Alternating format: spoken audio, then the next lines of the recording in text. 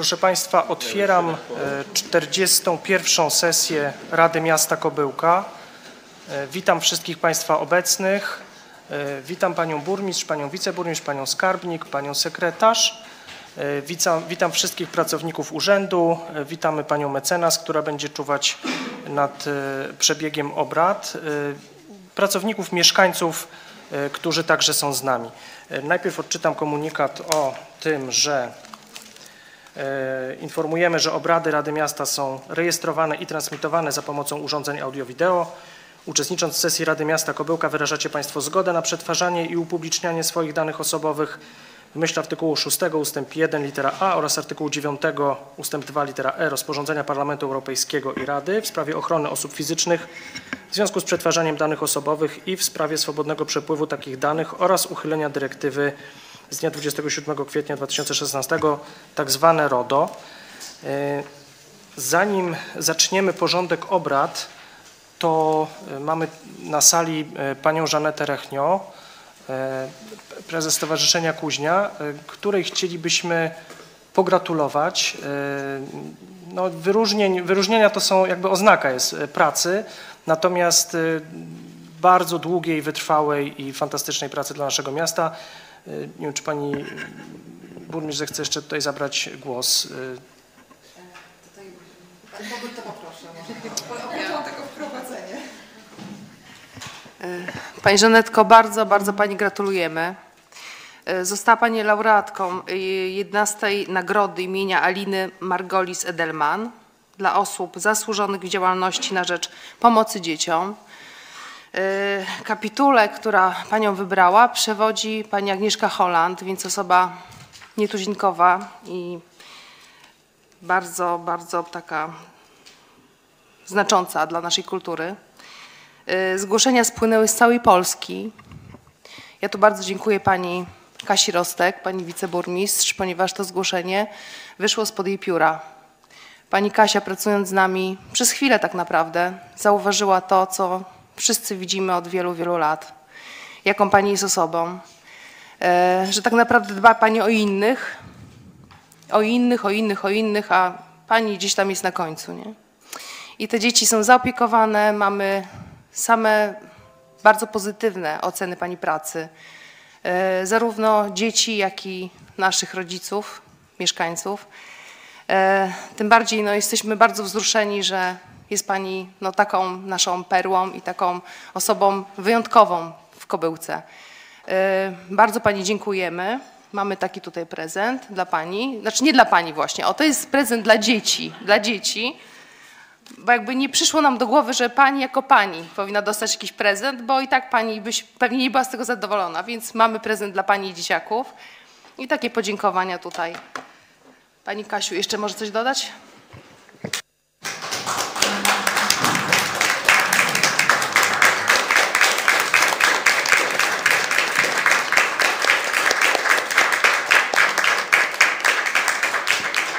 Pani Żanetko, prosimy tutaj bliżej do nas.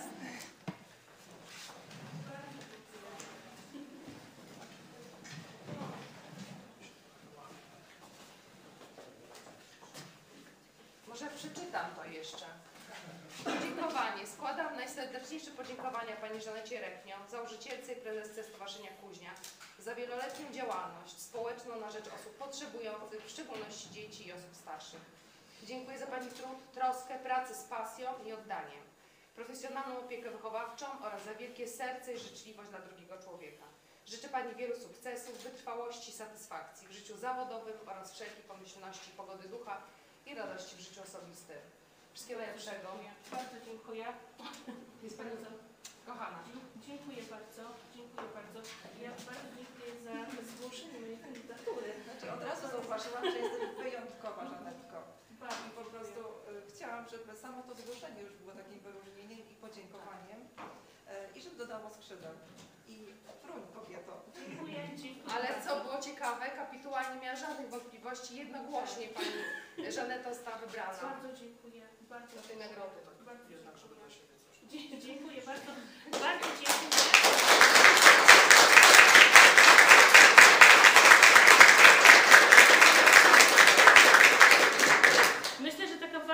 Że rzecz to, to, to jest wyróżnia to ja, ale też wszyscy wolontariusze, wszyscy pracownicy, więc ja też mając okazję chciałabym bardzo serdecznie podziękować.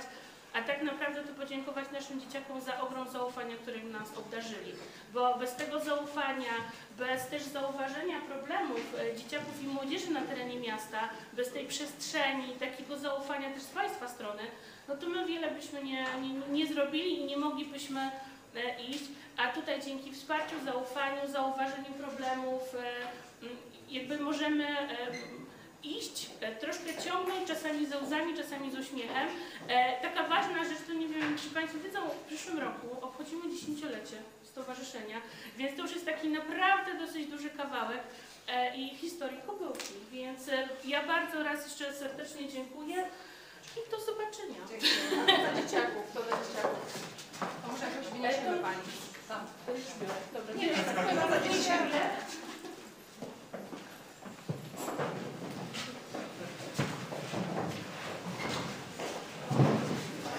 Jeszcze raz gratulujemy. To taki miły, miły moment na początek. E, Przejdziemy teraz do e, punktu drugiego przyjęcia wniosków do porządku obrad i zatwierdzenia porządku obrad. E, No i właśnie, ja wiem, że tych wniosków troszkę jest. To po kolei na spokojnie. Pani sekretarz. Witam Państwa serdecznie. Panie Przewodniczący, Wysoka Rado. E, Wnosimy o zdjęcie z porządku dzisiejszej sesji punktu 16 i punktu 19. Dotyczą one uchwał w sprawie ustalania regu- regulaminu przyznawania i pozbawiania nagród, e, pozb- pozbawiania nagród i wyróżnień za osiągnięcia wyniki sportowe oraz e, zasad trybu i przyznawania, pozbawiania oraz rodzajów i wysokości stypendiów. Dziękuję. Dziękujemy. Wiem, że są jeszcze jakieś wnioski. Pan e, radny Przemysław Jasiński. No Tak, proszę o dołączenie do porządku obrad y, dwóch, znaczy projektu dwóch skarg. Rozpatrzenia, rozpatrzenie, Tak. ro- rozpatrzenie skarg. One z- pierwszego, one z z- pierwszego i 6 września. zostały jeszcze, jeszcze umieszczone na serwerze dla Państwa radnych. Czy jeszcze ktoś z Państwa jakieś wnioski do porządku obrad ma? Mhm. Czyli mamy wniosek o zdjęcie dwóch uchwał oraz y, wniosek o wprowadzenie dwóch innych uchwał. Ja się tylko upewnię, czy my je mamy też już możliwe do wyświetlenia, to znaczy ten wniosek w ostatecznym brzmieniu.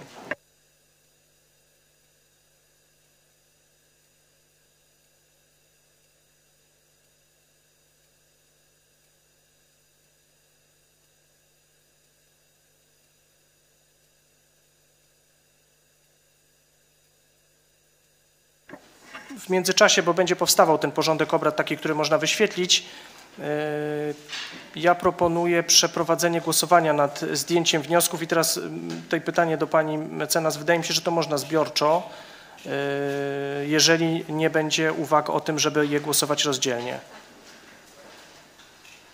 Czy ktoś z Państwa ma jakieś uwagi, jest za tym, aby któreś z uchwał, które są yy, k- które pani sekretarz wnioskowała, żeby je zdjąć, zostały lub pan radny, które wnioskował, żeby wprowadzić, żeby ich nie wprowadzać? Ktoś z państwa by chciał zabrać głos w tej sprawie? Nie ma, dobrze.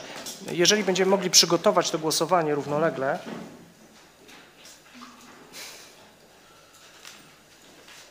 no to chwilkę będziemy musieli poczekać na to, na to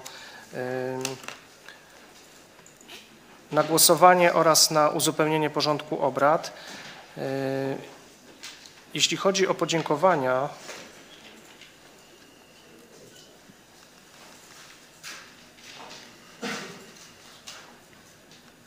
Jeśli chodzi o podziękowania, przyznam szczerze, miałem to powiedzieć na końcu w pytaniach od mieszkańców, ale tu się pojawia taki moment. E, Zwróciła się do mnie jeszcze jedna z mieszkanek Kobyłki, żeby podziękować serdecznie panu Kamilowi Wiśniewskiemu z Wydziału Ochrony Środowiska i obecnej z nami pani radnej e, Hannie Łach za rozwiązanie problemu zalegających e, odpadów w, na, w dzielnicy Sosnówka.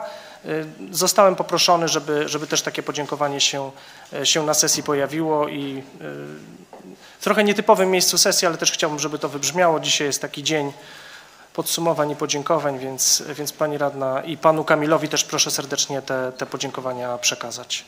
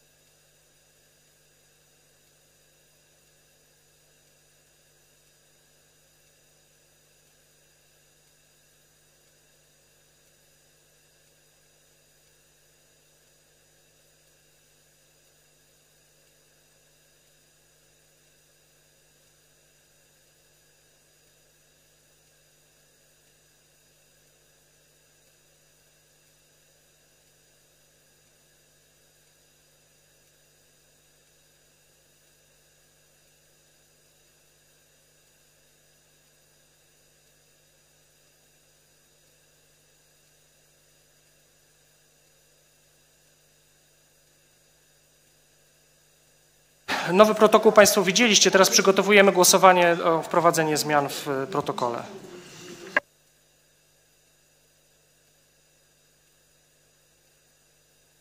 Tak w porządku obrad.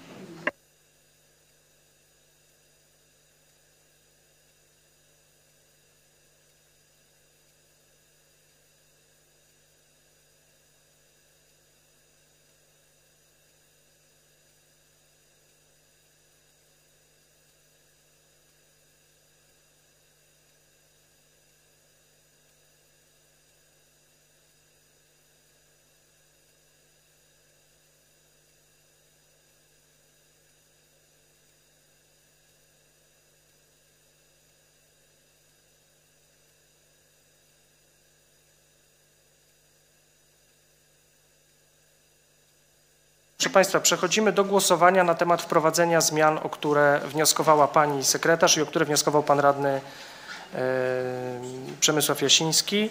Kto jest za wprowadzeniem zmian, proszę o głos za.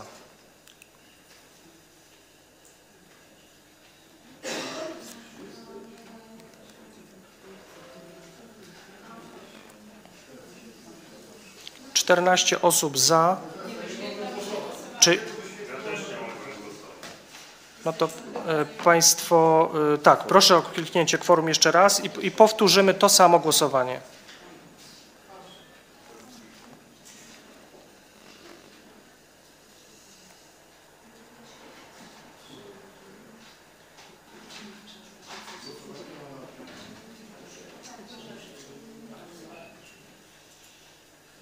Za chwileczkę.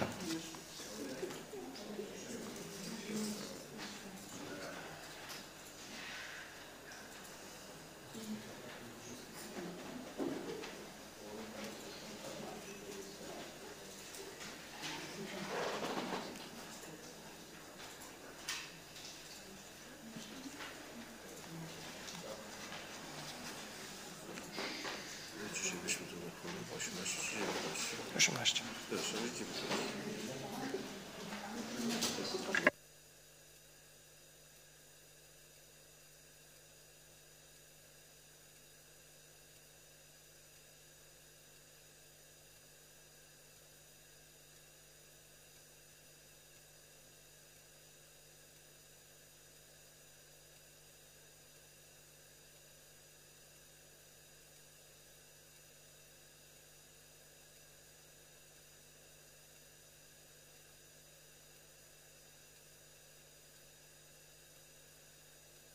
się, pojawiło się głosowanie. Proszę jeszcze raz o oddawanie głosów. A jeśli będzie problem, to proszę o komunikować.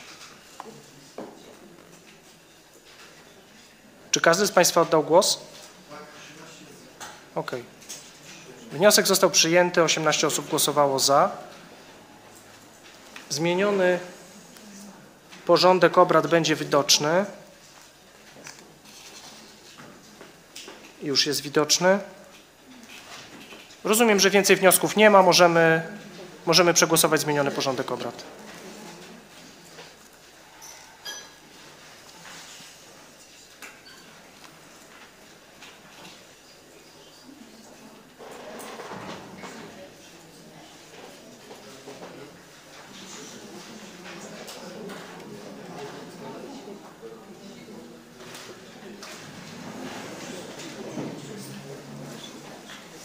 Będzie głosowanie?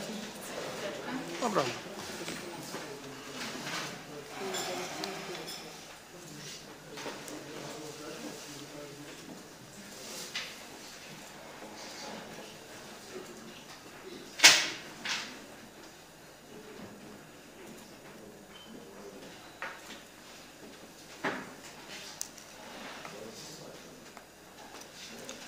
Proszę Państwa, jest możliwość głosowania. Proszę o głosowanie na temat y, zatwierdzenia porządku obrad.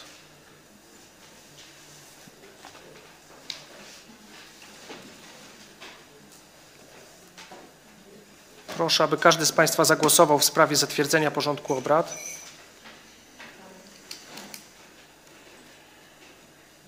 Dziękuję. 18 osób głosowało za. Porządek w wersji zmienionej został, został przyjęty. Trzeci punkt to jest zatwierdzenie protokołu z 40. sesji Rady Miasta. Protokół był dostępny do wglądu w e, terminie e, e, trzech dni. Nie wpłynęły do niego uwagi. Proszę, pan radny Bartłomiej Jabłoński. Chciałem się spytać, czy możemy trochę następnym razem rozbudowywać ten e, protokół, bo tak jak na przykład mamy e, pytania od mieszkańców, to jest zadane pytanie i tylko e, jest odpowiedzi udzieliła burmistrz miasta Kobyłka. Dobrze by było jakby chociaż e, sens tej odpowiedzi, ze dwa zdania, żeby były dopisane w tym protokole. Dziękuję. To jest dobra uwaga. Mm, Z jednej strony to jest uwaga do mnie, no ja jestem odpowiedzialny za sporządzenie protokołu, ale ja bym e, musiał to skonsultować jeszcze i z mm, pracownikiem i z panią sekretarz, bym chciał tu się porozumieć w tej sprawie, bo e, no nie ukrywam, że jest to dosyć czasochłonny proces i, i e, no zazwyczaj w tych sytuacjach odsyłamy do nagrania, ale ja powiem szczerze też uważam, że tam by się jedno zdanie mogło pojawić, ale to z kolei rzutuje na czas pracy e, jednej osoby, która się tym zajmuje, a zajmuje się też innymi rzeczami. Uwaga jest przyjęta. e, Będziemy jeszcze między sesjami o tym, o tym rozmawiać. Czy jeszcze jakieś uwagi do bieżącego protokołu? Nie widzę. Zagłosujemy w takim razie e, e, w sprawie zatwierdzenia e, protokołu z 40. sesji Rady Miasta Kobyłka. Proszę o wyświetlenie głosowania.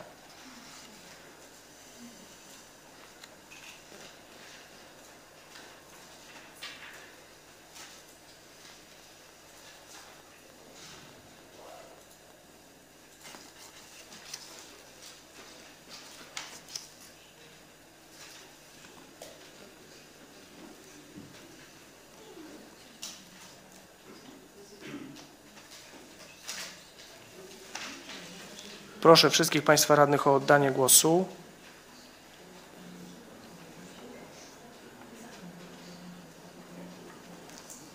Dziękuję bardzo. 18, głos, 18 głosów za. Protokół został e, zatwierdzony. Mm, Punkt e, czwarty to jest sprawozdanie burmistrz miasta z działalności między sesjami. Prosimy Pani Burmistrz.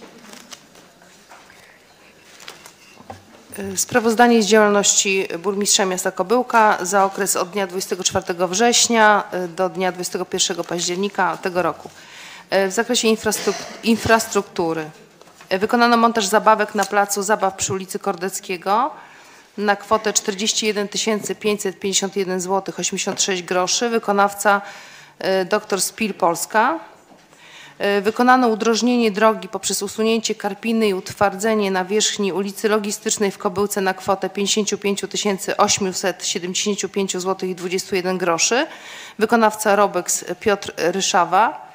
E, Podpisano umowę na wykonanie udrożnienia istniejącego drenażu francuskiego oraz wbudowania studni w celu odwodnienia odcinka drogowego przy ulicy Klonowej w Kobyłce na kwotę 15 375 zł. Wykonawca to Instalmat Mateusz Cieślak. E, Termin e, wykonania do końca e, roku 2021. E, Wykonano remonty cząstkowe ulic asfaltowych, m.in. Jana Pawła II, Rzymirskiego, Jezuicka, Dojazdowa.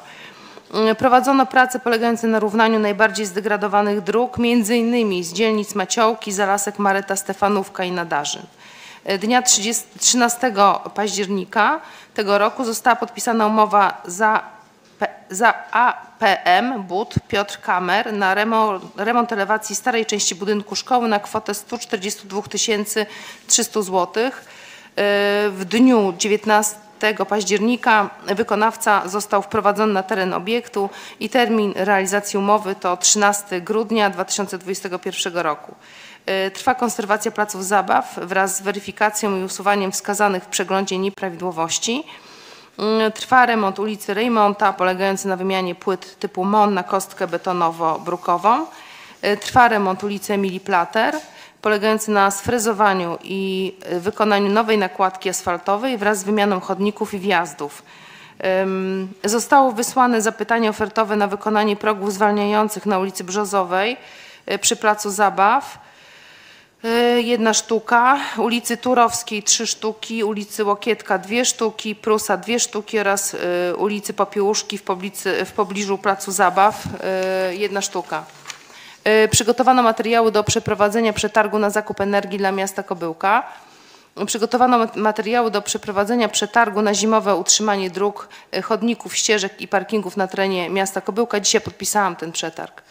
Konsultacje w sprawie transportu miejskiego, otwarcie ofert przez, przez ZM na operatora komunikacji miejskiej e, przez trzy lata na terenie powiatu womińskiego dla miasta Kobyłka. E, Ceny za przyjęte wozokilometry wyniosły odpowiednio w 2021 roku za grudzień 69 590 zł i 34 grosze. Mm, W 2022 milion 324 194 zł i 90 groszy. W 2023 milion 358 475 zł i 46 groszy. I w 2024 roku, bo to trzyletni przetarg, milion 343 224 zł i 69 groszy. Cena za jeden wozokilometr y, wyniosła zgodnie z przetargiem 5 zł i 57 zł, y, groszy netto. Trwają prace związane z konserwacją rowów komunalnych będących w zarządzie miasta Kobyłka. E, Trwają prace związane z wykoszeniem, oczyszczeniem oraz pogłębieniem rowów melioracyjnych na ulicy Olszewskiego, Prusa i Mickiewicza. E, Prace obejmowały również wymianę przepustów pod wjazdami. Zlecono opracowanie organizacji ruchu na okres wszystkich świętych, a wprowadzenie tej organizacji będzie obowiązywało w dniach od 30 października do 2 listopada 2021 roku. Zostało zlecone oczyszczenie wpustów studni deszczowych na ulicy Truskawkowej oraz Klonowej. Zlecono remonty w lokalach komunalnych, których realizacja nastąpi do 31 grudnia tego roku. E, Remont pustostanów, ulica Wspólna 8, m, mieszkania 15, ulica Nowa 3, mieszkania 8. Remont klatki schodowej na ulicy Księcia Marmo e, e, dwudzie- 20 mieszkania 5, malowanie ścian, barierek, naprawa drzwi, wymiana oświetlenia. Księdza Marmo, powiedziałam księcia?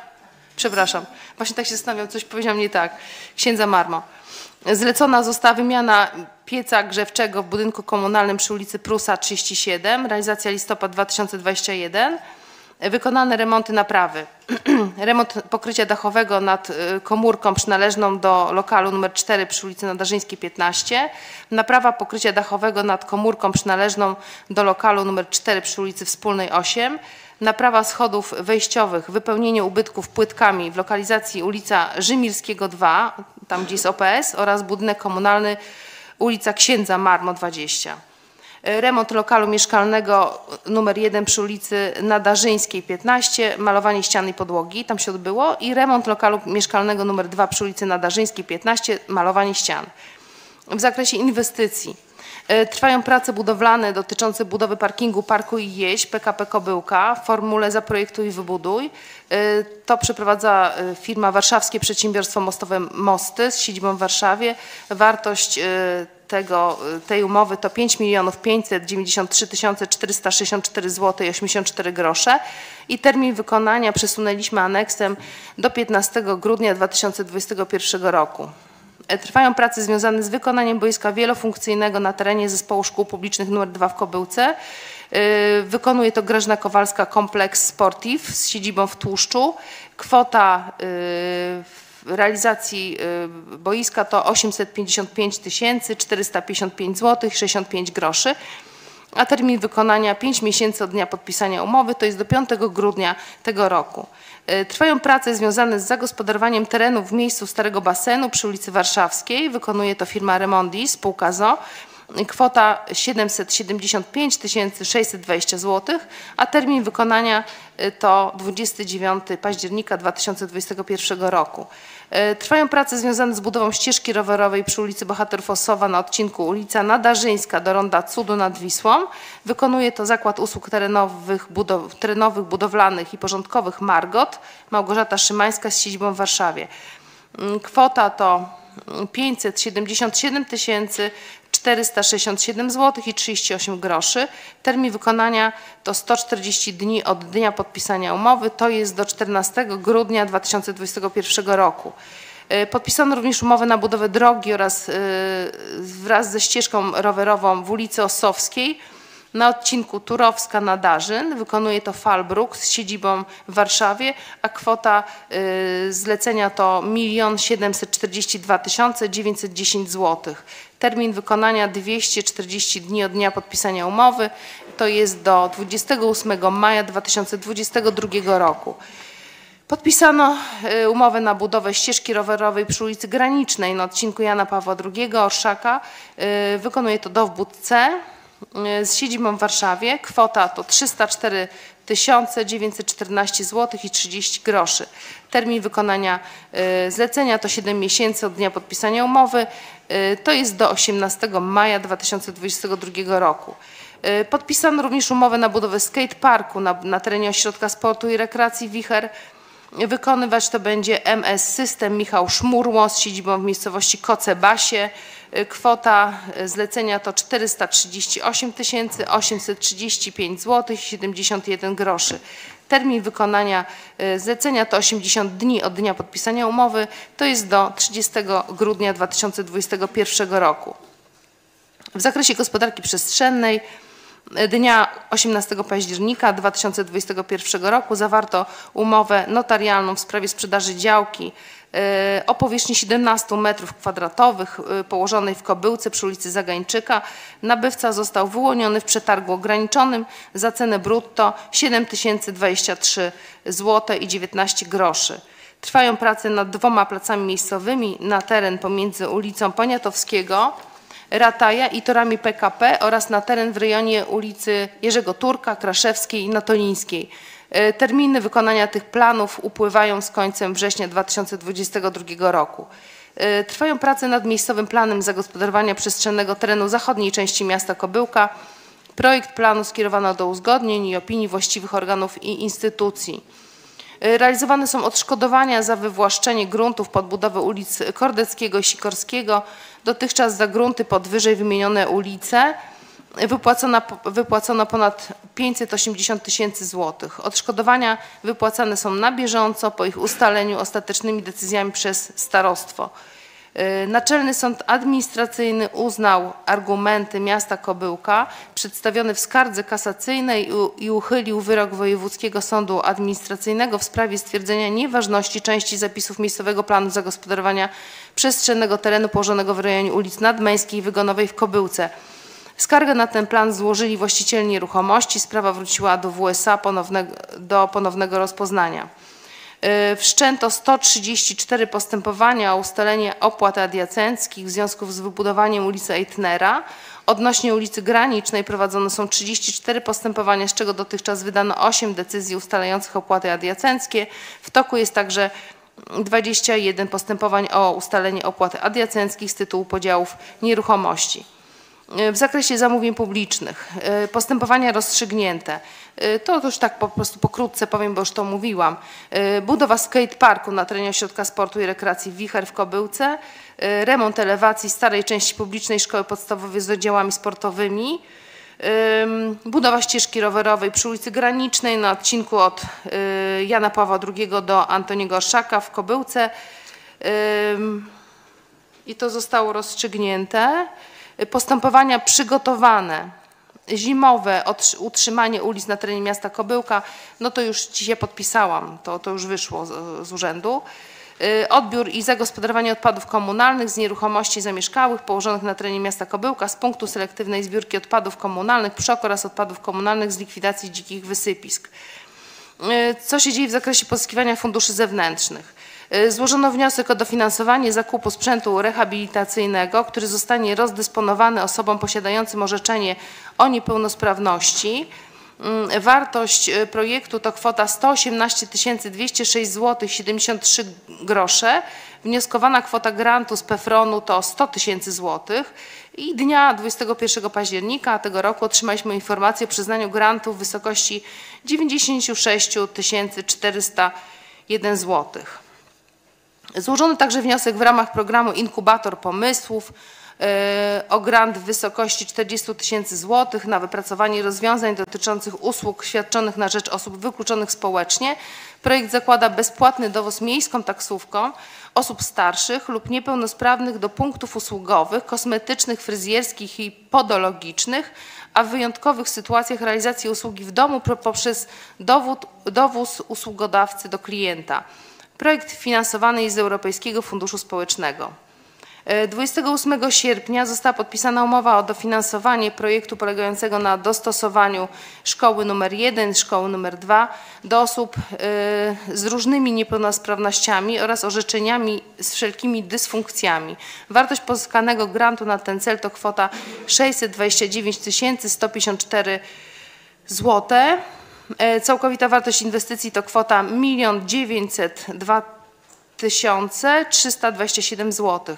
Projekt realizowany jest w ramach pilotażowego programu Dostępna Szkoła finansowanego z programu operacyjnego Wiedza, Edukacja, Rozwój 2014-2020 i świeża sprawa, dzisiaj dostaliśmy informację y, w ramach programu Polski Ład y, dostaliśmy dofinansowanie do y, ulicy Rataja.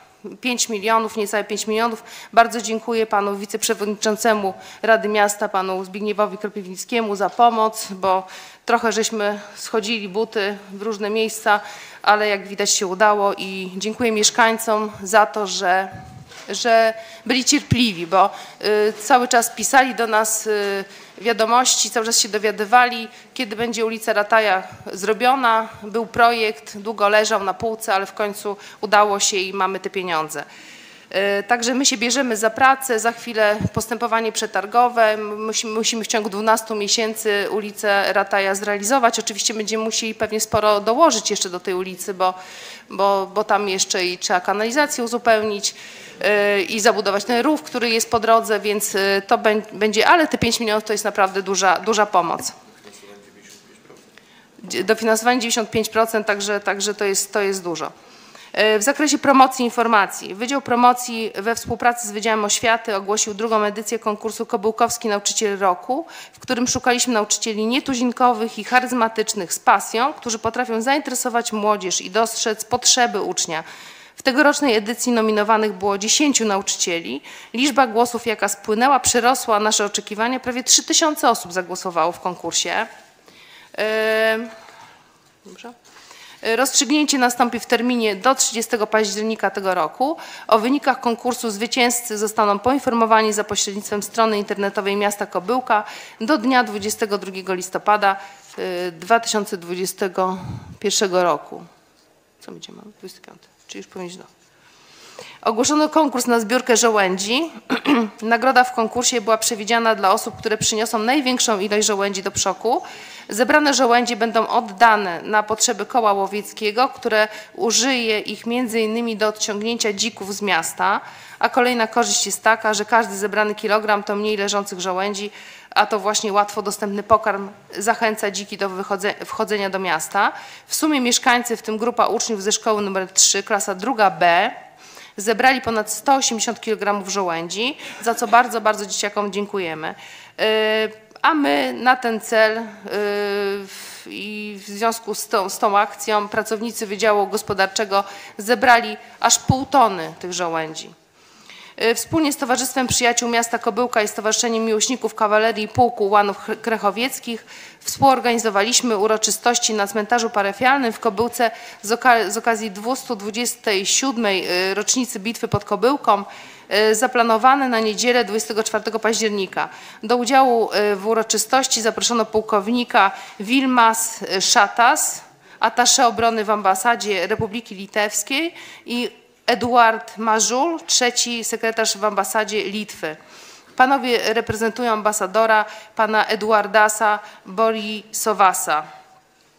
Y, Dodatkowo był pan minister Jan Józef Kasprzy- Kasprzyk, y, szef do spraw kombatantów i osób represjonowanych, starosta wołomiński pan Adam Lubiak, y, pułkownik Adam Koniuka, Koniuk, szef wyszkolenia 15 Dywizji Zmechanizowanej, przedstawiciele organizacji, stowarzy- stowarzyszeń, y, pan przewodniczący Rady Miasta, pan Konrad Kostrzewa, y, i radni, radni miasta Kobyłka. Y, Dyrektorzy jednostek, strażacy, OSP Kobyłka, harcerze, grupy rekonstrukcyjne i mieszkańcy. Kolejna rzecz. Przygotowujemy się do uroczystości z okazji Narodowego Święta Niepodległości 11 listopada. Oprócz tradycyjnego składania wieńców na placu 15 sierpnia planujemy warsztaty dla mieszkańców w Urzędzie Miasta, podczas których dzieci i dorośli będą mogli samodzielnie zrobić kokardy i inne ozdoby w barwach narodowych.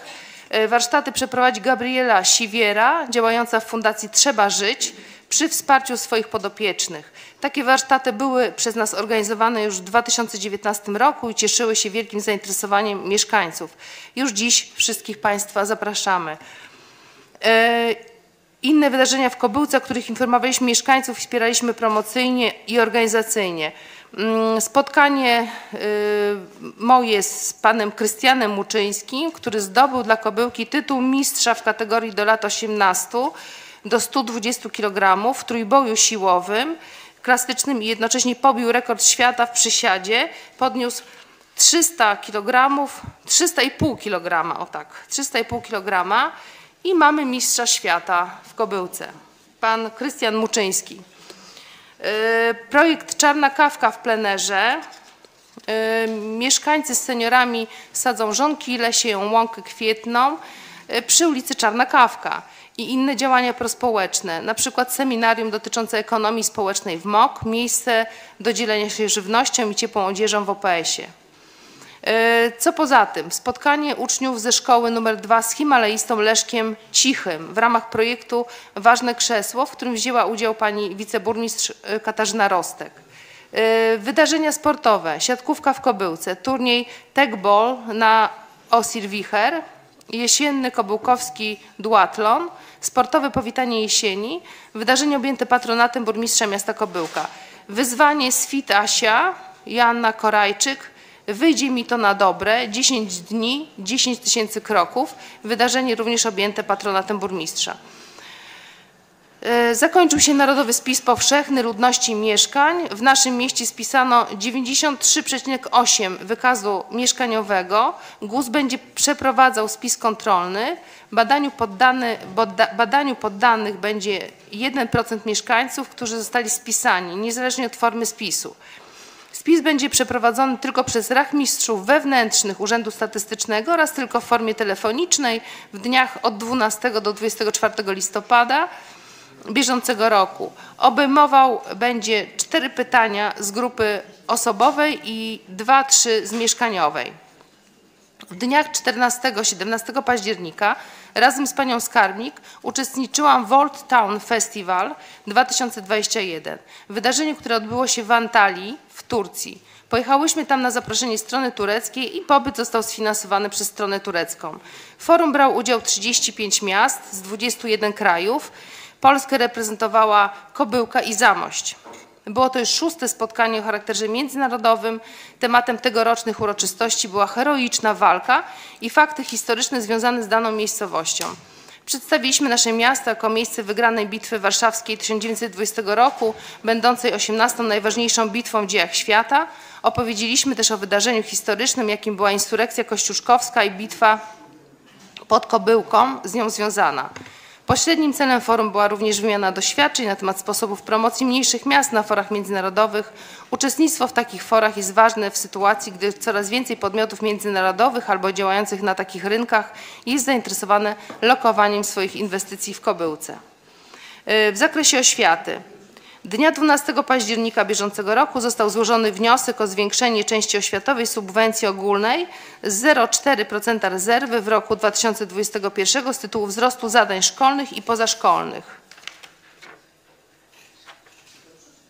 Yy. Polegającego na wzroście liczby uczniów przeliczeniowych w stosunku do danych przyjętych do naliczenia algorytmem części oświatowej subwencji ogólnej na 2021 rok. 5 października zostało podpisane porozumienie o współpracy między miastem Kobyłka a Mazowieckim Centrum Polityki Społecznej, w wyniku którego powołano na terenie miasta rzecznika ekonomii społecznej i solidarnej panią Izabelę Drzazga, pracownika Ośrodka Pomocy Społecznej w Kobyłce. Porozumienie nie pociąga ze sobą zobowiązań finansowych, a gratulujemy pani Izie i życzymy owocnej pracy na rzecz mieszkańców miasta Kobyłka. 14 października bieżącego roku zostały złożone wnioski w ramach programu rządowego pod nazwą Laboratoria Przyszłości. Łączna wartość wsparcia to 741 600 zł. Y, W ramach Narodowego Programu Rozwoju Czytelnictwa 2.0 w 2021 roku publiczne przedszkole numer 1 imienia Krasnala Hałabały oraz publiczna szkoła podstawowa z oddziałami integracyjnymi numer 2 imienia bohaterów Bitwy Ossowskiej otrzymały wsparcie finansowe w łącznej wysokości 15 tysięcy złotych. Złożono wnioski do programów rządowych, asystent osobisty osoby niepełnosprawnej oraz opieka wytchnieniowa, kontynuacja programów, które są teraz realizowane dla mieszkańców miasta. 11 października odbyło się szkolenie dla organizacji pozarządowych działających na terenie miasta. Prowadzącym był pan Artur Gluziński, doświadczony trener z zakresu, z zakresu współpracy z organizacjami pozarządowymi. E, Szkolenia, e, doty, szkolenie dotyczyło prawidłowego wypełniania sprawozdań z realizacji zadań publicznych, osiąganiu re- rezultatów również w czasie pandemii, jak również omawianie przygotowania oferty w ramach konkursów ogłaszanych przez samorządy, w tym z budżetu miasta Kobyłka. Miasto od przyszłych konkursów do obsługi wprowadzi program WITKAC. W listopadzie odbędą się szkolenia z obsługi programu. Y, 18 października odbyło się spotkanie mające na celu zainicjowanie aktywności samorządów w zakresie rozwoju podmiotów ekonomii społecznej na terenie powiatu womińskiego z udziałem przedstawicieli samorządu Jadowa oraz Kobyłki, Powiatowego Urzędu Pracy, Powiatowego Centrum Pomocy Rodzinie, organizacji pozarządowych Lokalnego Ośrodka Wsparcia Ekonomii Społecznej OPS-u i Spółdzielni Socjalnej Pożytek z Tłuszcza oraz Spółdzielni Socjalnej Centrum Usług Środowiskowych z Drobina. Dziękuję za obecność i organizację spotkania. Tu duży ukłon dla pani wiceburmistrz, pani Kasi Rostek. Yy, W zakresie ochrony środowiska, dotacje gminne od początku roku, umowy o dofinansowanie w sumie 133 sztuki, w tym wymian, do, dofinansowanie do wymiany pieca. Od początku roku aż 61 y, takich wniosków, takich umów z, y, podpisaliśmy. Dofinansowanie termomodernizacji budynku od początku roku 18 umów. Dofinansowanie instalacji ogniw fotowoltaicznych od początku roku 9 sztuk i dofinansowanie budowy przyłącza kanalizacji sanitarnej od początku roku 45 sztuk. Yy, Razem jest właśnie 133 umów na dofin- dofinansowanie, zaangażowanie finansowe to 510 tysięcy złotych. Ym, Deklaracje odpadowe, ogółem ilość złożonych deklaracji na odbiór odpadów komunalnych y, 117 zł, 117 sztuk więcej. Y, Wprowadzenie, y, wprowadzenie do systemu wszelkich zmian w istniejących deklaracjach na odbiór odpadów komunalnych to 83 takie przypadki. Y, Odpady, jeśli chodzi o odpady, to właśnie trwa przygotowanie dokumentacji przetargowej. W zakresie Wydziału Gospodarczego w każdy poniedziałek i piątek oraz według aktualnych, bieżących potrzeb sprzątane są śmieci na terenie miasta, w ulicach, na skwerach, placach, terenach ogólnie dostępnych i na obrzeżach miasta. Trwają koszenia trawników miejskich, w tym w miejscach zorganizowaną zielenią miejską oraz wzdłuż poboczy ulic gminnych na terenie miasta. Trwają prace związane ze sprzątaniem, grabieniem liści na terenie miasta i w miejscach zo- zorganizowaną zielenią miejską. Na zgłoszenia mieszkańców i według bieżących potrzeb wycinane są zakrzaczenia na terenie miasta. W, ok- w, okresie, w ostatnim okresie wycięto zakrzaczenia w rejonie ulicy Norweskiej i Rumuńskiej, w sąsiedztwie bloków i garaży przy ulicy Ceglanej oraz w łączniku przy ulicy Jezuickiej. Y, Zamontowano kolejne nowe kosze. Y, To jest kosze przy, na śmieci przy stacji PKP Kobyłka Osów, y, w ulicy Napoleona i Poniatowskiego oraz kosze na psie nieczystości przy skrzyżowaniu Marii Skłodowskiej-Curie z Zagańczyka oraz przy skrzyżowaniu Turowskiej z Borysów. Na bieżąco również usuwane, naprawiane są uszkodzone kosze oraz poprawiane są znaki drogowe. Na bieżąco wybierane są przez pracowników nakrętki z serduszek zlokalizowanych przy Miejskim Ośrodku Kultury i Szkole Podstawowej nr 2. Trwają prace w zakresie mechanicznego zamiatania ulic gminnych na terenie naszego miasta. Zamiatanie wykonuje firma Remondis z Warszawy. Zlecono do zamiecenia 60 km, ponad 60 km ulic gminnych na terenie naszego miasta. Prace potrwają do końca miesiąca.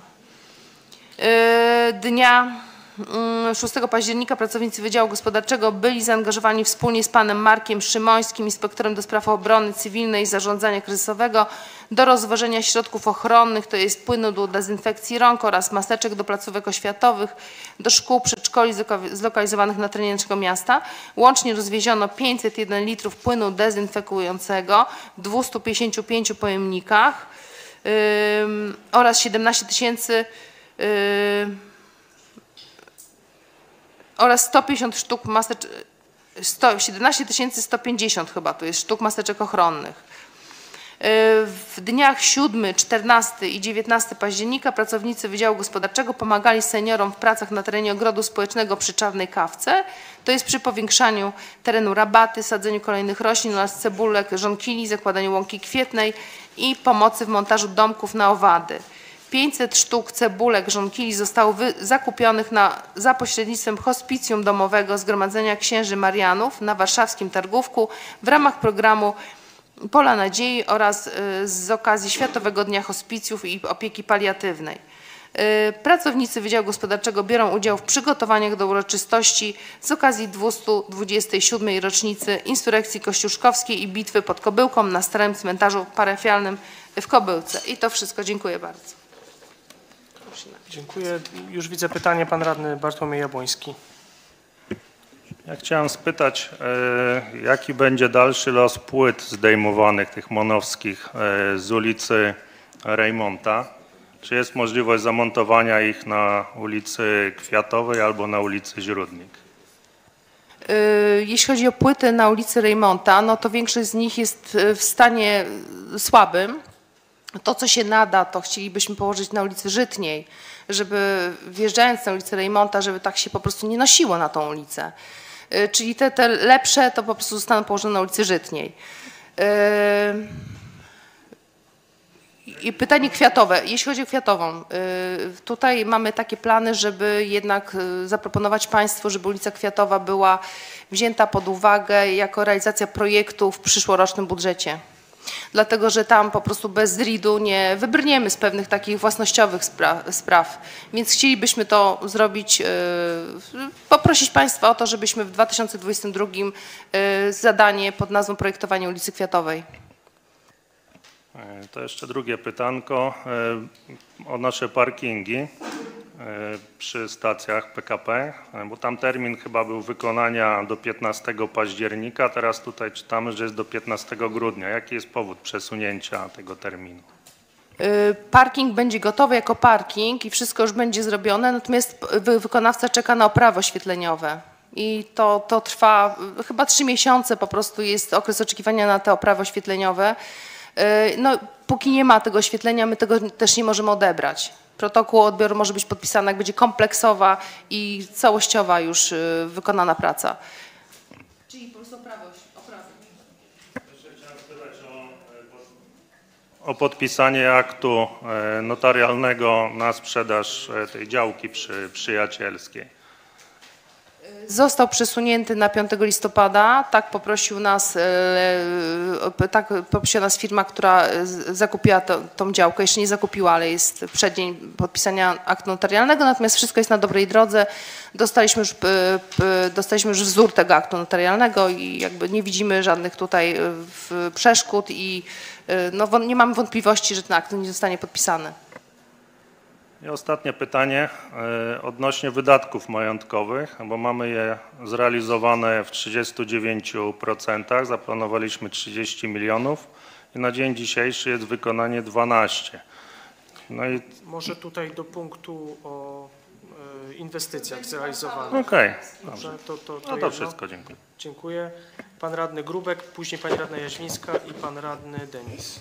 Pani Przewodnicząca, Wysoka Rado. Pani Burmistrz, zabrakło mi w tym sprawozdaniu informacji o projekcie modernizacji oświetlenia w ramach PPP. PPP. E, Proszę o przypomnienie, do kiedy była wydłużona umowa, jaki jest status tych prac. To jakby jedna rzecz, jedno pytanie. E, A druga sprawa e, też dotycząca oświetlenia. Gdyby to padło w sprawozdaniu, to pewnie też bym o to pytał. Jak wygląda na dzień dzisiejszy w trakcie jakby wymiany tego oświetlenia temat konserwacji tego oświetlenia, bo podejrzewam, pewnie do tego wrócimy jeszcze na końcu sesji przy- serii pytań, yy, że to być może jest powód tego, że, to, że te lampy nam gasną i się zapalają non-stop yy, wielokrotnie w, no, w różnych odstępach czasu. O tak, czyli brak należytej konserwacji w okresie modernizacji. Czyli pierwsze pytanie, do kiedy umowa wydłużona, jaki jest status i druga sprawa, jak to jest teraz, jak system oświetlenia jest obecnie konserwowany. To ja mam pro, prośbę taką, żebyśmy wrócili do tego pod koniec, dobrze? Ja już będę pamiętała, że to pytanie zostało, z, bo, bo, bo termin mamy do y, 15 listopada, to, to wiemy, tak? Zabrakło rzeczywiście w sprawozdaniu tej informacji, nie zwróciłam na to uwagi. Y, Wysłaliśmy pismo do wykonawcy, żeby, żeby w jakiś sposób usprawnił te swoje prace, żeby nie było takich wyłączeń prądu, Y, ale tak dokładnie to bym, jeśli chodzi o konserwację, to bym udzieliła informacji na koniec. Pani radna Jaźmińska.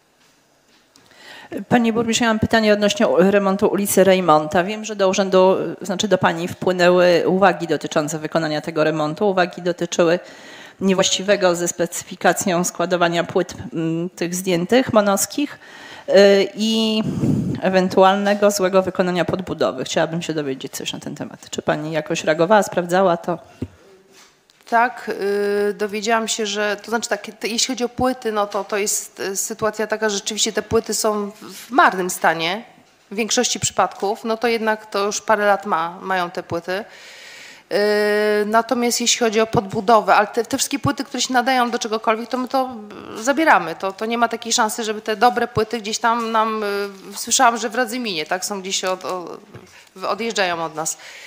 Y, Natomiast jeśli chodzi o podbudowę, tutaj y, pani inspektor nadzoru zadecydowała, że y, nie mamy jakiegoś kruszywa, które, które po- powinno być zgodnie z planem położone, ale inne, inne kruszywo spełnia również taką samą funkcję. Natomiast tu poprosiłam panią inspektor, żeby jednak to kruszywo było takie zgodne z, z projektem. Dziękuję, ale jeszcze w nawiązaniu do tych płyt, ponieważ zgodnie ze specyfikacją, z tego co wiem, to one, mogę się mylić, ale bo ja tego osobiście nie sprawdzałam, to jest informacja od mieszkańca, ale myślę, że mieszkaniec wie, co mówi. One miały być składowane przez y, w Kobyłce, w miejscu wskazanym przez urząd. I to, że wyjeżdżają do Radzymina, to to jest niezgodne właśnie z tą specyfikacją. No a dodatkowo każdy fakt przewiezienia tych płyt w dalsze miejsce, no to wiadomo, że skutkuje tym, że one się coraz mniej będą nadawały do używania. To dlaczego tak się stało właśnie, że firma składuje je w Radzyminie? Jest z nami pani Magda Wachłoczenko. Y, Jeśli można, czy ma pani coś do dodania? Czy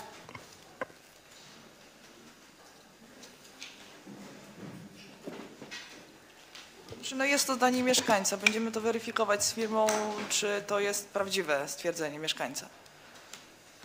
To znaczy, to można szybko zweryfikować, bo jeżeli pani wskazała miejsce składowania płyt w Kobyłce, to pani już powie to miejsce, tak? Gdzie one w tej chwili są?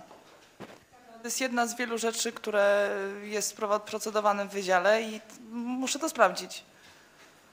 Czy wskazała pani to miejsce w Kobyłce, czy nie? Do składowania płyt. Osobiście nie. Muszę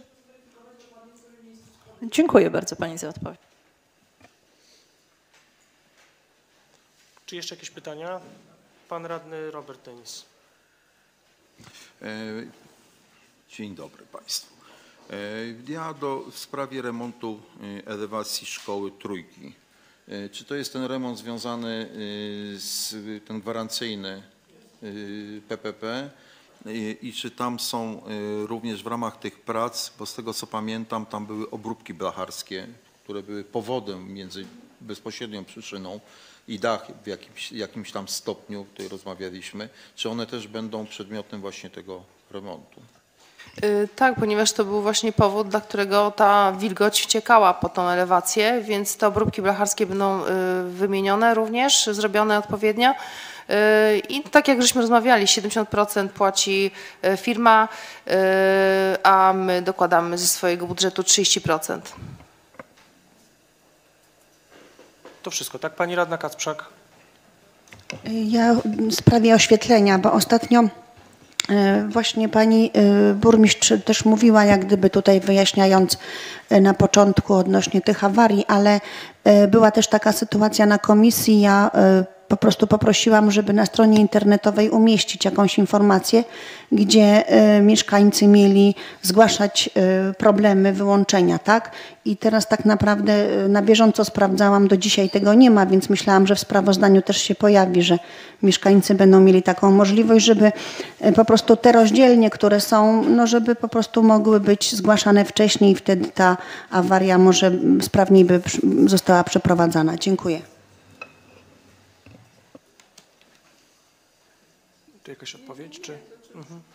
To jest apel po prostu, tak, żeby, żeby to, te informacje podać. Czy ktoś z Państwa ma jeszcze pytania do porządku obrad? Pan radny Jabłoński.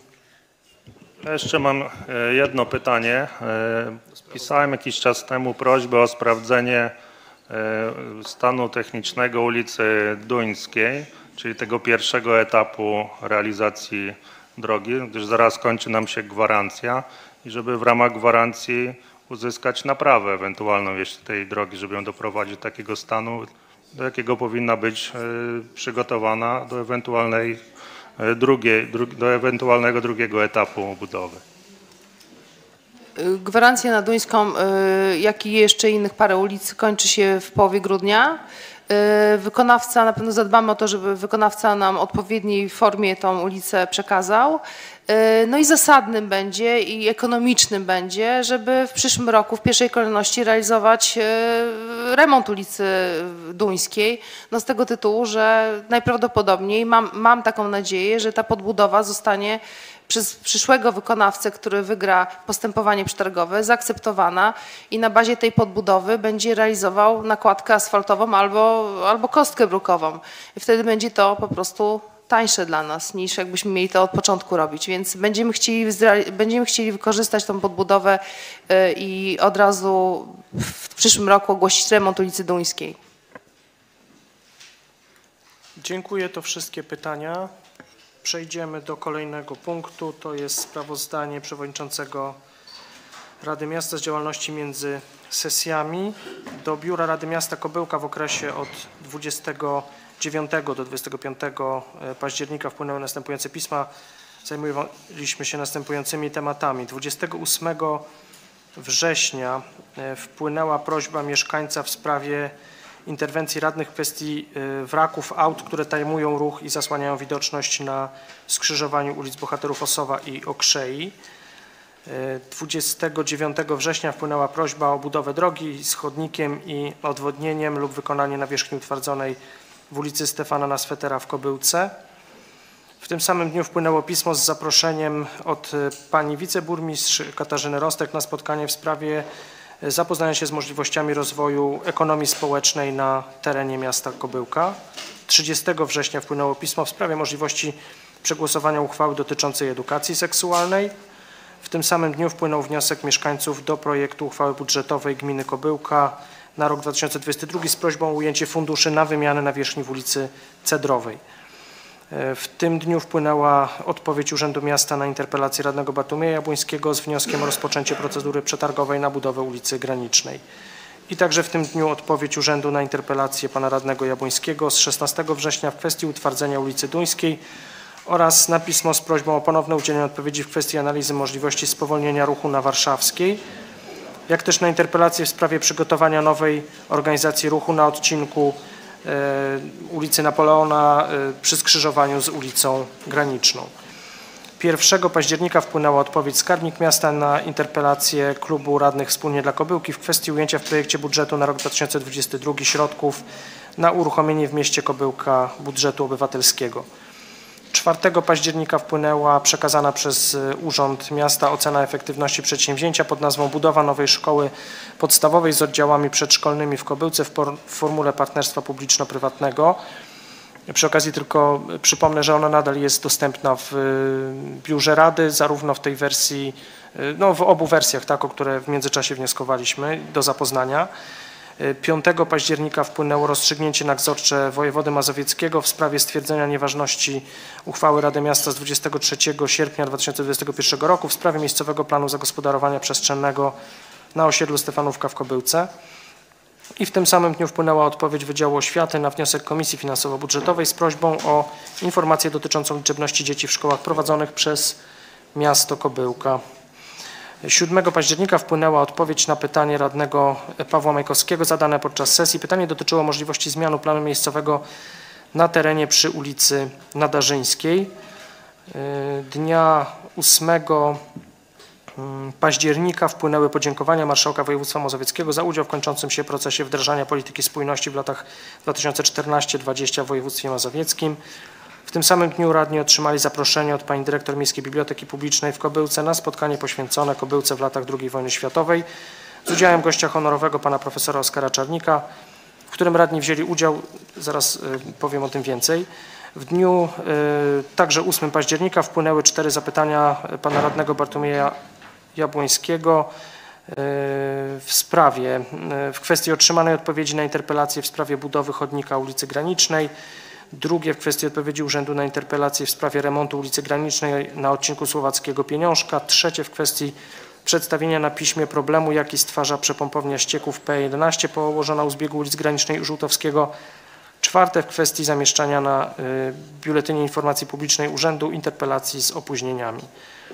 I także 8 października wpłynęła odpowiedź Urzędu na interpelację pana radnego Jabłońskiego w kwestii ponownego wniosku o stworzenie w mieście Kobyłka jadłodzielni. W tym samym dniu wpłynęła odpowiedź Urzędu na zapytanie pana radnego Jabłońskiego w kwestii jak burmistrz oraz podlegli pracownicy powołują się na parametryzację podczas kwalifikacji dróg do budowy i remontów. 11 października wpłynęła pisemna odpowiedź sekretarz miasta na wnioski radnej Małgorzaty Fortuny z 40 sesji Rady Miasta Kobyłka. Wniosek dotyczył usunięcia wiat przystankowych, o ile pamiętam. 11 października w Urzędzie Miasta Zielonka odbyło się spotkanie w sprawie linii autobusowej, która miałaby połączyć Wołomin, Kobyłkę, Zielonkę i być może Marki bezpośrednio z Warszawą. Spotkanie takie było możliwe dzięki inicjatywie mieszkanek, głównie mieszkanek Maciołek, które zebrały w tej sprawie y, ponad tysiąc, myślę, że w tej chwili to już bliżej półtora tysiąca podpisów. Wsparcie dla tego pomysłu ciągle jest przekazywane przez mieszkańców Marety, Piotrówka, przez bardzo wielu mieszkańców Kobyłki. Na spotkaniu byłem obecny razem z mieszkańcami dzielnicy Maciołki i panią radną y, Izabelą Muszyńską. Na spotkaniu był także obecny e, wspierający pomysł powstania e, tej linii osoby z Wołomina, z Zielonki. Chciałem podziękować za takie gościnne przyjęcie Radzie Miasta Zielonka i, i z panią przewodniczącą Gabrielą Wiśniewską i panu burmistrzowi Kamilowi Iwandowskiemu. 12 października wpłynęła interpelacja pana radnego Bartłomieja Jabłońskiego z wnioskiem w sprawie wizji terenu i wyegzekwowania właściwego utrzymania stanu technicznego drogi przy ulicy Duńskiej w związku z kończącą się gwarancją na pierwszy etap e, wykonania tej ulicy. W tym samym dniu wpłynął wniosek mieszkańców osiedla Maciołki z prośbą do burmistrz miasta za pośrednictwem Rady Miasta o stworzenie nowego połączenia autobusowego z Kobyłki do centrum Warszawy oraz bezpośredniego połączenia z Wołominem. To jest ten wniosek, o którym wcześniej mówiłem. E, także 12 października w Miejskiej Bibliotece Publicznej odbyło się spotkanie poświęcone historii Kobyłki w latach II wojny światowej. Spotkanie było prowadzone przez panią Hannę Wieliczko, profesora Oskara Czarnika, pana Miłosława Bujalskiego. Było okazją do przypomnienia książki Kobyłka i okolice, zarys historyczny, kulturalny i krajoznawczy wydaną przez miasta Kobyłka, tutaj jeszcze raz podziękowania dla pani burmistrz, e, którą współtworzyła także świętej pamięci pani Maria Balicka. E, to też było takie, takie wspomnienie jakby jej pracy dla nas. Bardzo dziękuję wszystkim organizatorom, uczestnikom tego ważnego spotkania podsumowującego pracę nad książką i będącego takim kolejnym już w ostatnim czasie wspomnieniem pani Marii. Dziękuję też radnym za obecność. Y, pani, pani dyrektor już dziękowałem za zaproszenie. Pani radnej Dominice Ziemskiej, przewodniczącej Komisji Oświaty, Kultury i Spraw Społecznych też dziękuję za zajęcie się kwiatami po prostu na tej, na tej uroczystości. 13 października wpłynął wniosek mieszkańców o wykonanie y, nawierzchni asfaltowej y, w ulicy Niecałej. 18 października w grupie ponad 30 mieszkańców udaliśmy się do pani burmistrz w celu zawnioskowania o uruchomienie linii autobusowej do Warszawy. W tym gronie Rada Miasta reprezentowała pani radna Izabela Muszyńska i pan radny Piotr Grubek. Dziękuję za konstruktywne spotkanie pani burmistrz i wszystkim osobom, które były tam obecne. To dość duża grupa i to wymagało od każdego bardzo takiego zdyscyplinowanego wypowiadania się. 19 e, października wpłynęła odpowiedź Wydziału Infrastruktury dotycząca kompleksowej modernizacji oświetlenia ulicznego na terenie miasta Kobyłka. 20 października wpłynęło zapytanie pana radnego Bartłomieja Jabłońskiego z prośbą o podanie przyczyny przesunięcia terminu podpisania umowy i wpłacenia środków za sprzedane przez urząd w tym roku, za sprzedaną w tym roku nieruchomość przy ulicy Przyjacielskiej. 21 października w Urzędzie Miasta Zielonka odbyło się kolejne spotkanie w sprawie powstania linii autobusowej do Warszawy. Tym razem oprócz mieszkańców Kobyłki, Zielonki, Wołomina oraz radnych z Zielonki i Kobyłki, y, tutaj znowu dziękuję pani radnej y, Muszyńskiej, panu radnemu Grupkowi, byli obecni burmistrzowie Kobyłki, pani burmistrz, za co też dziękuję i za mm, deklaracje, które tam padły, też za działania z ZTM-em już. pan burmistrz Zielonki i zastępca y, burmistrz Wołomina. Na spotkaniu potwierdzono deklarację kontynuowania wysiłków w sprawie utworzenia tej linii autobusowej. Pani burmistrz Edyta Zbieć poinformowała o rozpoczęciu rozmów w tej sprawie z Warszawskim Zarządem Transportu Miejskiego. Wczoraj, to nie jest jeszcze w tej pisemnej wersji, odbyły się cmenta na cmentarzu i potem w Bazylice obchody 227. rocznicy bitwy pod Kobyłką. Y, Bardzo y, piękna oprawa, trzeba za nią podziękować y, harcerzom, młodzieży, zwłaszcza ze szkoły numer 1, rekonstruktorom. Y, Dziękuję radnym za, za obecność. Pani burmistrz też dziękuję za zaproszenie i współorganizację. Y, To wszystko, jeśli chodzi o sprawozdanie. Czy są jakieś pytania? Nie widzę. Myślę, że możemy przejść do kolejnego punktu. Mm, To jest ocena działania systemu odbioru odpadów komunalnych. Zapraszamy przedstawiciela Wydziału Ochrony Środowiska.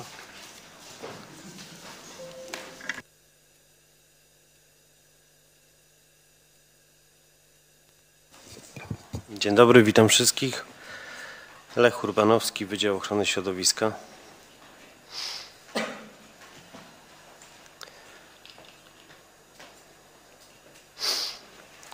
To tak pokrótce, co się zmieniło w tym czasie, który będziemy omawiać, jeżeli chodzi o liczbę osób zameldowanych na naszym terenie. E, W roku 31 grudnia 2020 roku na naszym terenie meldunek stały posiadało 24 048 osób, meldunek czasowy 300 osób, czyli łącznie meldunek stały i czasowy 24 341 osób.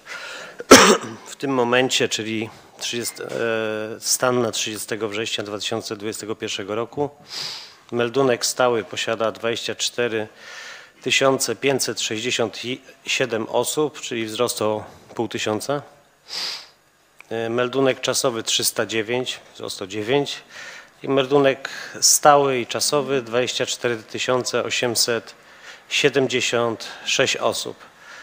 W tym czasie liczba deklaracji, e, liczba osób e, według dekla- deklaracji w roku 2020 to było 24 095 osób i przez ten rok przybyło e, 600, 600, 600 osób i w tym momencie mamy 24 724 osoby, czyli widzimy, że liczba osób posiadających meldunek stały i czasowy pokrywa się z liczbą osób, które, e, które, które są wykazane w deklaracjach. E, Żeby pokazać, żeby pokazać skalę, e, ilość odpadów, które zbieramy na terenie miasta, e, to wybrałem sobie kilka przykładów.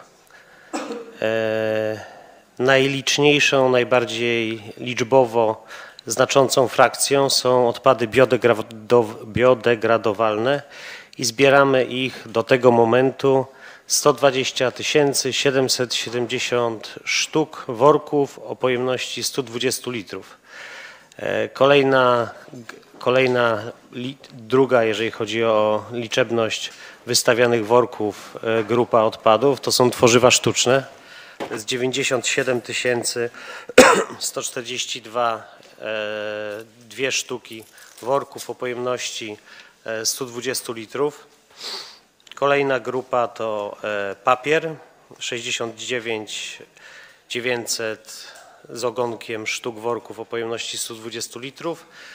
No i szkło 43 660 660 e, sztuk worków o pojemności mniejszej, bo 80 e, litrów.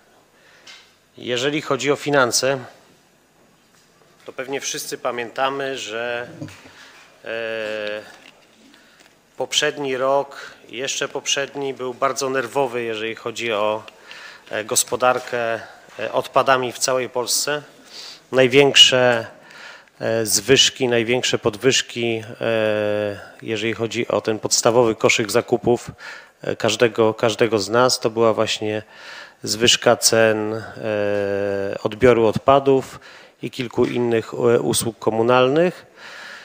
No i warto powiedzieć, że na dzień e, 30 września 2021 roku mieścimy się w założeniach e, i naszych szacunkach dotyczących tak ilości odpadów, jak i e, kosztów obsługi tego systemu.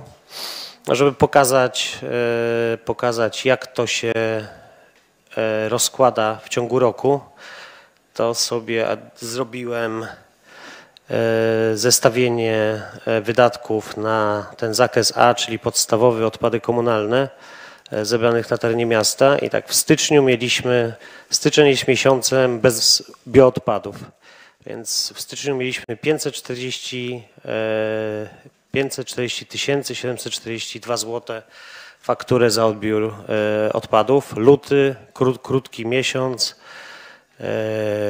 470 tysięcy 649 zł. Marzec 688 414, 404 zł. Tutaj już widzimy, że rośnie ilość e, odpadów z porządków e, wstępnych w ogrodach. Kwiecień 760 895. Tutaj zaczynają się też porządki w piwnicach.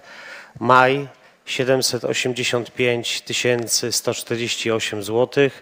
Tutaj już dochodzą e, pierwsze e, większe zbiory bioodpadów i większa liczba gabarytów e, i temu podobnych odpadów, które, i odpadów, które związane są zwykle z porządkowaniem nieruchomości.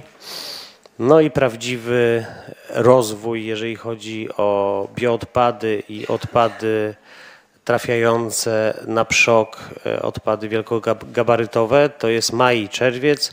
W maju faktura za całość e, wyniosła 785 148 zł, w czerwcu 817 e, 705 zł, w lipcu 804 497 zł, w sierpniu. I tutaj sierpień i wrzesień są ciekawymi miesiącami, bo tutaj w tych miesiącach obserwujemy e, spadek e, ilości odpadów powiązanych z porządkowaniem nieruchomości, czyli jest mniej tych e, gabarytów trafiających na przok, wanien, odpadów porozbiórkowych i temu podobnych, a jest dużo więcej odpadów, dużo więcej odpadów e, bio zebranych z terenu miasta. Łącznie do tej pory zapłaciliśmy za gospodarkę odpadami 6 milionów e, 426 tysięcy. A przypomnę, że e, w budżecie na ten cel zaplanowane było blisko dwa razy więcej.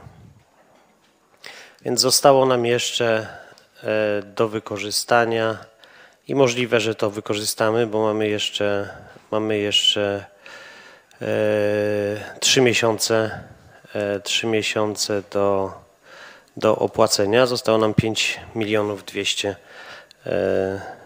z ogonkiem. Jeżeli chodzi o jeżeli chodzi o temat, e, jak wyglądają te fluktuacje, zmiany w e, ilości deklaracji e, w ciągu roku, to jeżeli samych deklaracji, zmian deklaracji w ciągu kwartału, a, jeżeli samych zmian deklaracji e, w ciągu kwartału mamy w okolicach cz- e, cz- cztery- 400, to nowych deklaracji w porównywalnym okresie i to zwykle jest e, zbliżona, zbliżona ilość. Mamy e, w okolicach 150, e, 150 deklaracji.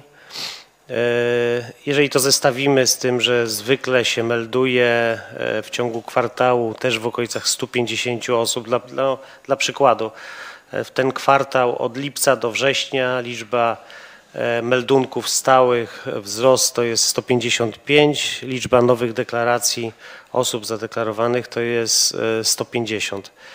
E, przepływy pomiędzy, przepływy pomiędzy tymi grupami są e, znikome. Tak jak mieliśmy lata, to był rok 2020, e, gdzie ten ruch w deklaracjach był bardzo duży. No jak pamiętamy, to zdarzało się, że to było 200-300 zmian deklaracji, taki, e, przechodzenia z jednej, e, na przykład no, e, zmniejszania ilości osób, zmniejszania ilości osób zadeklarowanych na, dane, e, na daną, daną nieruchomość, to teraz już e, tych zmian tego typu nie ma. Czyli e, jeżeli kiedyś mogliśmy za, zakładać, że e, dochodzi do ukrywania w deklaracjach e, części osób, świadomego ukrywania e, tej części osób, to tutaj z tych danych raczej e, odczytujemy, że, e, że, że, że to się zmieniło, tak ukróciło się. Znaczy raczej albo ci, co mieli odejść e, na ukrytą formę korzystania z systemu gospodarki odpadami już z tego skorzystali, albo e, coś zmieniło się w świadomości, e, w świadomości mieszkańców. E, Jeżeli chodzi o kontenery, e, nie jest to bardzo e, popularna, e, popularna usługa. Słucham? Bo trzeba płacić, tak? E, A nasz PSZOK, pomimo bardzo restrykcyjnej e, i dokładnego sprawdzania tego, co, e, co, co do, niego, do niego trafia, jednak cieszy się e, dużą, dużą popularnością. E, To na przykład kwartalnie to jest w okolicach kilkunastu, kilkunastu kontenerów zamawianych przez mieszkańców, więc to jest ilość znikoma. Tak?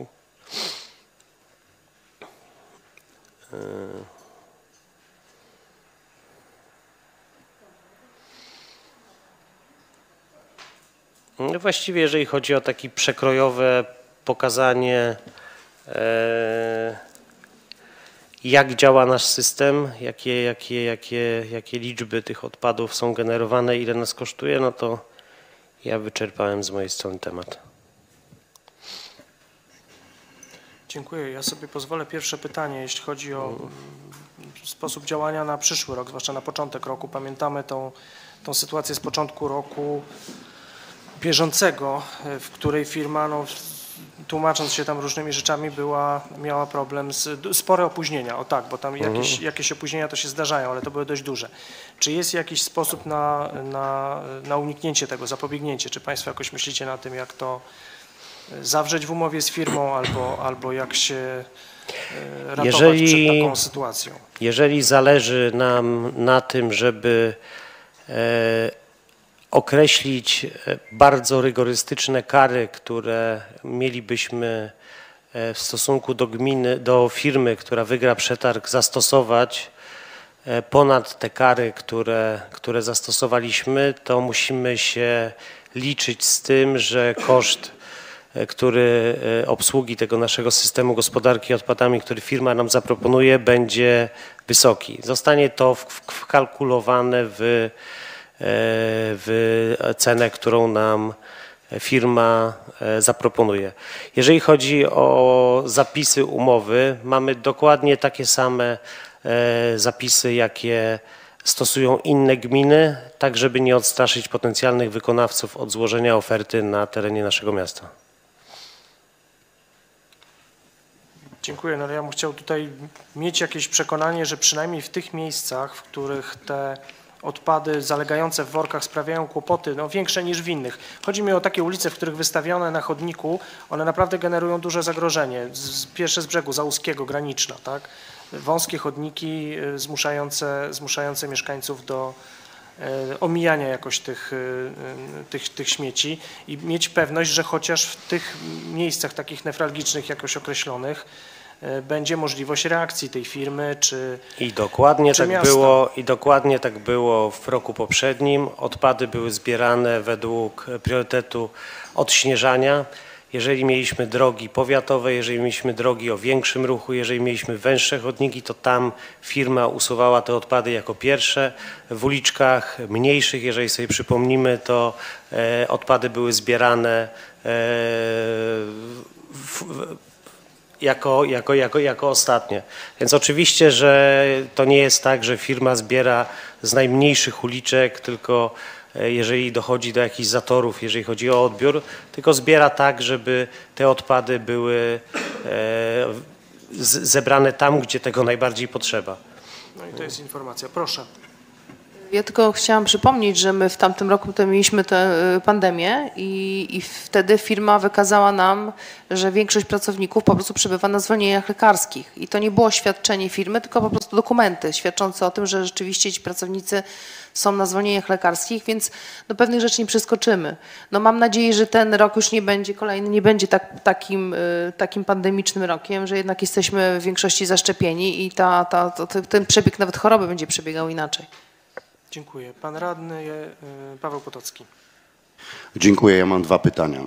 Pierwsze pytanie, czy już mamy jakiś pomysł na e, sprawdzenie e, osób, które, które wynajmują mieszkania e, w stosunku do, do zabudowanej kamienicy, która jest powiedzmy, że wynajmuje to 10 rodzin, odprowadzane e, płatności za, nie, za, za wywóz są za 4-5 osób. To jest pierwsze pytanie, a drugie pytanie mam związane z bieżącymi w tej chwili sprawami, które są ocieplania budynków. Gdzie mieszkańcy mogą oddać e, te nieczystości, które powstają, materiały budowlane, które no wiadomo, że które są czyste jak najbardziej, ale styropian, który jest e, pozostałością po, po ocieplaniu budynków, z tym mają problem.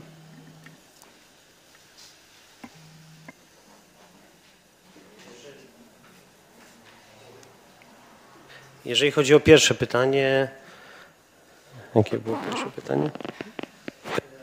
Powtórzę. Wynajmujący lokale, którzy nie są na stałe zameldowani, którzy nie są ujęci w e, stałym wywozie nieczystości.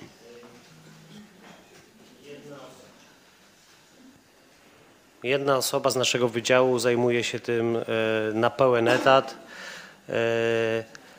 Wynajmujący w tym momencie są e, jak najbardziej kontrolowani. Dochodzi do złożenia przez nich e, korekty. Te wszystkie liczby, które podawałem, czyli te 400 kwartalnie korekt, to są zwykle korekty przenoszące e, deklaracje z, z, jednej, z jednej osoby na drugą i poszerzające.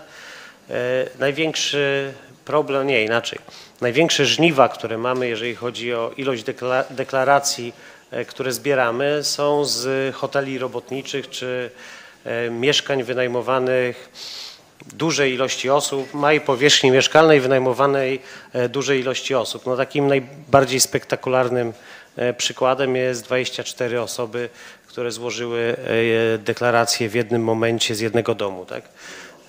Mamy takich domów, które pełnią funkcję tego, no będę się posługiwał tą nazwą hotel robotniczy, chociaż to nie jest za, e, tak, e, tak określone.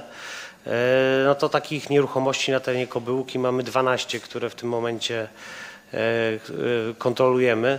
E, Jeżeli to przemnożymy przez e, prawdopodobną liczbę e, osób, które e, tam mieszkają, no to to będzie e, powyżej, powyżej 100, e, kilkudziesięciu, kilkudziesięciu osób. E, No i posługując się tą zasadą e, dobrej roboty, jeżeli mamy, e, możemy e, pewien efekt osiągnąć przy użyciu, duży efekt przy użyciu małych środków, no to na tym się, na tym się koncentrujemy. Ale tak jak powiedziałem, te liczby, które, które wcześniej były, które przedstawiłem, to tam zawierają się też osoby wynajmujące, wynajmujące mieszkania. Co? Stropian.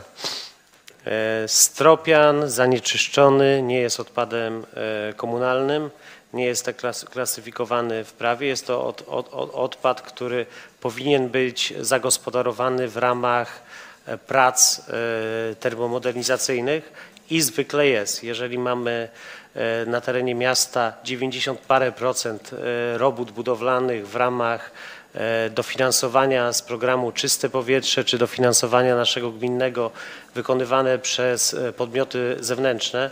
E, Na palcach jednej ręki można by policzyć e, ilość tych dokumentów, które w ramach rozliczenia dotacji e, do nas dotarły, gdzie ktoś sam wykonywał e, jakieś prace związane z termomodernizacją. Więc jeżeli wykonuje to firma, to nie utylizuje tego mieszkaniec, bo to firma wykonująca daną robotę ma obowiązek posiadać, e, posiadać firmę, która przyjmie i przetworzy e, dany odpad. Nie ma w ogóle możliwości, żeby przeprowadzić tego typu termomodernizację i nie wykazać e, w dokumentach, że doszło do pozyskania jakiegoś odpadu i gdzieś on zniknął, tak?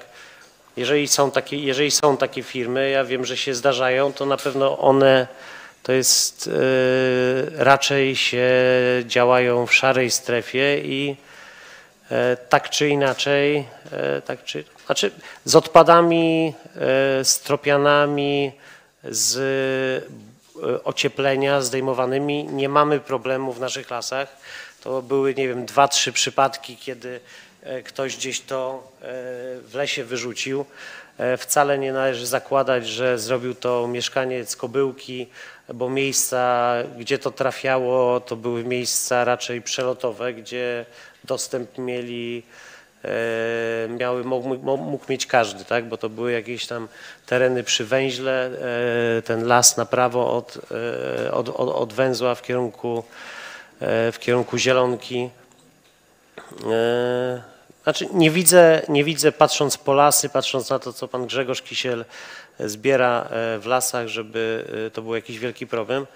E, Czy, Hmm? To jest wyspecjalizowana firma zajmująca się, ja nie mogę nazwy podać, tak, ani nie proponować, ale każdy z nas ma komputer, jeżeli wpisze e, hasło, które go interesuje, to znajdzie, znajdzie odpowiedź. E, Są firmy wyspecjalizowane w odbiorze i recyklingu e, danych odpadów i trzeba je samego wyszukać. My jako urząd nie możemy e, wskazywać e, firmy, ale na terenie naszym działają, działa kilka firm, które robią to e, i tanio, i dobrze, i sprawnie.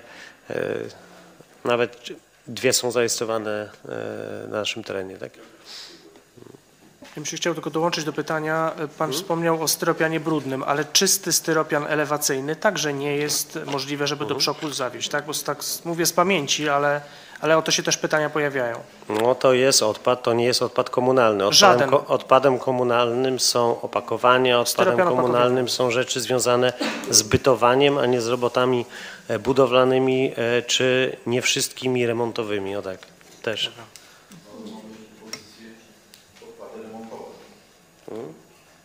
No remontowe. Ale zależy, pod remont można by podciągnąć właściwie wszystko, e, ale jest pewien zakres, e, inaczej. Jeżeli dokonujemy zdarcia stropianu ze ściany, to to już nie jest mała remontowa sprawa polegająca na e, pobalowaniu ściany czy budowie jakiejś, nie wiem, małej e, ścianki czy poprawie e, wyglądu, wyglądu, wyglądu, wyglądu e, podłogi, tylko to jest już remont związany z jakimiś e, szerszymi, szerszymi pracami.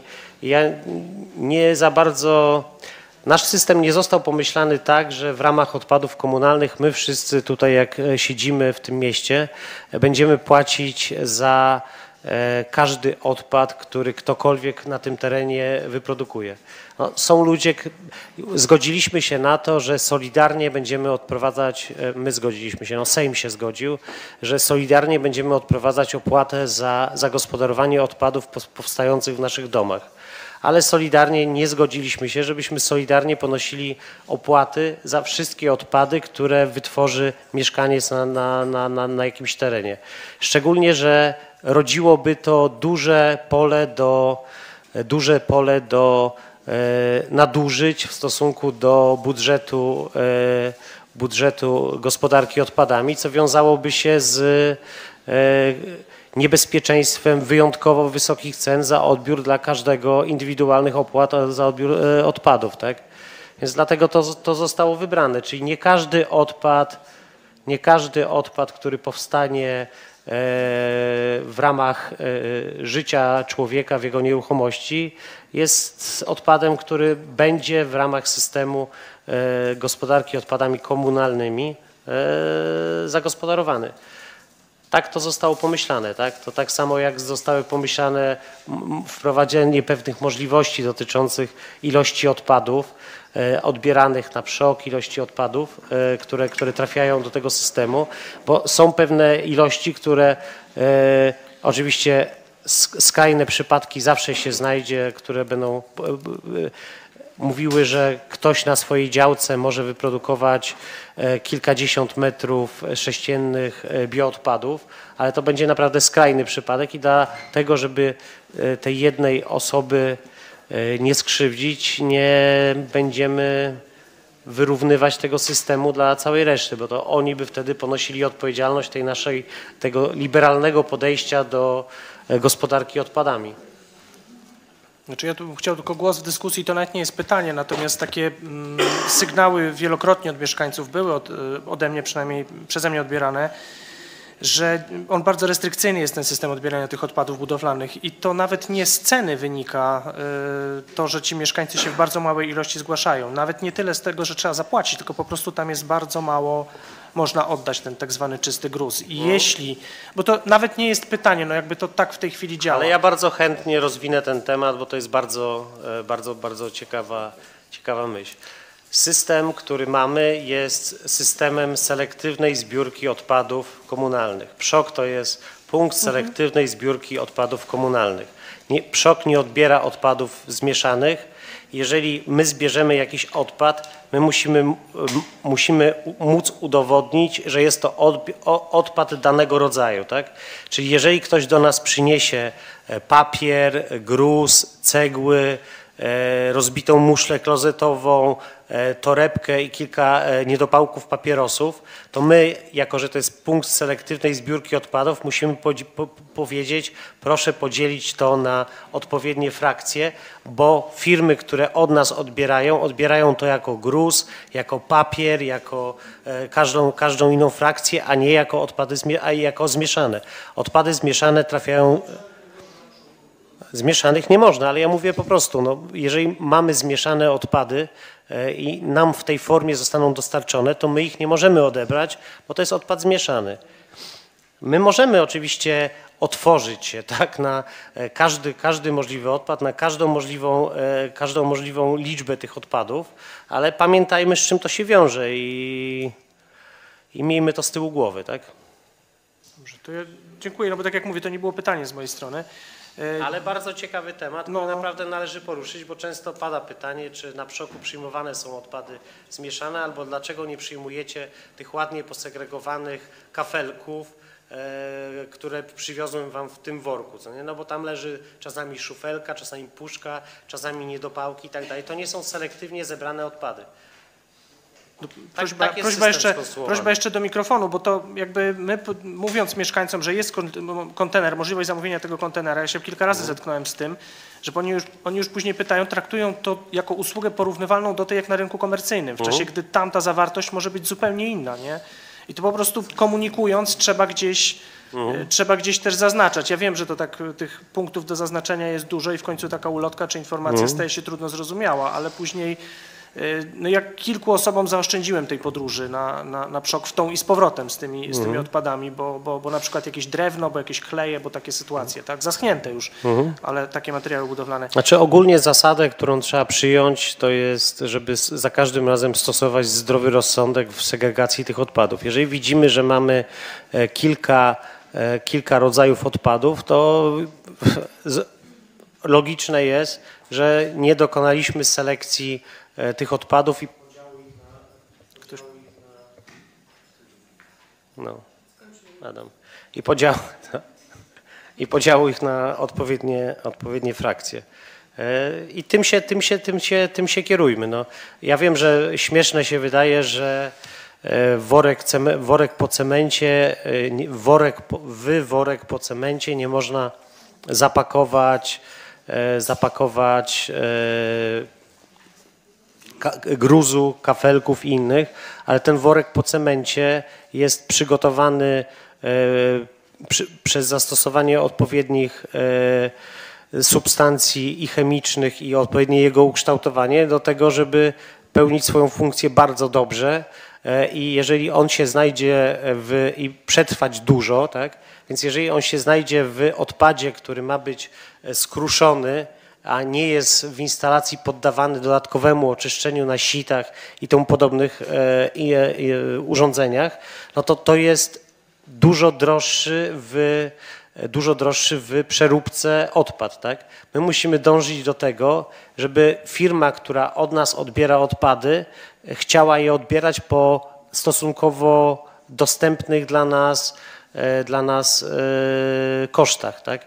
Jeżeli będziemy doprowadzali do tego zabrudzenia tych odpadów, te koszty będą szły e, do góry, a w kolejnych przetargach może się okazać, że firmy będą się po pierwsze dawały wyższe ceny, a po drugie same będą już stawiały pewne warunki. Zresztą te warunki dotyczące e, odbioru odpadów z przoku i e, odbioru odpadów komunalnych są przez firmy stawiane coraz wyżej i firmy się po prostu buntują, tak? To jest kilkadziesiąt, znaczy buntują, no, wykorzystują prawo do tego, żeby e, mieścić się e, w budżecie, który na tą gospodarkę jest przeznaczony. Jeżeli oni mają zapisane, że odbierają w takiej i takiej cenie odpad tego i tego typu, to oni nie wezmą odpadu innego, bo dla nich to będzie droższe droższe w e, w odzysku, tak?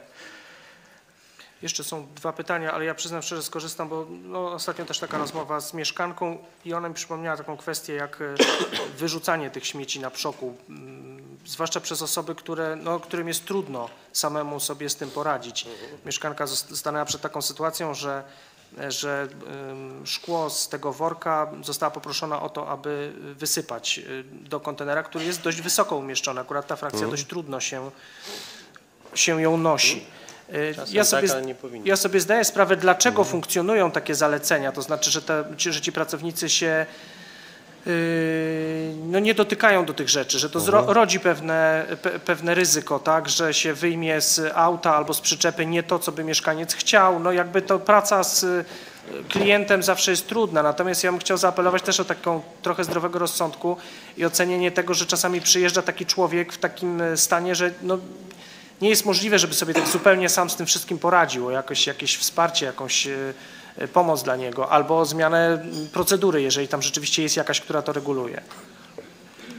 Znaczy podstawowa rzecz, e, podstawowy powód, dlaczego e, pracownicy PSZOK-u nie dotykają odpadów jest taki, że dotykanie odpadów jest niebezpieczne.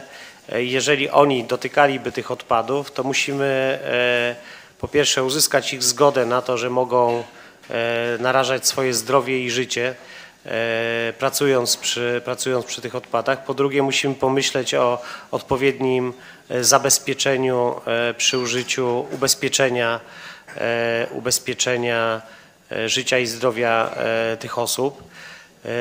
I nie, to nie jest, to nie jest tak proste jak pomoc staruszce w wrzuceniu kilku toreb szkła bo jeżeli oni mieliby pomagać ludziom, którzy przywożą przygotowane przez siebie źle odpady, czyli na przykład szyby, które stanowią bardzo duże zagrożenie, jeżeli są przewożone na przyczepie, czy jeżeli mówimy o workach, które w jakimś którymś miejscu trzeba chwycić, mogą mieć kontakt z ciałem, workach ze szkłem, e, czy mówimy o e, odpadach, w których może być ukryty, e, może być ukryta substancja żrąca, może być ukryta substancja skażona biologicznie i temu podobnych rzeczach, to zapis, przepis o tym, że pracownicy przoku nie dotykają odpadów, które przywożą mieszkańcy jest bardzo sensowny. To mieszkaniec wie, co przywiózł i mieszkaniec wie, w jaki sposób przygotował ten odpad do dalszego transportu.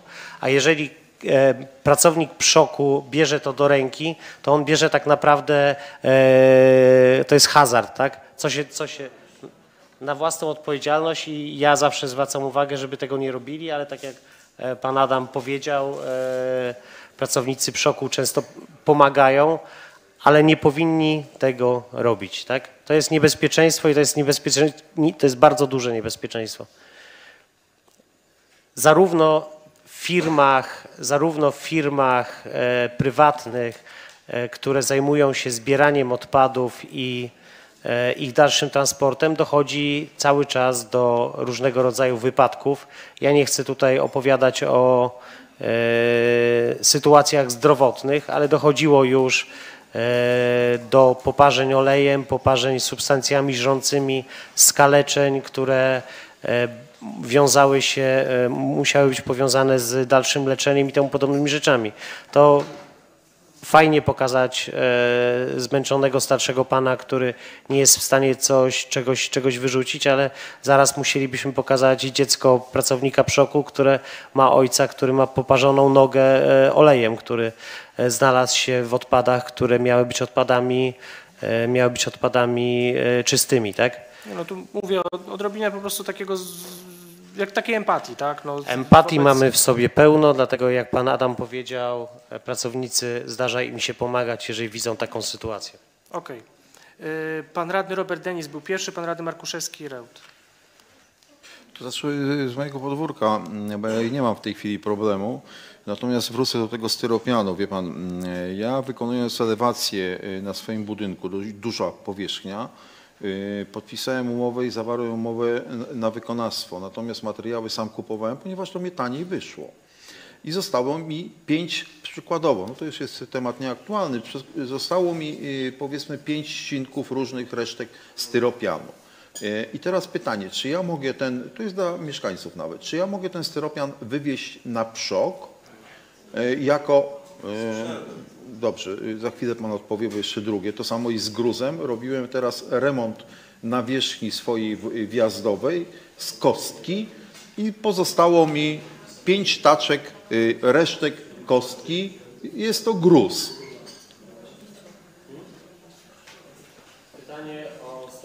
Ja pana pytałem się, z Pawłem pan sobie porozmawia, jak pan mi odpowie, dobrze? E, Natomiast, natomiast mówię, i co z tymi pięcioma taczkami gruzu kostkowego? Czy PSZOK również to przyjmie, czy mam szukać firmy zewnętrznej? Wywóz tych nieczystości, Ej. czy znaczy Mhm. remontowych. Mhm. To jest remont elewacji, remont nawierzchni. Mhm. To nie jest nowa kładzież. Budowę miałem, tak samo jak y, remontujemy drogi i chodniki w Mhm. mieście. Małe ilości, małe od, ilości odpadów, y, odpadów, odpadów poremontowych jak najbardziej można. To jest zapisane w regulaminie, tam jest, jeżeli dobrze pamiętam, dwa metry sześcienne. Ale pamiętajmy o tym, że to muszą być odpady jednolite, oczyszczone i tomu podobne. Jeżeli mamy odpad zanieczyszczony, odpad nie- nie- nieprzygotowany do selektywnej zbiórki, no to traktujemy go e, jako odpad zmieszany i za zmieszane odpady, za ich segregację, jeżeli sami tego nie zrobiliśmy, to w naszym systemie, e, w naszym systemie e, polskim, systemie gospodarki odpadami płacimy za to wyspecjalizowanej firmie, żeby zrobiła e, to za nas, tak? E, Jeżeli chodzi o pytanie, coś jeszcze było o stropianie. Stropian. Stropian, który jest e, budowlanym materiałem, nie jest odpadem komunalnym, czyli trafia do firmy, e, firmy, firmy, firmy utylizacyjnej. Czyli to nie jest, mimo że jest związane z remontem elewacji, nie mogę tego zabić resztek. Ja, słucham? Czysty? Czysty dalej jest odpadem tego, tego samego typu i to, że my stwierdzimy, że on jest czysty, e, naszym okiem, to może to wcale nie być prawda, bo pokrywa się stropian tysiącem różnych substancji, które zmieniają jego fizyczne i chemiczne właściwości.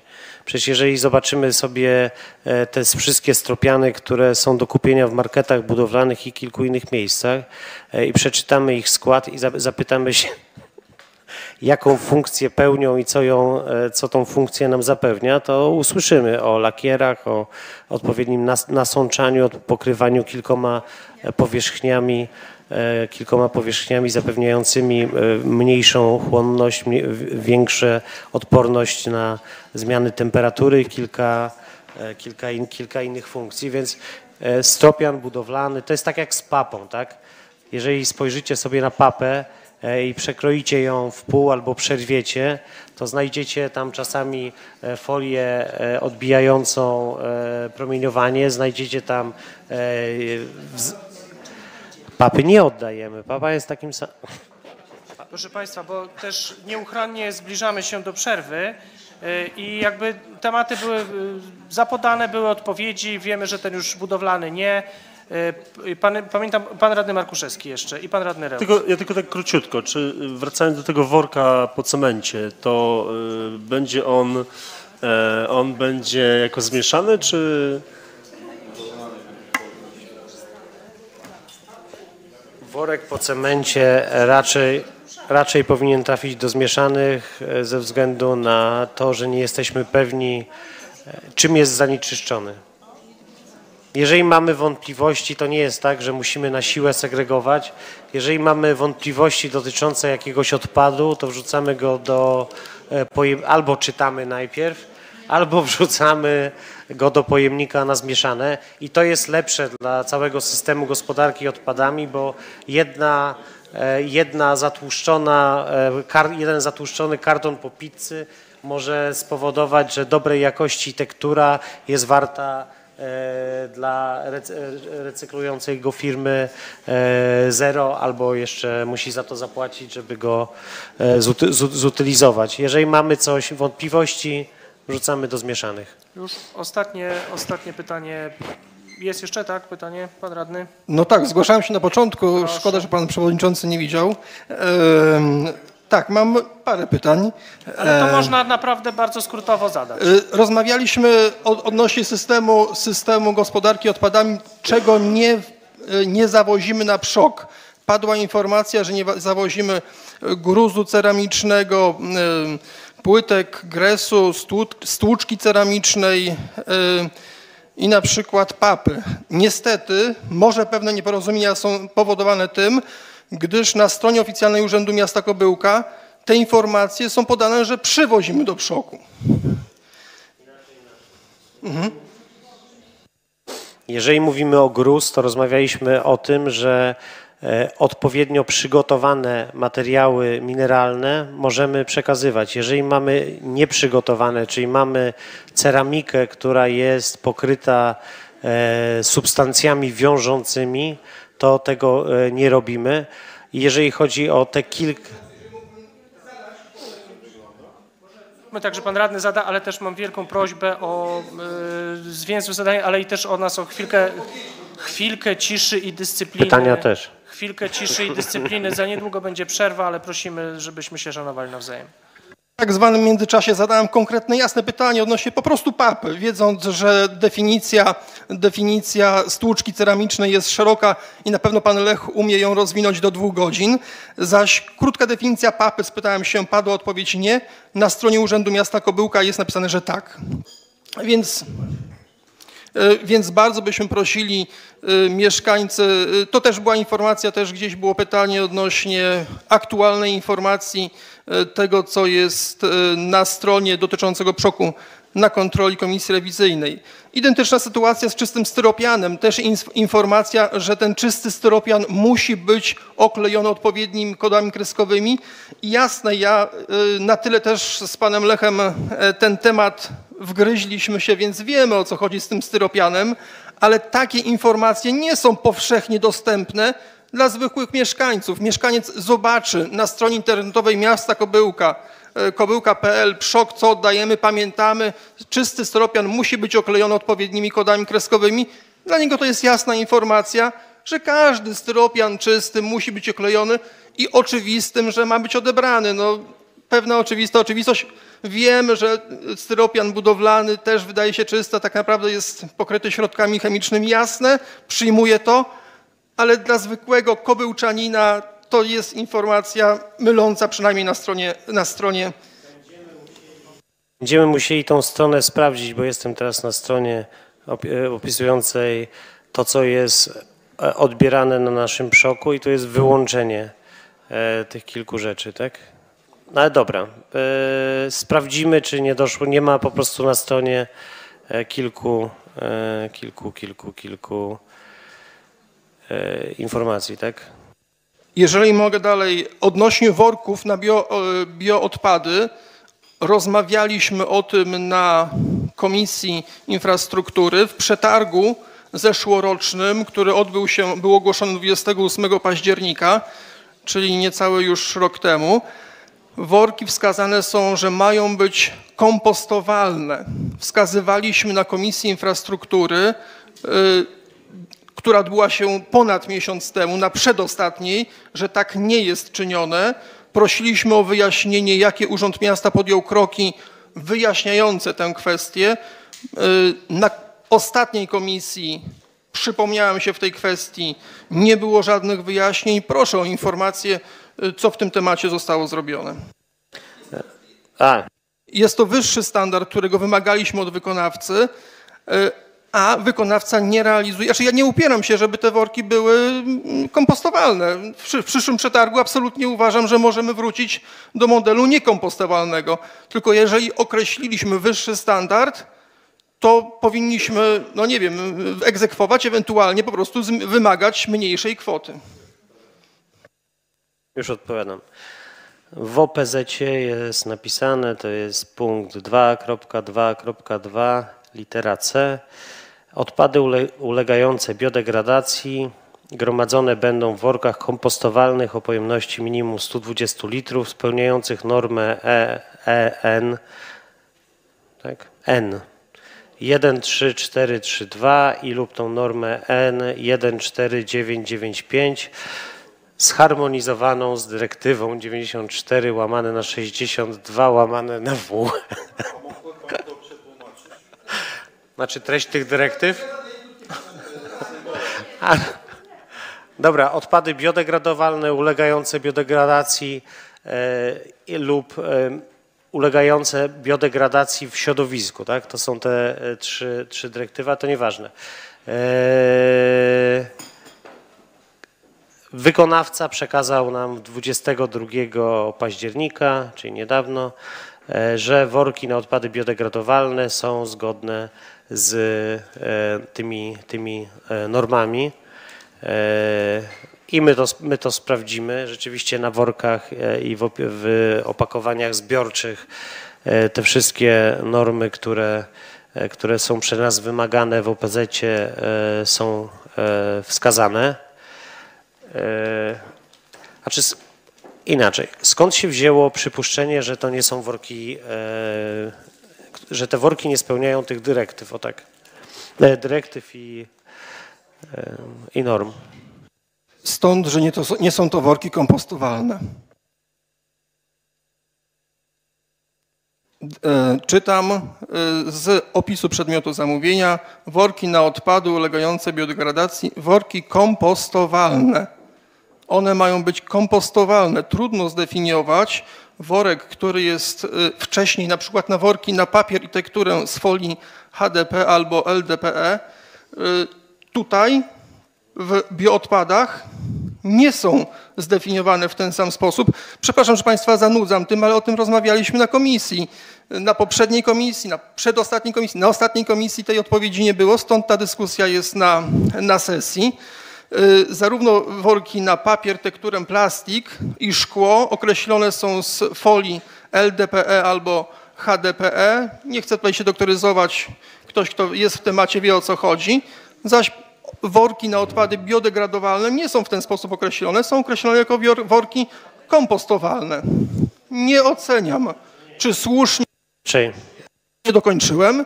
Y, Nie oceniam, czy słusznie, czy niesłusznie. Tak wymagaliśmy, tak opisaliśmy w przetargu, tak powinniśmy wymagać.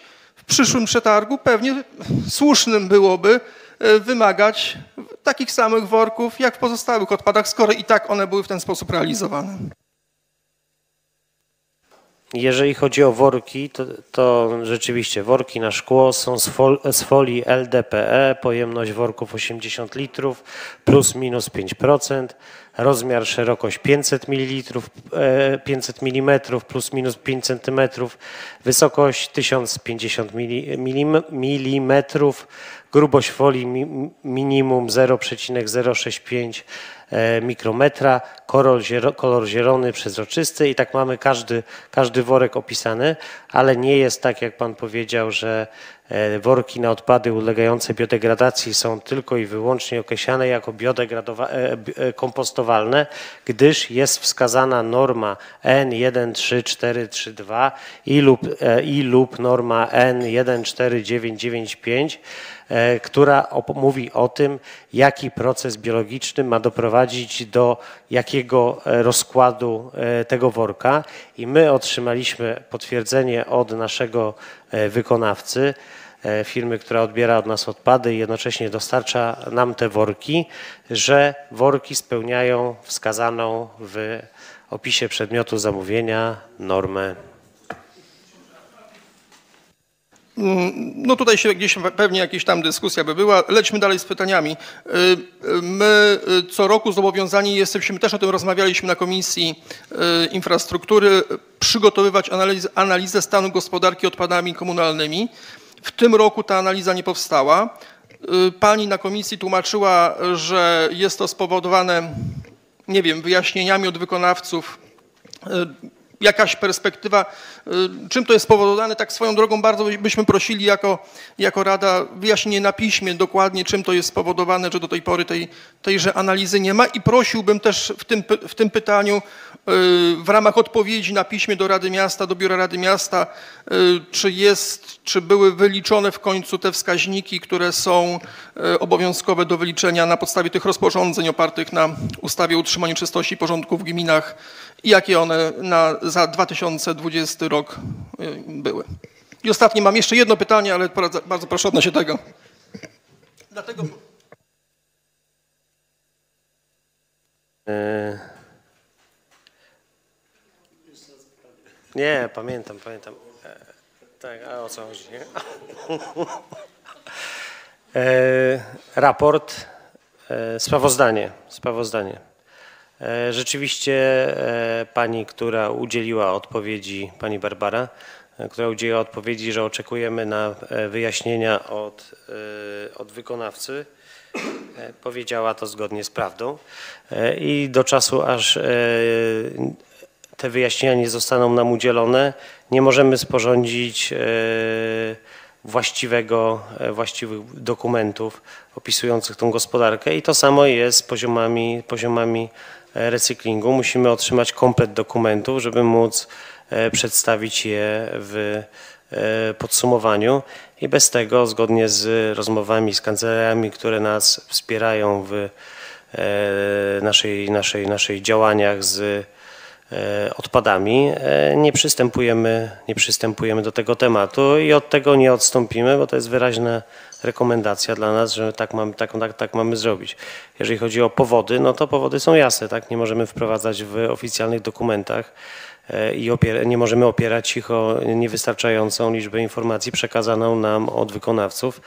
A z, a z tym jest, jest pewien problem. Bieżące rozliczenia dotyczące ilości płatności są prowadzone w sposób e, wystarczający. E, Jeżeli chodzi o raportowanie, nie zadowala nas to i e, mamy w tym rację. No to w tę jakby uzupełnię, że tę kwestię prosimy do Biura Rady w formie pisemnej wyjaśnienia. I ostatnia kwestia, niejako wrócę do tej, tej sprawy y, mieszkańców zameldowanych i zgłoszonych do systemu gospodarki odpadami. Jeżeli byłaby szansa przedstawić to procentowo, jaka różnica procentowa była na początku roku między mieszkańcami zameldowanymi zarówno na pobyt stały i czasowy, a mieszkańcami zgłoszonymi do systemu e, gospodarki odpadami, y, procentowa jaka była różnica, jaka była procentowa różnica na obecną chwilę. Jeżeli nie, nie w tej chwili, to później do Biura Rady. Dziękuję bardzo. Zajęłoby to jakieś 20 15 minut albo 5. Myślę, że spokojnie e, możemy tą chwilę poczekać. E, Nie widzę więcej pytań. E, No, jeśli krótkie, bardzo. Krótkie pytanie, czy mm, już jest przygotowywany przetarg? To nie będzie krótkie pytanie. Tak, tak, tak. Przetarg. Mhm. Przetarg leży już w e, Wydziale Zamówień Publicznych i jest sprawdzany. Pani Magda jest w kontakcie z obsługującą, pomagającą nam kancelarią i krok po kroku e, przechodzą, przechodzą cały proces, więc środa, czwartek powinien znaleźć się na platformie. Nawiązując do, do tego właśnie jak y, usłyszałem, Pan ma problem z uzyskaniem sprawozdań od wykonawcy. E, czy to nie było, e, a jeśli nie było, to może to zamieścić, e, wykonywanie tych sprawozdań systematyczne powiązane, żeby było powiązane z wypłatą należnych należności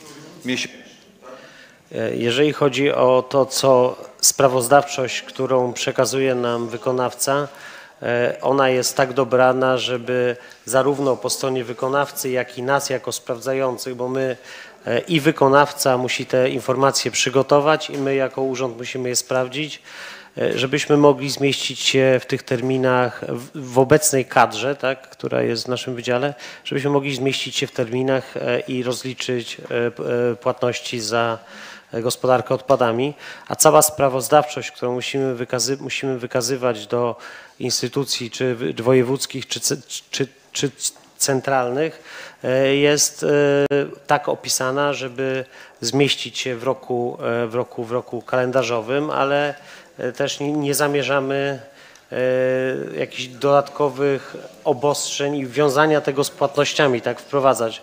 Oni to, oni to, oni to zrobią, tylko e, wolniej niż e, Rada i my tego e, potrzebujemy, tak? Ale opóźnień nie ma, po prostu są pewne wątpliwości dotyczące, e, dotyczące tego, co oni nam przekazują. Część rzeczy trzeba uzgodnić, tak? Dziękujemy za informacje wyczerpujące i pytania. Znaczy, no to ja powiem może o co chodzi, tak? O co... Nie, no jest... Mhm. Ale to będzie, to będzie zrobione, tutaj nie. Ja, ja powiem o co chodzi po stronie... Mhm. Mhm. No, znaczy tu zostajecie... Zmieścicie się, zmieścicie się. Zostajecie Państwo przy, przy swoich stanowiskach. No rozumiem, że to nie jest do rozstrzygnięcia, do rozstrzygnięcia w tej chwili. Dziękuję bardzo. Nie, więcej pytań nie widzę. Dziękujemy za informację. Proszę Państwa, przerwa. Spoty... Myślę, że 10 Panie Przewodniczący, czy ja mogę mieć prośbę tylko jeszcze? Przepraszam bardzo. Prośbę do Pani Burmistrz, ja już ją przekazywałam, ale jednak bym w nawiązaniu do moich wcześniejszych pytań, nie związanych akurat ze śmieciami, Pani kierownik y, Wachłaczenko jeszcze jest dwie godziny w pracy. Ja bym prosiła do tej 19 o informację, o wskaza- kto wskazał miejsce składowania tych płyt w Kobyłce i gdzie, tak żeby można było podjechać i zobaczyć, że one tam rzeczywiście są składowane. Mówimy Dobrze? ulicy Rejmonta, kwestia poruszona w sprawozdaniu e, Pani Burmistrz. Dobrze, E, to rozumiem, że zostało przekazane. E, 16.55. E, Proszę Państwa tutaj o obecność.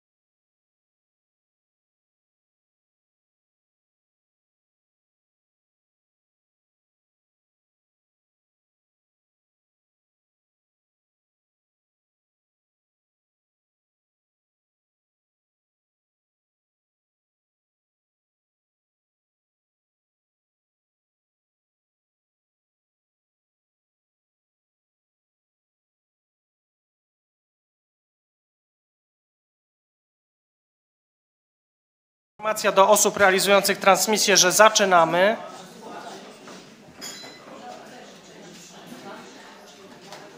Witam wszystkich Państwa po przerwie. E, Przechodzimy do kolejnego punktu, to jest e, punkt siódmy, działalność e, Ośrodka Pomocy Społecznej. Witamy Panią kierownik Urszulę Stankiewicz. Prosimy o, o informację.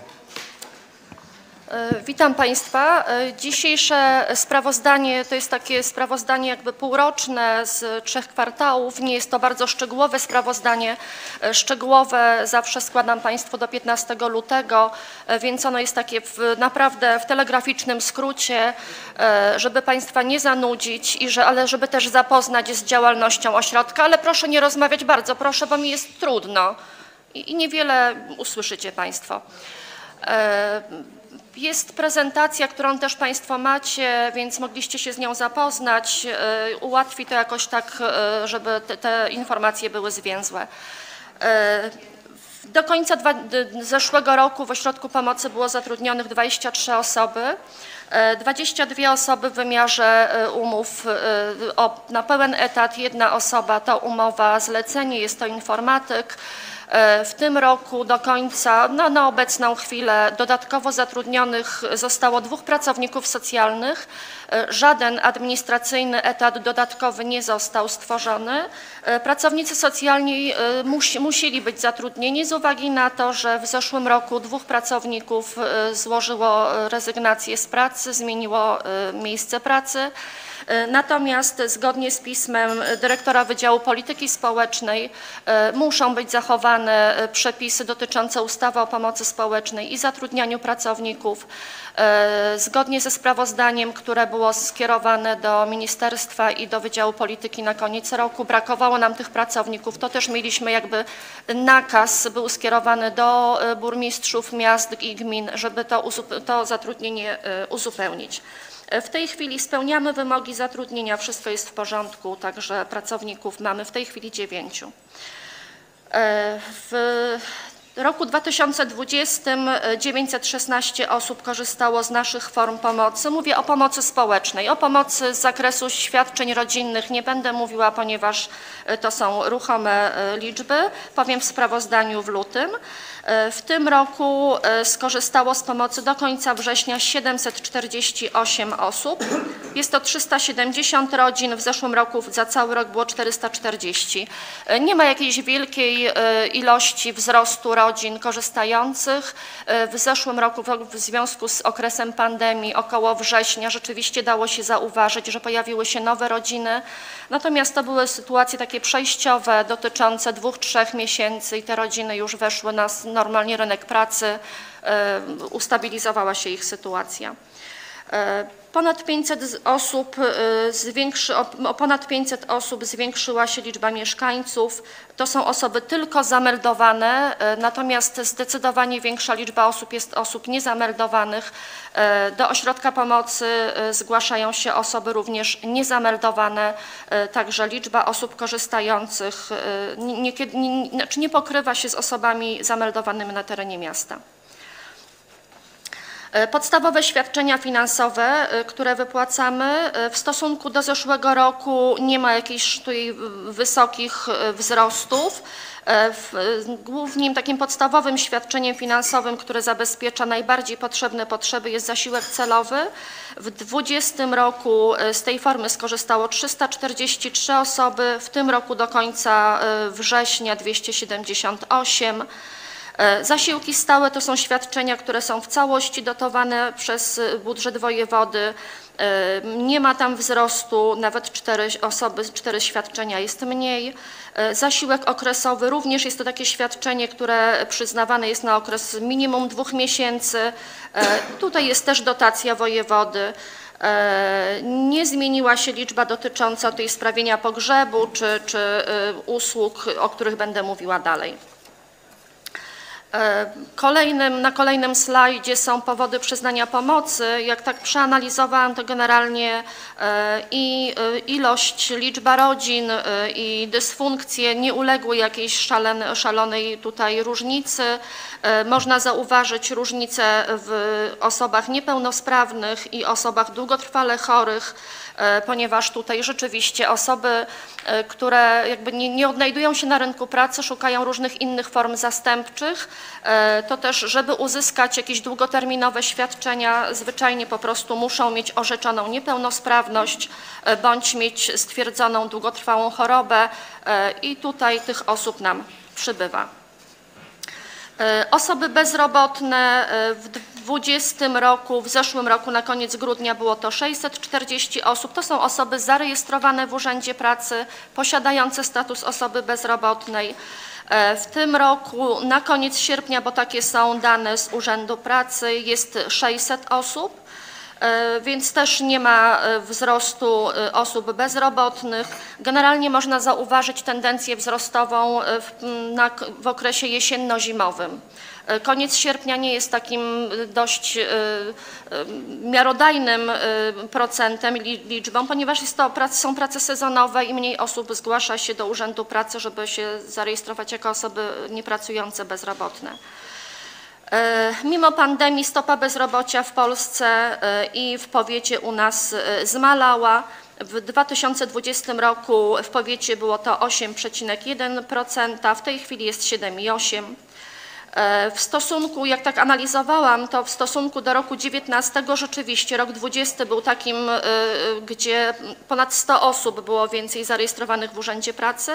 Natomiast w tym roku, w 2021 nie, nie zauważyłyśmy jakiegoś e, tutaj tendencji wzrostowej.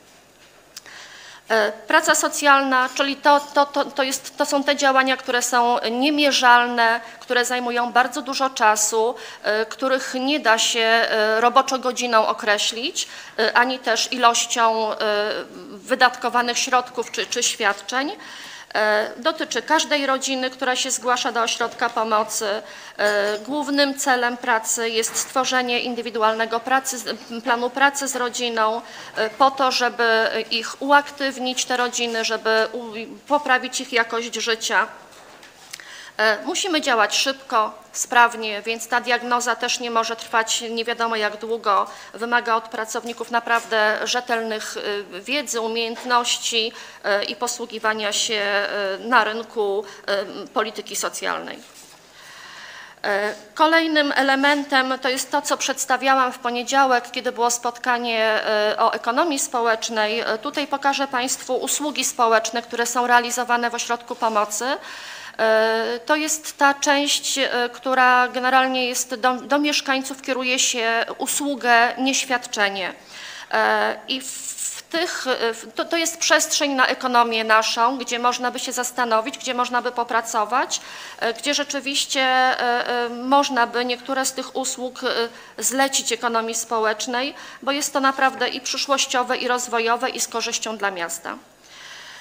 E, Tak jak wspomniałam, celem pomocy społecznej jest usamodzielnienie rodzin, dążenie do tego, żeby e, mogli samodzielnie przezwyciężyć trudności. E, Wiadomo, że głównym założeniem pomocy jest, no, no, tak jak jest piramida Maslowa, wiadomo, że te potrzeby podstawowe muszą być zaspokojone, czyli środki finansowe są niezbędne. Natomiast też w założeniach pomocy społecznej jest rozwijanie różnych innych form pomocy nie tylko finansowej, nie usługowej, ale chociażby aktywność społeczna, aktywność lokalna. E, I w związku z tym w lipcu e, moim zarządzeniem został wprowadzony do realizacji w ośrodku program organizowania społeczności lokalnej. Jeden z pracowników socjalnych, który został zatrudniony dodatkowo zajmuje się, jest osobą wyspecjalizowaną, potrafi, umie, pracow- pracował, ma doświadczenie duże. E, Głównie chodzi o to, że w naszej strategii, którą Państwo przyjęliście, e, było wyraźne wskazanie, że brak jest tej spój- spójności wśród mieszkańców. E, To też jednym z takich założeń naszej pracy jest to, żeby ci mieszkańcy poczuli się zintegrowani, chcieli mieć, żeby mogli mieć wpływ na, na jakość i, i życia u nas w mieście. E, To też celem takiego programu jest wspieranie i wzmacnianie osób, grup, osób starszych, osób niesamodzielnych, e, nie klientów ośrodka pomocy, bo organizowanie społeczności lokalnej dotyczy wszystkich mieszkańców, e, ma za zadanie integrowanie, zjednoczenie. Tutaj przykład był Czarnej Kawki, gdzie już się zaczęły działania, gdzie naprawdę mieszkańcy bardzo fajnie, chętnie biorą udział w różnych inicjatywach. Poza tym takie wspólne działanie też tworzy taką jedność, czyli jeżeli coś wspólnie robimy, to robimy to dla siebie, dla sąsiada, bardziej o to dbamy. E, Ja widzę tu duży potencjał. Mam nadzieję, że, że będziemy wspólnie y, rzeczywiście mogli ten, to organizowanie społeczności lokalnej wdrożyć i jak najbardziej z tego korzystać. E, Usługi gospodarcze i specjalistyczne e, to są osoby dla, usługi dla osób starszych, niesamodzielnych. E, W tej chwili z tej formy pomocy korzysta e, trzy- 34 osoby. Koszt takiej usługi do końca września to jest 200, około 250 tysięcy. Usługi świadczy nam firma zewnętrzna w formie przetargu jest wyłaniana. Koszt usługi w tej chwili jest to 23 zł. E, Warunkiem tylko przy podpisywaniu umowy jest to, żeby e, mogły pracować, e, świadczyć usługi mieszkanki, kobyłki, mieszkańcy, bo mamy też panów i jest też warunek, że te, ich wynagrodzenie jest zgodne z najniższym wynagrodzeniem krajowym, czyli nie może być to niższa stawka niż obowiązująca. Jest to zadanie własne, jest to zadanie obowiązkowe, e, więc z tego zadania nie możemy zrezygnować. E, To jest fajne pole i fajna przestrzeń dla ekonomii społecznej, dla spółdzielni socjalnej, bo takie, takie działania się sprawdzają. E, Jest to z korzyścią dla wszystkich, dla samorządu, dla mieszkańców, dla osób korzystających. E, Inną formą usług są usługi specjalistyczne dla, e, dla dzieci i młodzieży. E, Tutaj jest to pięcioro dzieci z tej formy korzysta. Jest to zadanie całkowicie dotowane przez wojewodę. Korzystamy z różnych możliwych form konkursów, programów, które wspomogą budżet miasta. E, Kolejny rok już korzystamy z programu Opieka 75+. Jest to program, który jest co roku ogłaszany. E, Dotyczy konkretnej liczby osób. E, Są, jest program, są specjalne wymogi. Obniża nam to koszt usług, które i tak byłyby świadczone u tych osób. W tym roku jest to 14 osób i dotacje do kosztu, którą gmina byłaby zobowiązana ponieść, jest to ponad 40 tysięcy. E, Domy pomocy społecznej to jest taka, e, taka działka, która jest e, no, dla, jest bardzo kosztowna. Jak Państwo widzicie, koszt utrzymania w domach pomocy jest dość wysoki. Na terenie powiatu mamy dwa powiatowe domy w Radzyminie i w Zielonce.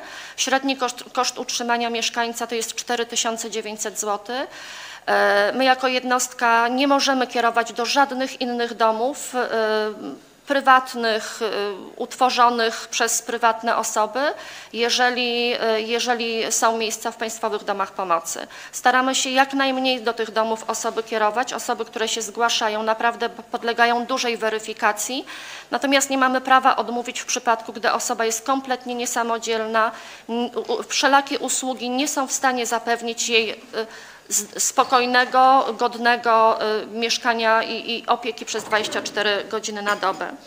E, Domy pomocy społecznej według mnie to jest kolejna, kolejny element, gdzie e, e, w przyszłym, już jest informacja, w przyszłym roku są, jest możliwość pozyskania grantów na rozwój rodzinnych domów, rodzinnych domów pomocy społecznej. Warunkiem jest albo posiadanie lokalu, który jest własnością miasta i wtedy możemy otrzymać do 50% y, kosztów na y, remont, nie na remont, na wyposażenie, na doposażenie takiego domu. Ewentualnie możemy y, pomyśleć o rodzinnych domach, które tworzą, mogą stworzyć osoby fizyczne bądź działalności, bądź organizacje pożytku publicznego. Wtedy takie dofinansowanie byłoby w wysokości do 30% za każdą nową osobę, która takim, do takiego domu musiałaby być skierowana. Jest to możliwe, jest to też fajne, fajne miejsce, fajna przestrzeń. E, Robią też to spółdzielnie socjalne. Niektórzy z Państwa na pewno wiedzą, te osoby, które się interesowały, czy, czy gdzieś miały możliwość po- poznania takiego, e, takiej formy pomocy. E, Na pewno byłoby to z korzyścią i dla miasta, i dla budżetu, a, na, a już w ogóle z korzyścią dla mieszkańców, bo nie musieliby zmieniać swojego miejsca zamieszkania. Zostaliby w mieście, w Kobyłce, w którym przez cały czas byli. E, Program Dożywianie, Dożywianie z Banku Żywności. Jest to program, który kontynuujemy. E, Mimo pandemii żywność była rozdysponowywana. Pomagali nam e, żołnierze z mm, jednostki w Zegrza. E, W tej chwili program się kończy, będzie no, nowa edycja. E, Planujemy już w tym roku, e, mimo że jest jeszcze pandemia, ale warunki Bank Żywności pozwolił nam na przeprowadzenie zbiórki żywności. Informacja będzie e, na pewno do Państwa skierowana. E, Zbiórka żywności odbędzie się na terenie miasta w ostatni weekend listopada. E, To będzie piątek, sobota, niedziela prawdopodobnie nie, ponieważ sklepy w niedzielę są nieczynne. E, Także zachęcamy też mieszkańców. e, ze- Zebraną żywność e, dzielimy. W, w poprzednich czasach, kiedy były, w zeszłym roku nie było zbiórek, to około 140 rodzin dostało, głównie rodzin z dziećmi i osób samotnych, dostało żywność. E, Posiłek w szkole i w domu jest to program wieloletni. E, Tutaj jest dotacja e, również do wydatków, które ponosimy. Jest to program taki priorytetowy. Żadna z osób nie dostanie żadnej decyzji odmownej, ponieważ nie ma nawet takiej możliwości, żeby komukolwiek odmówić posiłku. Tutaj wkład nasz jest też Cały program jest to 280 e, 280 tysięcy, dotacja jest 168 tysięcy. E, Finansujemy posiłki dzieciom w szkołach na terenie Kobyłki, miasta, ale i też w szkołach średnich. E, Z tego też programu e, w tym roku e, zorganizowaliśmy posiłki dla osób niesamodzielnych i starszych. E, 35 osób korzysta codziennie z dowożonych zup. E, Dostarczane są im do miejsca zamieszkania. E, Myślę, że w przyszłym roku również będziemy kontynuować taką formę pomocy. E, W związku z pandemią były zawieszona działalność grup samopomocowych. Od września grupy ponownie się pojawiły, uruchomiły swoją działalność. Bardzo chętnie przychodzą e, i osoby niepełnosprawne, e, i osoby, i osoby starsze na takie spotkania. E, Tutaj też ta grupa osób to jest potencjalna grupa, która mogłaby pracować w spółdzielni socjalnej. To są osoby, które są owszem intelektualnie niepełnosprawne, ale są sprawne fizycznie. E, Praca w takiej spółdzielni daje im poczucie taką, takiej wartości, poczucie e, odrobiny samodzielności, e, takie poczucie wartości osobistej. No, każdy chce, chce mieć wkład w to, co, co się dzieje, każdy chce mm, być samodzielny. Uruchomiliśmy wypożyczalnię sprzętu. E, Tutaj też w sprawozdaniu pani burmistrz mówiła, że e, otrzymaliśmy dotację na sprzęt, który będzie rozdysponowany do osób niepełnosprawnych. E, Do 90 chyba 6 osób taką specyfikację i taką listę robiłyśmy w ośrodku pomocy, więc diagnoza jest bardzo dokładna. Sprzęt trafi do konkretnych osób. Jak tylko będzie, będzie będzie zakupiony. Natomiast wypożyczalnia e, działa od 6 sierpnia, jest zupełnie bezpłatna. Jest to forma, e, w tej chwili mamy wózki, kule i chodziki. E, Czekamy na rowery trzykołowe. Jeszcze do nas nie dotarły, ale mają być te rowery. Z wypożyczalni może skorzystać każdy. Niezależnie od sytuacji finansowej jest podpisywane takie porozumienie krótkie, które określa nam, że na jaki okres wypożyczamy, jaki sprzęt. E, Także każdy, kto ma taką potrzebę, e, czy jak, jeśli ma to być forma innego sprzętu, również możemy e, pozyskać. Tyle, że już wtedy czy łóżko, czy materac jest indywidualnie dedykowany do konkretnej osoby. Jeżeli ktoś taki się pojawi, to jak najbardziej taka forma wsparcia też może być. E, Kontynuujemy prace społecznie użyteczne. To są prace, które są finansowane w całości z, y, poprzez Urząd Pracy i Starostwo w Wołominie. E, Nie jest to duża liczba osób, to jest w tej chwili sześć osób, które pracuje, jest skierowane z Urzędu Pracy. E, Są to osoby, które pracują około trz- 10 godzin tygodniowo, mają jakieś pieniądze, e, uczą się e, obowiązku pracy. E, Nie jest to może zbyt wydajne dla miasta, natomiast jest to bardzo potrzebne dla osób, które zostały wykluczone z rynku pracy, a to im pozwoli powoli, małymi krokami wkroczyć na otwarty rynek pracy. Korzystamy z programu Asystent Osobisty Osoby Niepełnosprawnej, z opieki wytchnieniowej. W tym roku otrzymaliśmy dotację Otrzymaliśmy dotację w wysokości dwu- 20 tysięcy. Dotację chcieliśmy dużo większą, wniosek był na wyższą kwotę złożony, natomiast no, taką, taką e, kwotę dostaliśmy do rozdysponowania. Na przyszły rok wnioski e, są dużo wyższe. Mam nadzieję, że, że będziemy mogli e, objąć pomocą większą liczbę mieszkańców. Tak też jak wspominała Pani Burmistrz w sprawozdaniu, forma jadłodzielni, o którą Państwo pytali, jest okres pandemii. Nie możemy, ja, ja nie zabezpieczę w, w żywności w ten sposób, że sto, stojąc na wolnej przestrzeni e, nikt nie da gwarancji, że ta żywność jest czysta, sterylna, e, że, że, e, że można z niej korzystać. W związku z tym i wychodząc naprzeciw mieszkańcom, otworzyliśmy takie miejsce, gdzie można tą żywność przynieść. Żywność musi być hermetycznie zapakowana, żadne przetwory osobiste. Jeżeli ktoś ma takie życzenie, zapraszamy. No, jakoś nie cieszy się zbyt wielką, z z wielkim zainteresowaniem ze strony mieszkańców dostarczających tą żywność. Jest zdecydowanie więcej osób, które chciałyby z tego skorzystać. Więc jeżeli ktoś ma taką potrzebę, ma możliwość, to zapraszamy. Jest to na e, korytarzu. E, Nikt nie musi, e, nikt nie widzi, kto tam wchodzi, kto tą żywność odbiera. Natomiast my kontrolujemy jakość tej żywności. Ona nie może być nie wiem, zepsuta, nie może być stara, nie może być przeterminowana. E, Od wielu lat jest już miejsce do, e, do tego, żeby przynieść i wziąć odzież. Jeżeli ktoś ma taką potrzebę, to również może przynieść odzież. Odzież powinna być czysta, niezużyta. E, To też jest miejsce w naszym, w, w, ośrodku pomocy jest o tyle dobrze, że my po prostu jesteśmy w stanie skontrolować, że ta odzież nie jest na świeżym powietrzu, nie jest, nie wiem, zmoczona, no, no jest jakaś, jakakolwiek kontrola nad tym. E, Pomysłem naszym, nie wiem czy w tym roku nam się uda, ale może, jeszcze jest e, dwa miesiące, e, planujemy wdrożyć projekt społeczny Sąsiedzki Bank Usług.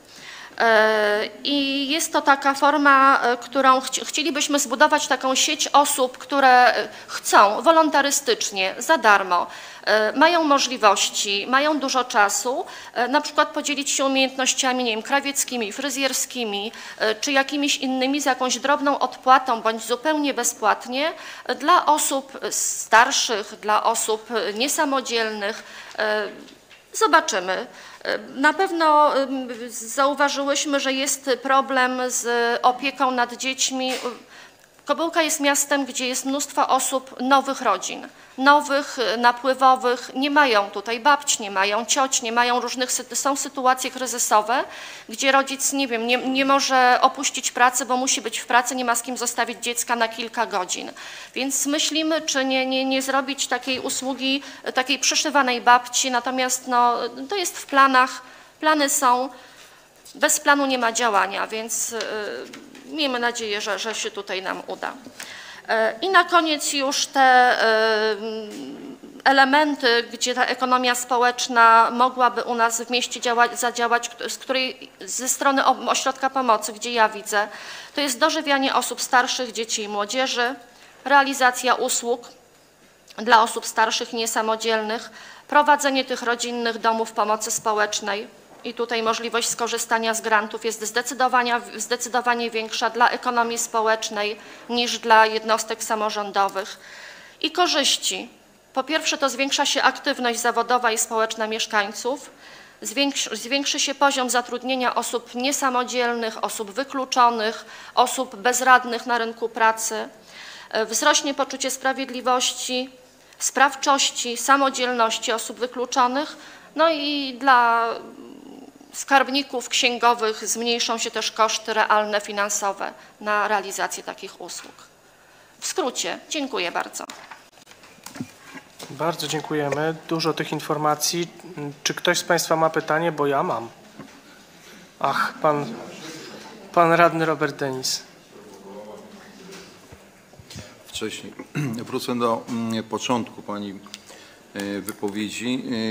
E, Padło tam takie stwierdzenie, że mm, przychodzą również ludzie, którzy nie są osoby niezameldowane w Kobyłce. Czy my świadczymy taką e, pomoc również osobom z innych miast? E, Pomoc społeczna nie jest związana, nie wiąże jej meldunek. Jeżeli ktokolwiek u nas na terenie miasta Kobyłki przebywa i jest w trudnej sytuacji, to my po sprawdzeniu, czy rzeczywiście nie może wrócić do swojego miejsca zameldowania bądź poprzedniego miejsca pobytu, mamy obowiązek w pierwszej kolejności udzielić mu pomocy. Nie, niekoniecznie bezdomna. Są rodziny, które są po prostu u nas, korzystają z form pomocy w formie żywności dla dzieci, e, nie są zameldowane. I my nie możemy odmówić pomocy.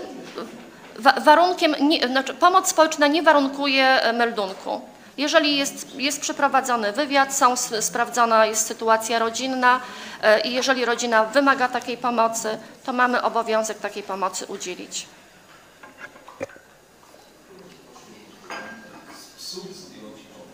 Yy, Jeśli mogę pytanie, po pierwsze, czy w ramach tych wypożyczalni sprzętu, czy Państwo macie gdzie go przetrzymywać?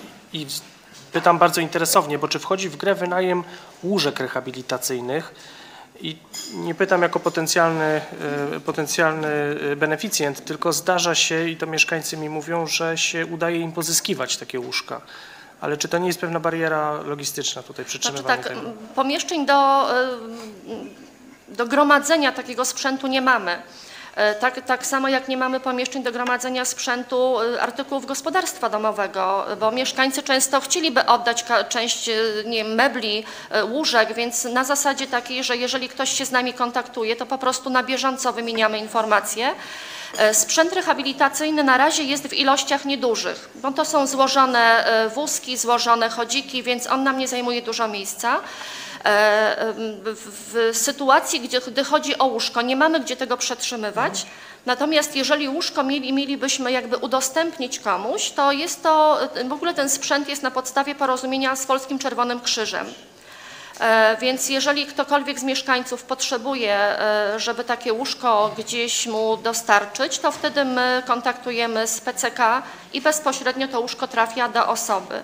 Co do odbioru od mieszkańca, no to tylko i wyłącznie na zasadzie takiej, że szukamy od razu tego samego dnia osoby, która chciałaby pozyskać łóżko i na zasadzie wymiany e, od osoby do osoby. Rozumiem. No, mieszkańcy to rozwiązują sami. Ja wiem, że jest i to w, w dużych ilościach czasami się zdarza, że to o kilku nawet łóżkach rozmowa, ale, ale one są gdzieś tam zagospodarowywane. Druga sprawa to jest, ten, y, to jest ten bank czasu i możliwość weryfikacji tych osób, które by się miały tam zgłaszać, tak? Czy, czy ośrodek ma możliwość jakiegoś y, upewnienia się co do tożsamości tego człowieka, uważam, że to by była bardzo duża wartość i dlatego pytam, tak? To znaczy dla tego, kto by chciał skorzystać, że wie, że to jest osoba pewna, tak? Że jest jakiś, jakiś, jakaś weryfikacja za tym stoi. Wiecie, oczywiście, że jesteśmy bardzo ostrożni, dlatego też i y, jest y, pytanie o wolontariat. Wolontariatu osób starszych do osób, bo głównie do osób starszych nie ma, ponieważ y, my musimy być pewni co do osoby, którą możemy do osoby starszej skierować. W tym banku czasu oczywiście, że tak, będą weryfikowane osoby. Zastanawiamy się jeszcze, jak to będziemy robić technicznie. Na, na pewno nie będzie to tak, że, że do osoby, która jest nie niesamodzielna i nie będzie w stanie e, zabezpieczyć e, swojego mienia, nie wyślemy nikogo obcego. Więc jeżeli taka forma będzie, niewykluczone, że będzie pracownik najpierw z taką osobą wchodził, na pewno sprawdzimy osoby, które będą mogły świadczyć i będą chciały świadczyć takie usługi. Dziękuję bardzo. Pan radny Jabłoński.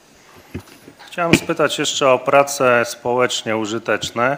Bo tutaj e, pani powiedziała, że jest możliwość e, wypracowania e, do 40 godzin miesięcznie i za stawkę 340 zł. I to wychodzi nam 8,50 za netto, tak, do ręki. Czy my nie powinniśmy minimalnego wynagrodzenia płacić?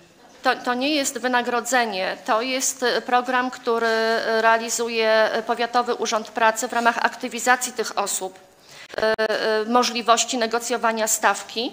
Możemy tylko negocjować co do ilości osób. To są osoby, które e, są e, długotrwale bezrobotne i ta forma wsparcia jest tak jakby formą e, pierwszego takiego wejścia na rynek, później rynek pracy otwartej. Choć wi- wiemy, że te osoby nie podejmą pracy. To są osoby, które bardzo długo nie pracowały, które nie mają kwalifikacji.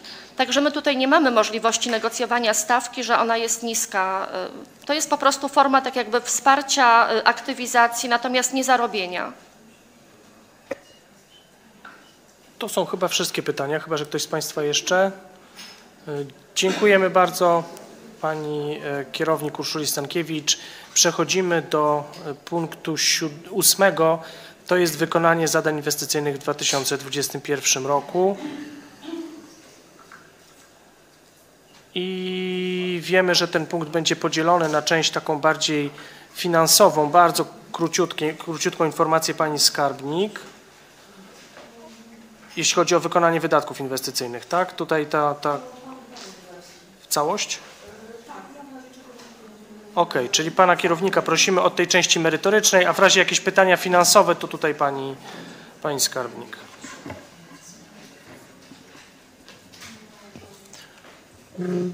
Dzień dobry Państwu. Panie Przewodniczący, Pani Burmistrz, Szanowni Państwo. Wykonanie zadań inwestycyjnych w 2021 roku na październik bieżącego roku. Zacznę od wykonania dokumentacji drogowych. E, Budowa drogi w ulicy Solskiego. Termin wykonania dokumentacji 29 październik i uzyskania decyzji e, z RIT 29 e, grudzień. Ulica Sienkiewicza również 29 październik i, i 29 grudzień decyzja z RIT. I tutaj mamy w budżecie miasta taką zmianę, że mm, przenosimy e, część środków za tę do- dokumentację na przyszły rok.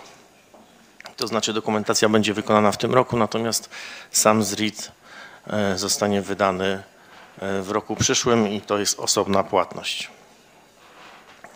Ulica Modrzewskiego na odcinku Orszaga-Reja. Tutaj mamy wykonaną dokumentację projektową i uzyskaną decyzję ZRIT. Tu jest temat e, dokumentacyjnie już zakończony. Ulica Osowska. Wykonano dokumentację budowlaną i złożony jest wniosek o ZRIT. Termin uzyskania, dokumenta- uzyskania decyzji z RIT to 26 listopad. E, Tutaj w związku z wydłużeniem procedur uzyskania decyzji e, o zezwoleniu na realizację inwestycji został on przedłużony o dwa tygodnie. Ulica Pionierska. Mamy wykonaną dokumentację projektową i uzyskaną decyzję z RIT. E, Projektuje się jeszcze osobno miejsca postojowe na skrzyżowaniu ulicy Pionierskiej i Akacjowej. Ulica Wesoła i Spacerowa na odcinku Zaułek Szeroka. Termin uzyskania decyzji z RIT to 27 grudnia bieżącego roku. Ulica Poprzeczna, termin wykonania dokumentacji budowlanej 29 październik i uzyskania decyzji z RIT 29 grudzień. I tutaj też ten termin będzie wydłużony e, uzyskania samego ZRIT-u na, na, na przyszły rok, tu z, ze względu na, na zmiany, jakie są wprowadzane e, w dokumentacji, które, które były ustalone e, ze Starostwem Powiatowym w Wołominie w związku z realizacją e, przez Starostwo mm, opiekuńczo-mieszkalnego mm, domu. Łącznik pomiędzy Orszaga a ulicą Warszawską to jest ten łącznik, który będzie łączył tunel kolejowy z ulicą Warszawską. Tu jest wykonana decyzja, wykonana dokumentacja i uzyskana decyzja z RIT. Nowo projektowana na odcinku Marecka Jasińskiego i ulica Jasińskiego. E, Tutaj termin jest do 15 grudnia bieżącego roku. I teraz dokumentacja i realizacja ścieżek rowerowych e, w związku z budową ścieżek w naszym e, partnerskim projekcie. Ulica Orszaga na odcinku Jana Pawła Załuskiego, tu jest wydana decyzja e, zridowska.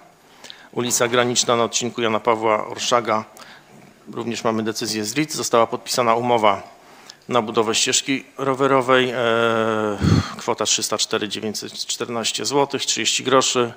Termin 7 miesięcy od dnia podpisania umowy, czyli do 15 maja. Wykonawca wejdzie, jak tylko zostaną zakończone prace na ulicy Granicznej związane z parkingiem. Bohaterów Osowa i Orzeszkowej. Tutaj mamy też wydane decyzje z RIT. E, Trwają prace mm, przy budowie ścieżki rowerowej na ulicy Bohaterów Osowa na, na odcinku od Nadarzyńskiej mm, do rondo, Ronda Cudu nad Wisłą. Kwota 577 467 zł 38 groszy. Termin wykonania 140 dni od dnia podpisania umowy, czyli do 14 grudnia bieżącego roku. Obecne zaawansowanie robót to 40%. W listopadzie planujemy ogłosić postępowanie przetargowe na pozostałą część bohaterów Osowa od Ronda Cudu nad Wisłą do, do ulicy Broniewskiego i na ulicę Orzeszkową. E, Ulica Warszawska i Osowska na odcinku Warszawska Nadarzyn. E, Termin wykonania dokumentacji 29 października. Mamy podpisaną umowę na budowę ścieżki rowerowej w ulicy Osowskiej. E, Kwota 1 742 910 zł. Termin wykonania 240 dni od podpisania umowy, czyli do 28 maja e, przyszłego roku. W tej chwili wykonawca opracowuje czasową organizację ruchu. E, Na ulicę Warszawską mamy wydane decyzje z RIT na budowę ścieżek rowerowych w ulicy na odcinku od Ręczalskiej do tunelu, mm, na odcinku mm, od Turowskiej również do tunelu i na odcinku od Ręczajskiej do granicy z, miasta Woło, z miastem Wołomin. U wojewody jeszcze mamy wniosek o pozwolenie na budowę na ostatni odcinek niewielki w terenie zamkniętym. W listopadzie planujemy ogłosić postępowanie przetargowe na ten odcinek od y, granicy miasta Wołomin do ulicy Ręczajskiej. Wzdłuż torów od granicy miasta Zielonka do ulicy Napoleona zostało wydane pozwolenie na budowę ścieżki rowerowej na odcinku od Łukasińskiego do Waryńskiego i decyzja z RIT od Łukasińskiego do Napoleona. U wojewody jest wniosek na pozwolenie na budowę na odcinek e, od ulicy Waryńskiego do granicy miasta Zielonka. Czekamy na, na, na tą decyzję, żeby ogłosić postępowanie. Pozostałe dokumentacje projektowe. Budynek komunalny mieszkalny e, przy ulicy Prusa. Kwota 87 tysięcy, e, termin 7 miesięcy od podpisania umowy, czyli do 6 stycznia przy- przyszłego roku. Budynek szkoły przy ulicy Dworkowej, mm, kwota 332 100 zł. Termin opracowania 8 miesięcy od dnia podpisania umowy, czyli do 15 maja przyszłego roku. Zagospodarowanie placu 15 sierpnia, mm, kwota 70 110 zł.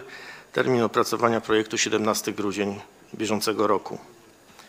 Kanalizacja sanitarna w ulicy Nadarz- Nadarzyńskiej. Mm, Termin mm, w najbliższym czasie będziemy składać już wniosek o pozwolenie na budowę. Termin wykonania dokumentacji to 20 grudnia y, bieżącego roku. Oświetlenie drogowe w ulicy Gospodarczej, Jałowcowej, Jarzębinowej, Wileńskiej, Batalionów Chłopskich i Leśmiana. Kwota dokumentacji 28 290 zł. Termin opracowania 4 miesiące od podpisania umowy, czyli do 3 grudnia bieżącego roku. Z prac trwających obecnie to jest budowa parkingu Parku Jedź PKP Kopełka w części A, czyli przy ulicy Warszawskiej po zachodniej stronie ulicy Ręczajskiej, w części B przy ulicy Granicznej od zachodniej strony, po zachodniej stronie ulicy Jana Pawła II i część C ulica Warszawska po wschodniej stronie od ulicy Leśnej. Na części A i B wykonano kanalizację deszczową i instalacje elektryczne. Trwają roboty drogowe i montaż oświetlenia. W części C wykonano instalacje elektryczne i kanalizację deszczową. Wykonywana jest podbudowa i stawiane krawężniki. Zaawansowanie robót dla poszczególnych części y, w A jest 80%, B 95% i C 45%. Łącznie przewiduje się wybudowanie 200, 256 miejsc postojowych i 90 miejsc dla rowerów z zadaszeniem. Wartość inwestycji 5 milionów 593 tysiące 464 zł i 84 grosze. Uzyskanie pozwolenia na użytkowanie e, do dnia 15 grudnia mm, bieżącego roku. E, Trwają prace związane z wykonaniem mm, boiska wielofunkcyjnego na terenie szkoł, szkół publicznych nr 2 w Kobyłce. Kwota 855 455 zł i 65 groszy. Termin wykonania 5 miesięcy od dnia podpisania umowy, to jest do 5 grudnia. Mm, Tu już wykonano nawierzchnię boiska i wymalowano linię. Trwają prace związane z zagospodarowaniem terenu w miejscu starego basenu przy ulicy Warszawskiej. Kwota 775 620 zł. Termin wykonania 29 październik i w tym tygodniu zostaną zakończone e, prace. Mm. Podpisano umowę na budowę skateparku na terenie Ośrodka Sportu i Rekreacji Wicher. Kwota 438 835 zł 71 groszy. Termin wykonania 80 dni od podpisania umowy, to jest do 30 grudnia e, bieżącego roku. W tym tygodniu nastąpi wprowadzenie mm, wykonawcy na, na budowę. Wykonano modernizację ogrodzenia w Ośrodku Sportu i Rekreacji Wicher. Tam był koszt 444 252 zł i 92 groszy. Wykonano oświetlenie w ulicy Piastowskiej, Wajsa Gospodarczej, Wołodyjowskiej, Skrzetuskiego, Turowskiej, Rosłana, Podleśnej i Ułanów, łącznie 80 opraw LED. Mm, Inwestycje uzyskały wsparcie z Rządowego Funduszu Inwestycji Lokalnych. Łączny koszt 314 050 zł i 76 groszy. Wykonano oświetlenie przejścia dla pieszych w pasie drogowym ulicy Przyjacielskiej przy ulicy Barbary. Koszt 11 223 zł i 12 groszy. Wykonano drogę w ulicy Kordeckiego. Wartość 9 786 051 zł i 49 groszy. Inwestycja została dofinansowana z Rządowego Funduszu Rozwoju Dróg w kwocie 5 451 821 zł i 1 grosza oraz Rządowego Funduszu Inwestycji Lokalnych w kwocie 1 722 234 zł i 10 groszy, co daje łączny koszt dofinansowania 7 174 055 zł i 11 groszy. E, Budowa hali pneumatycznej na stadionie przy ulicy Napoleona. W listopadzie planujemy ogłosić postępowanie przetargowe na wykonanie. Mm, Budowa ulicy Rataja w związku z otrzymanym dofinansowaniem. E, Również w tym roku ogłosimy postępowanie na, na wykonanie tej drogi. Przebudowa dróg polegająca na budowie chodnika w ulicy Przyjacielskiej i wyniesionych doświetlonych przejść dla pieszych w pasach drogowych ulicy Przyjacielskiej Jana Pawła księdza i księdza Pieniążka i księdza Marmo. E, W grudniu planujemy ogłosić postępowanie przetargowe na, na dokumentację projektową i wykonanie.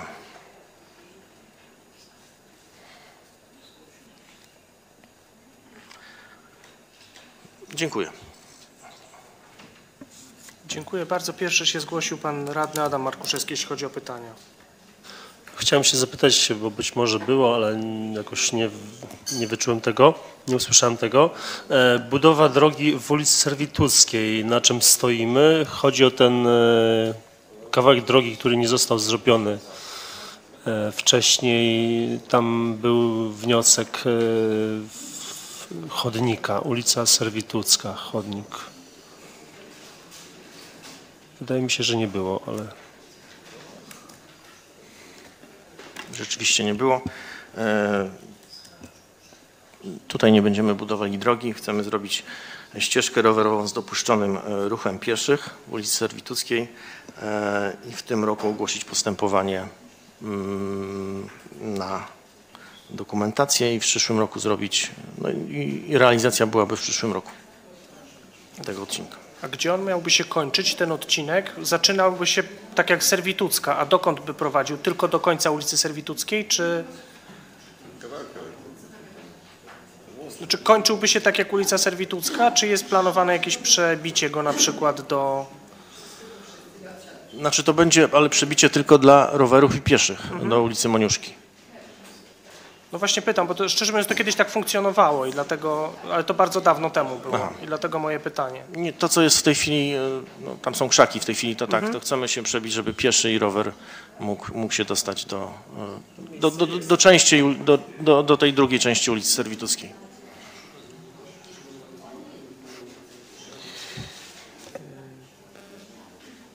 Dobrze. Dalsze pytania. Pan radny Bartłomiej Jabłoński, proszę. Ja Jeszcze raz chciałem zadać to pytanie, na które nie dostałem odpowiedzi. E, Zaplanowaliśmy wydatki na 31 milionów, wykonaliśmy do dzisiaj No właśnie. 12 milionów, czyli 39%. Czy przez te dwa miesiące jest szansa na to, żebyśmy te wydatki e, po prostu zrealizowali w e, w 100%? Czy jest jakieś zagrożenie? Znaczy, myślę, że w 100% to, to, to, to nigdy nie ma wydatków, ponieważ są i oszczędności przetargowe i tego typu sprawy. Natomiast wszystkie, e, wszystkie inwestycje rozpoczęte budowlane zakończą się w tym roku i w tym roku zostaną e, sfinansowane, tak? Więc, e, więc prawie wszystkie umowy mają płatność na koniec, tak? Dlatego takie jest w tej chwili za, e, zaawansowanie finansowe. Dobrze, to jeszcze jedno pytanie e, odnośnie e, pałacyku na Rumuńskie. Mamy zaplanowane tutaj 100 tysięcy na ten rok, wykonanie 0%. Czy coś planujemy w tym roku zrobić, czy te pieniądze zostaną? Jeżeli chodzi o pałacyk, to w tym roku planujemy zaktualizować e, dokumentację kosztorysową, żeby można było złożyć wniosek o dofinansowanie remontu pałacyku.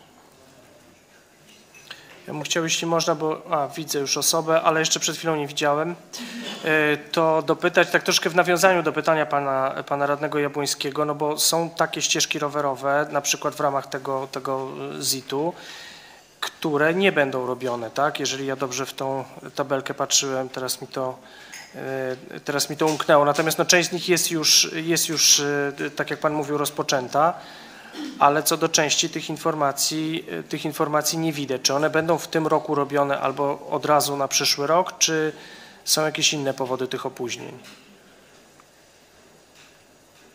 Znaczy, część z tych ścieżek, e, e, mamy dokumentację, jest przygotowana dokumentacja e, przetargowa, natomiast, e, i tak jak mówiłem, e, ulica Warszawska i, i. i wzdłuż torów, e, i wzdłuż torów e, w kierunku miasta Zielonka, gdzie te tereny są na, na terenach zamkniętych. E, Nie mamy jeszcze decyzji od, od wojewody, także myślę, że przetargi będą ogłoszone wszystkie w tym roku, tak? Tylko realizacja będzie i płatności w przyszłym. A czy jest jakiś, nie wiem, jakieś szacunki Państwo prowadzicie, jaki procent tych środków może być wykorzystany? No bo jakby rozumiem to wytłumaczenie, że rzeczywiście mm, są, pojawiają się oszczędności, pojawiają się zawsze jakieś też nieprzewidziane rzeczy, natomiast no 30% na, na, na trzeci kwartał, no to jest, y, to jest chyba dość duże ryzyko, że, że, ta, że ten stopień tego niewykorzystania będzie, y, będzie duży. No i to jest pytanie, czy, czy nie wiem, czy się nie pojawiają jakieś inne y, inwestycje, które można by było zacząć w ten sposób, aby tych pieniędzy po prostu z, z, z roku na rok nie przekładać. No. Znaczy ja nie robiłem takiej analizy, jeżeli chodzi o procentowe zaawansowanie. Znaczy ona nie była proszona też na dzisiaj, powiem szczerze, nie jakby nie, nie mówiliśmy o tym w ten sposób, bo chcieliśmy dokładnie usłyszeć ile, ile tego jest, jaki jest procent tego wykorzystania, ale no wydaje się i to nie, myślę, że to nie jest tylko moje zdanie, że, że ten stopień zaawansowania, no choćby procentowy całości jest, y, jest jednak niewielki. Y, Pani Skarbnik, o, bardzo prosimy.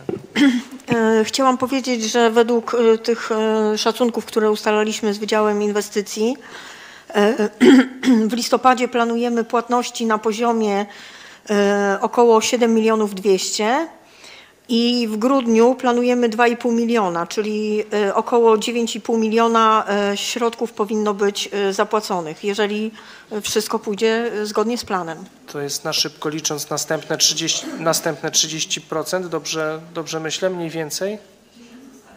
10 milionów zostaje. Czyli około 30%, czyli, czyli około 70% no rozumiemy, że to są Jeszcze miał, miałbym prośbę, jak dostajemy takie materiały, e, żeby dorzucić jedną kolumn, kolumnę e, zaangażowanie środków, bo tu mamy wykonanie wydatków, czyli tak naprawdę te pieniądze, które zapłaciliśmy, a dobrze by było, jakby jeszcze była jedna kolumna zaangażowanie, czyli podpisane umowy. Odeszłoby nam część tego, tego pytania, które przed chwilą było, tak? Yy, No proszę, proszę nadal pytanie. Pan radny Markuszewski. Ach. Yy, Tak, pani radna Łach, przepraszam. Ja chciałam spytać, panie Pawle, bo 20, jeśli dobrze zrozumiałam, 29 października mm, koniec inwestycji na starym basenie, tak? Znaczy koniec w sensie, że e, zrealizowana będzie już ta inwestycja. A co z monitoringiem? Czy też będzie od razu tam założony? Aha, tak. I on od razu będzie... y, Dziękuję bardzo. No teraz pan radny Markuszewski. Tutaj mieszkanka ym, się pyta, na jaki cel zostaną, na jaki cel e, zostaną przełożone te pieniądze na, na remont tego pałacyku, to znaczy co tam zostanie zrobione dokładnie, co w nim będzie, aha, co w nim będzie, rozumiem. Padła Czyli czy mamy jakiś pomysł, co Pad- będzie już po remoncie, jeśli dobrze rozumiem, tak? Padła informacja, że będzie To- tu aktualnienie dokumentacji, tak? Znaczy uaktualnienie dokumentacji kosztorysowej, która, który kosztorys był w 2017 roku robiony, tak? Chyba chodziło o inne pytanie, tak? Chyba chodziło o inne, inne pytanie. Jaką funkcję będzie pełnił ten pałacyk?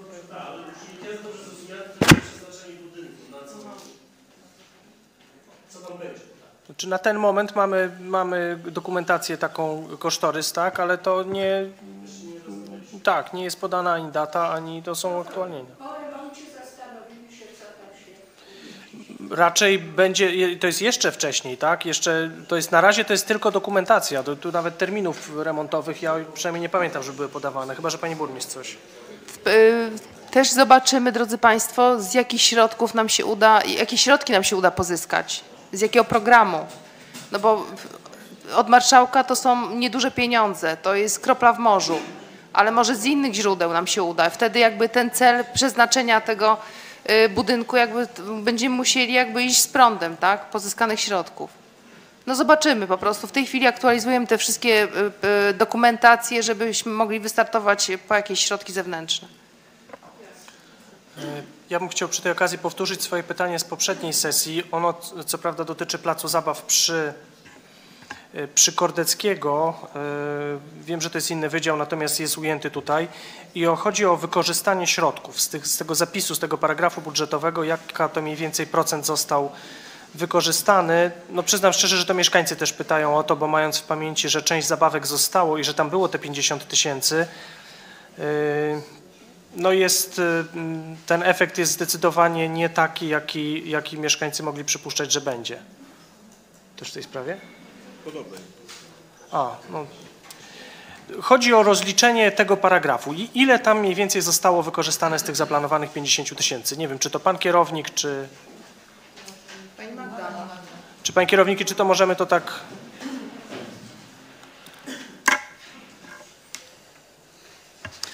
Z tych 50 tysięcy zostało, wydane 29 889 na przygotowanie placu. Zakup zabawek oczywiście bez innego paragrafu y, i planujemy doposażyć to w przyszłym roku y, dodatkowymi za- zabawkami. Plac jest y, zabezpieczony, jest ogrodzony, więc będziemy to doposażać w przyszłym roku. A czy z tego paragrafu na przygotowanie placu nie było możliwości jeszcze, żeby jakoś go doposażyć w tym roku? Ja zdaję sobie sprawę, że on musiałby być najpierw jako oszczędność przepisany na i tak dalej, i tak dalej, tak? Ale Y, Przeanalizujemy możliwość jeszcze doposażenia w tym roku. wielka prośba, no bo on, on był wykorzystany, no tak jak różne place mają różną swoją historię. Tutaj pan radny Markuszewski, ale i pan radny Kropiewnicki się zgłaszał i podejrzewam, że jeszcze pani kierownik może zostać chwilkę. Witam Państwa. E, Mam takie pytanie, bo tam jest realizacja inwestycji odnośnie Placu Zabaw przy ulicy Nadarzyn. Ja wiem, że jakieś tam komplikacje są, jakieś protesty, ale chciałbym się dowiedzieć, co z tym jest dalej, nie? Bo protesty są protestami i co dalej? Bo wiadomo, że inwestycja jest przeznaczona na ten rok, na 2021. Czy ewentualnie będzie ona kontynuowana w 2022? W tym tygodniu powinnam dostać inwentaryzację przyrodniczą gatunków chronionych na tamtym terenie i podejmiemy decyzję co dalej. Dziękuję. Pan radny Markuszewski. W zasadzie pytanie już mnie pan Zbigniew y, uprzedził, ale y, tak pomyślałem sobie, czy gdyby w tym miejscu nie miało być tego placu zabaw, czy mamy jakieś inne miejsce, które y, moglibyśmy wykorzystać, pod ten plac zabaw y, no, dać mieszkańcom? No ale to już chyba nie do pani kierownik na ten moment, tak? No ale z drugiej strony, jak mamy plac, to dlaczego mamy tam oświaty nie wspomagać? Znaczy kwestia wykorzystania tego, tego terenu i tej analizy przyrodniczej no chyba jest bardzo istotna, jeżeli by cokolwiek tam miało być budowane. Wiemy, że ten plac zabaw to nie miało być ostatnie słowo w tym miejscu, tak? Y, To jest, to jest takie strategiczne miejsce pod jakieś cele oświatowe na tamtej części Kobyłki.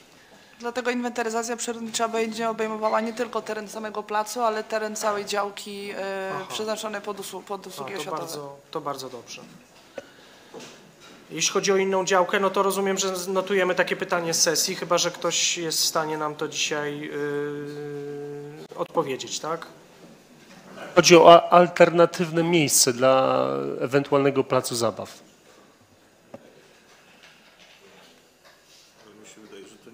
Notujemy pytanie z sesji.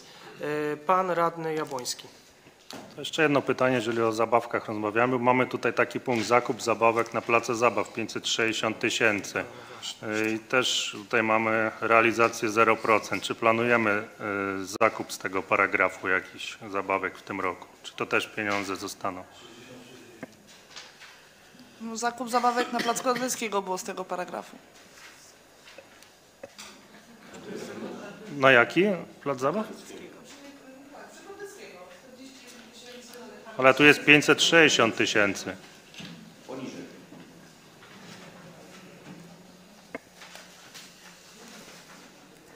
E, Chciałabym, zgadza się, chciałabym naprawdę e, móc Państwu odpowiedzieć, e, że zostaną zakupione zabawki i wykorzystany ten paragraf, z tym, że na chwilę obecną e, pracę czterech osób z wydziału wykonują dwie osoby. I mimo szczerych chęci jesteśmy tylko ludźmi i naprawdę nie jesteśmy w stanie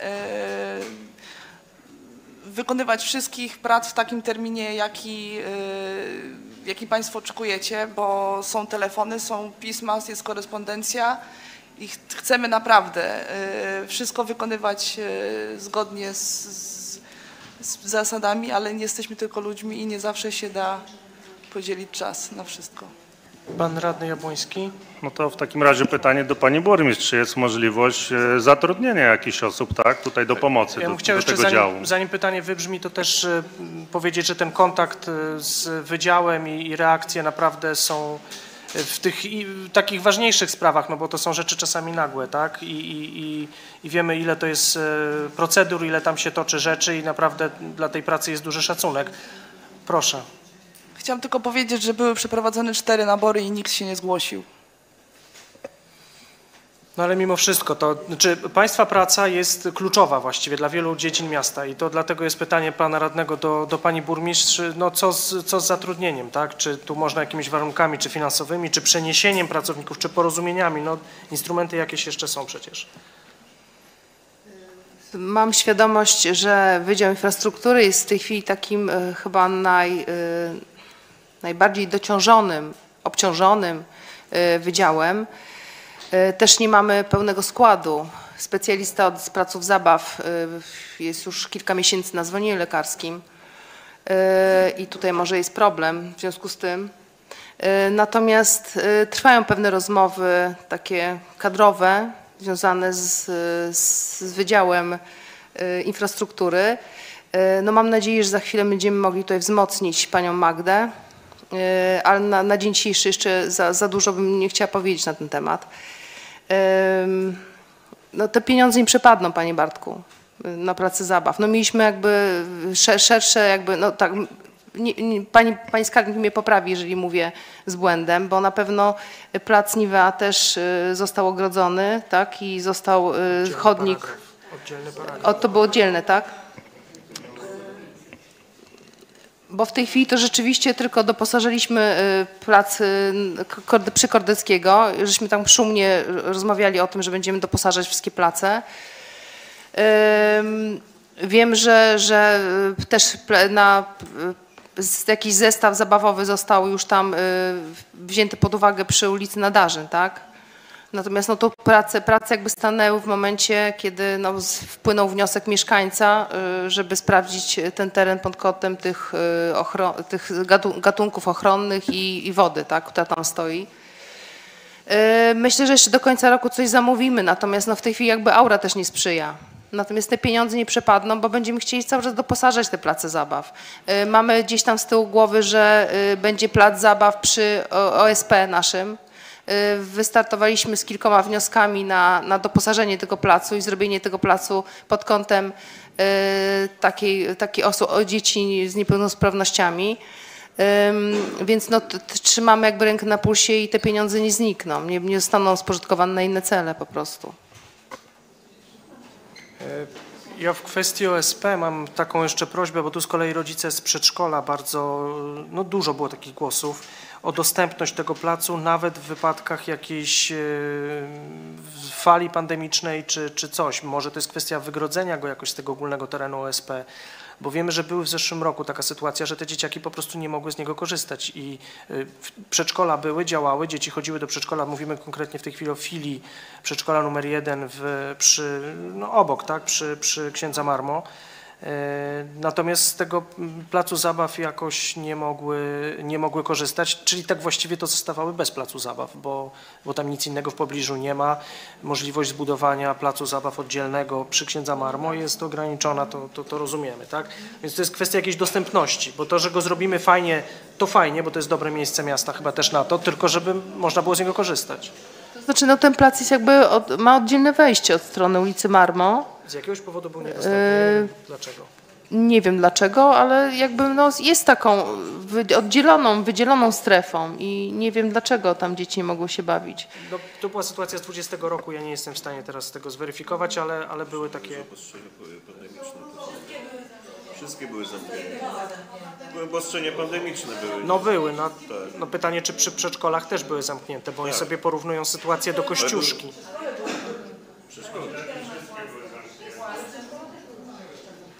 Przez jakiś czas, ale później te przedszkola funkcjonowały. Dobrze, jakby rozumiem, że tutaj to, to oddzielne wejście funkcjonuje. Czy e, pani radna Han, Hanna Łach jeszcze pytanie? Pani burmistrz, ja e, e, wznawiam swoją prośbę, jeśli chodzi o plac zabaw przy ulicy Osiedlowej.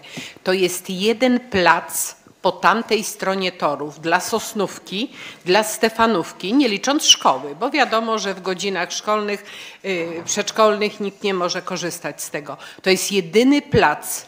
To samo jest blok przy ulicy Fałata. Też dzieci przychodzą i tam jest na dobrą sprawę to jedna zabawka. Pozostałe są już niedobre. To są drewniane zabawki sprzed 15 lat i one się po prostu najnormalniej w świecie zużyły. Proszę wziąć to pod uwagę. Jedyny plac po tamtej stronie torów. Dziękuję. Wiemy, wiemy, już rozmawialiśmy na ten temat, tam jest rzeczywiście zabawka drewniana i ona jakby spełnia jeszcze kryteria bezpieczeństwa, bo jest, no, są te y, ba- badania tych y, placów zabaw przeprowadzane co roku. Y, Mieliśmy taki zamysł, żeby to zrobić w przyszłym roku, bo tam jest linia pośrodku energetyczna, przechodzi przez ten plac i nie bardzo, nie bardzo możli, możliwe jest postawienie gdziekolwiek indziej. I no, kosztem tej zabawki, no, musielibyśmy tą usunąć, a postawić nową. No ale to może Pani Magdo rzeczywiście może się przyjrzeć w tej chwili, żeby, żeby zlikwidować tą drewnianą z- zabawkę i żeby tam na to miejsce postawić y, coś takiego, co będzie z tworzywa sztucznego i na dłużej posłuży. Dziękuję. Ja bym chciał jeszcze spytać o oświetlenie, ale myślę, że tu będzie bardziej do pana kierownika, bo widzę, że jest e, sporo zaangażowanych środków w oświetlenie i wydaje mi się, że ono idzie zgodnie z, e, z planem. Nie mówię teraz o tej wymianie na LED, tylko tych planowych e, budowy oświetlenia ulicznego. Pierwsze pytanie w związku z tym to jest o losy ulicy Gościnnej. Ona jest zaplanowana na 22 rok. I czy w związku z tym wykorzystaniem środków, z tym, że widzę, że to jakoś planowo idzie, to jest szansa, że jak coś jest w 2022 roku, to w tym roku będzie? Czy są jakieś zaległości? A druga kwestia, jeżeli pan byłby w stanie z głowy, to ulica Kwiatowa. Tam też jest na końcu takie oświetlenie Znaczy, no właściwie to nic tam nie ma, o tak, i kwestia jakiegoś dostawienia latarni. Ale to jeżeli będzie trudno w ten sposób, to jako pytanie z sesji zapiszemy, bo to każda ulica może być trudno spamiętać.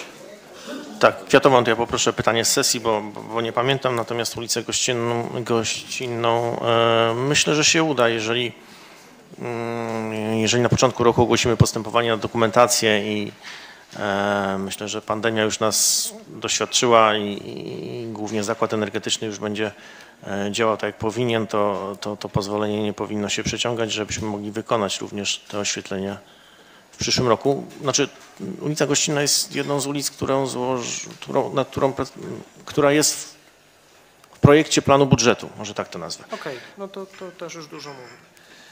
Yy, Pan radny Grubek.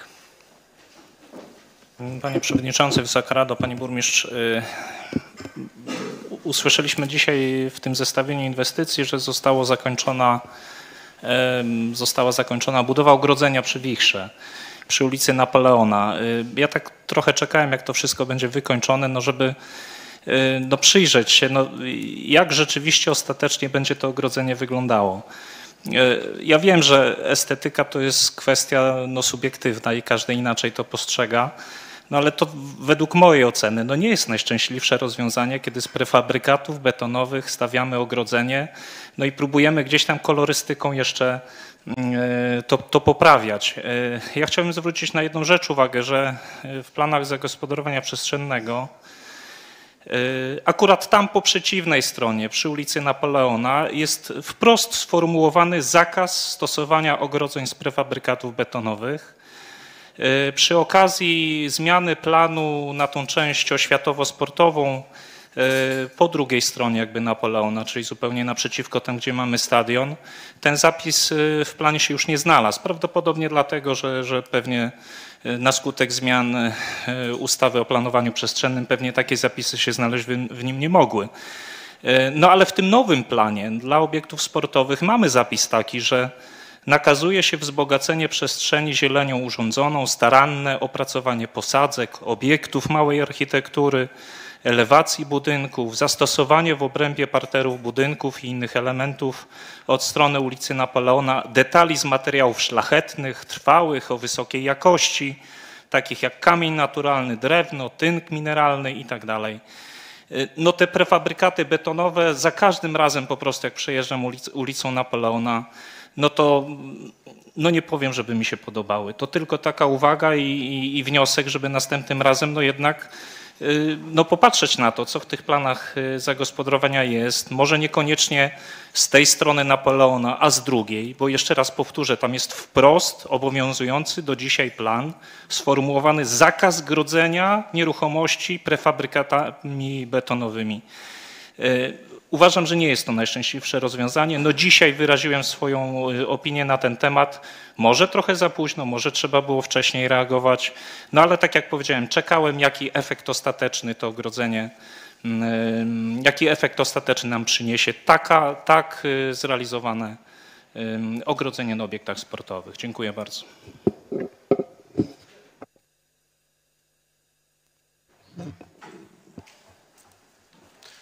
Znaczy ja tylko może wyjaśnię, że to nie było nowe ogrodzenie, tylko to była modernizacja starego ogrodzenia, które było z prefabrykatów betonowych i, i, i takie zostało, tak? E, W momencie pewnie, kiedy będzie, będą jakieś prace robione większe na, na, na, na, na ośrodku, e, czyli budowa jakiegoś obiektu, to, to, to również ogrodzenie będzie w innej formie, tak? Krótko mówiąc, odtworzyliśmy to, co było, zdewastowane, zniszczone na takie same, tylko, tylko nowe. Y, Wiadomo, że każde inne ogrodzenie kosztowałoby dużo więcej. Też musi, musimy jakby liczyć pieniądze. Y, To był wybór jeszcze sprzed wielu miesięcy, jak nie, jak nie z półtora roku temu pewnie, bo częściowo żeśmy robili to wcześniej, teraz żeśmy do, do, do, do... Y, W międzyczasie malowaliśmy tak, z, naszy, z naszymi własnymi siłami, tak.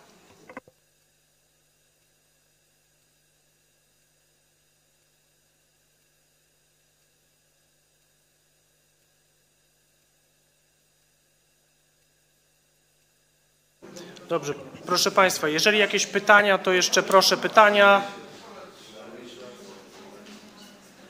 Y, Nie widzę pytań. E, Myślę, że jeszcze tutaj e, podziękowalibyśmy panu kierownikowi. Więcej pytań, więcej pytań nie ma.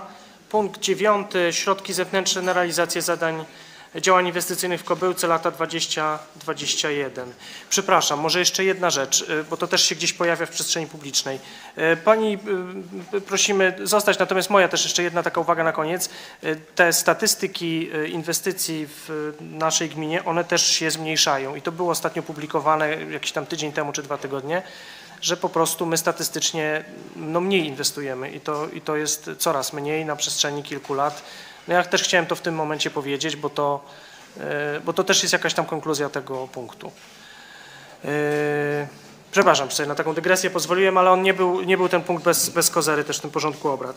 Punkt dziewiąty, środki zewnętrzne. e, Proszę bardzo. Witam Państwa. Justyna Zaczek z Zespołu Pozyskiwania Środków Zewnętrznych. E, Pani Justyna Zaczek ze, ze Zespołu Pozyskiwania Środków Zewnętrznych. Ja powtórzę, bo to też jest w transmisji ważne. e, Proszę Państwa, e, miasto w latach 2020-2021 złożyło ponad 40 wniosków o dofinansowanie, zarówno ze środków krajowych, jak i środków unijnych. E, Na, na realizację 17 projektów miasto otrzymało już pozytywną rekomendację do dofinansowania lub zawarte są już też umowy o dofinansowanie na łączną kwotę ponad 19,5 miliona złotych. E, Przy udziale wyżej wymienionych środków e, zrealizowano następujące zadania inwestycyjne.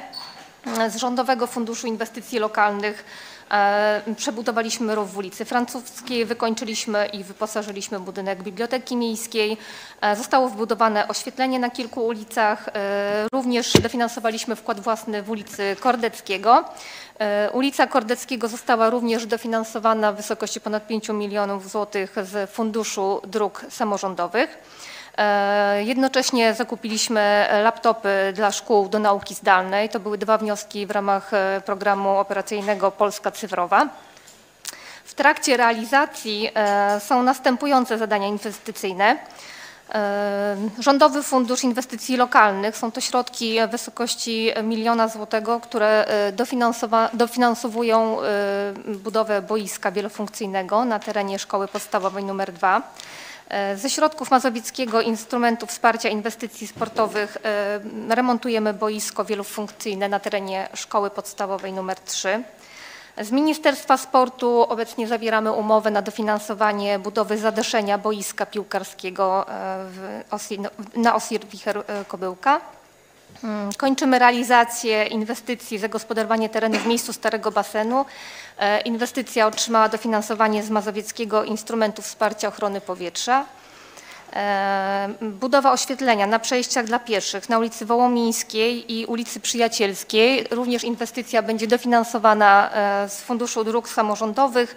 E, Obecnie ten fundusz nazywa się Rządowy Fundusz Rozwoju Dróg w zakresie poprawy bezpieczeństwa. Jesteśmy na etapie podpisywania umowy o dofinansowanie. Mm, Otrzymaliśmy również rekomendacje do dofinansowania ze środków unijnych Regionalnego Programu Operacyjnego Województwa Mazowieckiego na zakup sprzętu do nauki e, zdalnej dla wszystkich naszych szkół kobyłkowskich. E, Również otrzymaliśmy informację z PFRON-u e, w zeszłym tygodniu na zakup, o, do- o dofinansowaniu na zakup sprzętu rehabilitacyjnego dla osób niepełnosprawnych. To jest ten grant, o którym mówiła pani dyrektor OPS-u. Również jesteśmy na etapie podpisywania umowy. W realizacji również jest dofinansowany projekt pilotażowy który otrzymał dofinansowanie z programu operacyjnego Wiedza, Edukacja, Rozwój. Jest to projekt polegający na przebudowie e, szkół, dwójki i jedynki w celu dostosowania do osób z niepełnosprawnościami oraz osób z różnymi orzeczeniami, mm, zarówno e, w zakresie technicznym, architektonicznym, jak i obszarze organizacyjnym. Mm, Dzisiejsza informacja o pozyskanych środkach na ulicę Rataja jest już Państwu znana, więc też będziemy teraz oczekiwać na promesę e, z banku BGK. Mamy 6 miesięcy na to, żeby ogłosić postępowanie. E, Jest to e, projekt zaplanowany do realizacji w ciągu 12 miesięcy, w związku z tym będziemy musieli najpierw wyjąć pieniądz i otrzymamy refundację z tego programu. Oprócz powyższych e, inwestycji realizujemy dwa duże projekty, e, które otrzymały dofinansowanie mm, promesę i zawartą umowę o dofinansowanie w zeszłych latach, ale jest to budowa parkingu Parku Jedź, która tak naprawdę będzie zrefundowana e, w tym roku, najpóźniej w styczniu w przyszłym roku. Wystąpimy o refundację 4 milionów złotych. No i oczywiście realizujemy e, duży projekt partnerski budowy ścieżek rowerowych na terenie miasta Kobyłka. Jest to projekt, który otrzymał dofinansowanie dla Kobyłki na poziomie około 11 milionów złotych, również przewidziane do realizacji w przyszłym roku. Mm, Także te 14 milionów e, z tytułu parkingu Parku Jedź i e, projektu ścieżkowego nie wchodzi oczywiście w tą kwotę 19 milionów, którą mówiłam na początku. To są dodatkowe pieniądze, gdzie umowy podpisaliśmy w 2017 roku, a realizacja i refundacja będzie w przyszłym. Mm. Część wniosków oczekuje jeszcze na, e, na ocenę merytoryczną. Czekamy tutaj na, na wyniki w zakresie mm, wniosku, e, który złożyliśmy w ramach Rządowego Funduszu Rozwoju Dróg. Są to środki, e, o które ubiegamy się e, od wojewody. Wniosek dotyczy remontu ulicy Dojazdowej i ulicy Leśnej. Mm, Również z tego samego funduszu czekamy na e, rozstrzygnięcie złożonego wniosku na budowę oświetlenia w ulicy Pieniążka i Marmo. I wystąpiliśmy również do e, marszałka w ramach instrumentów wsparcia zadań ważnych dla równomiernego rozwoju województwa mazowieckiego na dofinansowanie ulicy nowo projektowanej. Tak na tą chwilę e, wyglądają inwestycje, które są realizowane i zostały zrealizowane w mieście mm, przy udziale środków zewnętrznych. Jeżeli chodzi o możliwości pozyskania środków z nowej perspektywy, to tak jak zapewne Państwo wiecie, perspektywa e, 2014-2020 zakończyła się w grudniu. Obecnie trwają, e, trwa realizacja projektów, które otrzymały dofinansowania z poprzedniej perspektywy zgodnie z zasadą N plus 3. Mamy czas do końca 2023 na e, zakończenie projektów, rozliczenie się z poprzedniego budżetu. Mm, e, Więc y, możliwości aplikowania o środki z oszczędności z poprzedniej perspektywy będą znikome, wręcz właściwie już niemożliwe na tym etapie. A jeżeli chodzi o e, środki z nowej perspektywy i możliwości ogłoszenia konkursów, przewidujemy, że będą to najwcześniej e, konkursy ogłaszane e, na przełomie 2022 z naciskiem na rok 2023. Musimy też pamiętać, że dofinansowanie, poziom dofinansowania mm, dla tak zwanego regionu warszawskiego stołecznego, w którym znajduje się Warszawa i dziewięć powiatów, między innymi cały powiat wołomiński, e, to poziom 50%. Także bardzo duży wkład własny będzie w nowej perspektywie, między innymi dla Kobyłki, jeżeli chcielibyśmy ubiegać się o środki unijne. Oczywiście będziemy starali się e, składać wnioski w ramach środków krajowych, które będą, e, mamy nadzieję, sukcesywnie ogłaszane, tak jak do tej pory były w skali e, roku. No i tutaj plany są oczywiście w zależności od tego, jak będą przygotowane inwestycje do aplikowania, w jakich terminach będą ogłaszane konkursy. Bieżąco monitorujemy możliwości pozyskania tych środków. Także jesteśmy dobrej myśli. Na pewno nie będzie to taki poziom dofinansowania jak ze środków unijnych, ale, ale też, jak to my mówimy, jeżeli się nie złoży, to się na pewno nie dostanie, więc próbujemy wszędzie, gdzie się daje. Dziękuję bardzo. Dziękuję za tę informację. Ja bym chciał od razu, mm, dziękuję za tę informację też o rozliczeniu, bo to też e, jakoś horyzont pomaga złapać. E, Chciałem się właśnie dopytać o to, jaka jest konieczność rozliczenia tych środków z ZIT-ów. E, No i rozumiem, że 23, koniec roku 23. e, To oznacza, Tak. że one w 22 roku e, no, muszą zostać po prostu budowane, to już nie ma, nie ma za bardzo możliwości, tak, żeby później ten proces rozliczeniowy przeprowadzić. Tak naprawdę z instytucją rozliczającą musimy my jako beneficjenci środków rozliczyć się do połowy 2023 roku, bo potem Polska ma czas półroczny na rozliczenie się z budżetem, z budżetu z komisją.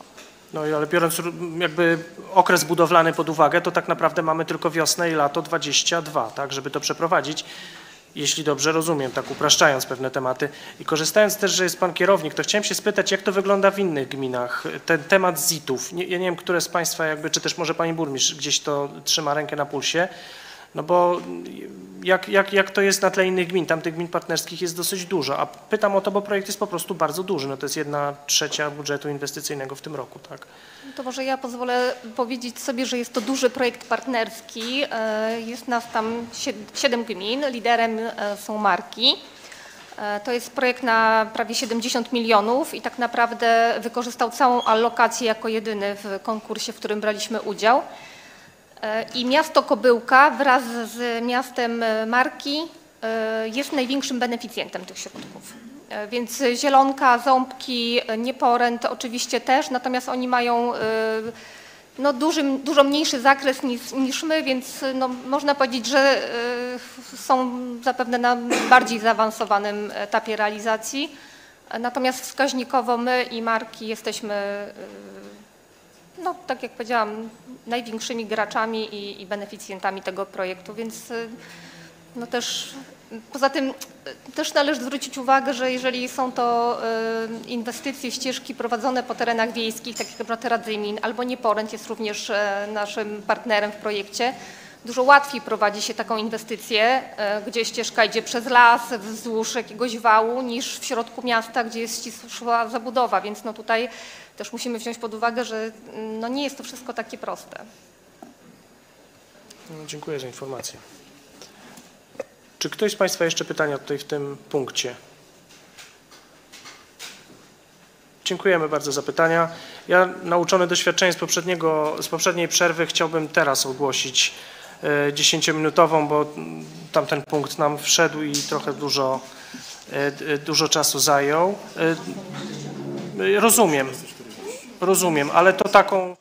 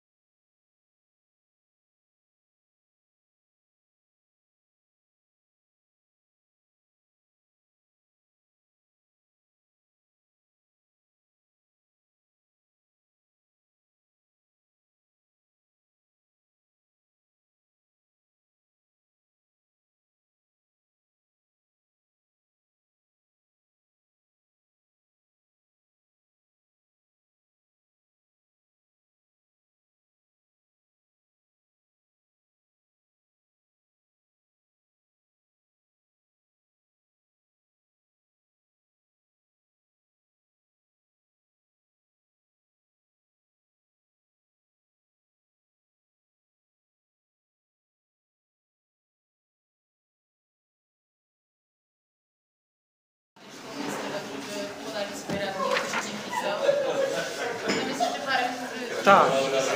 E, Puszczam jeszcze listę, bo nie wszystkie osoby się podpisały.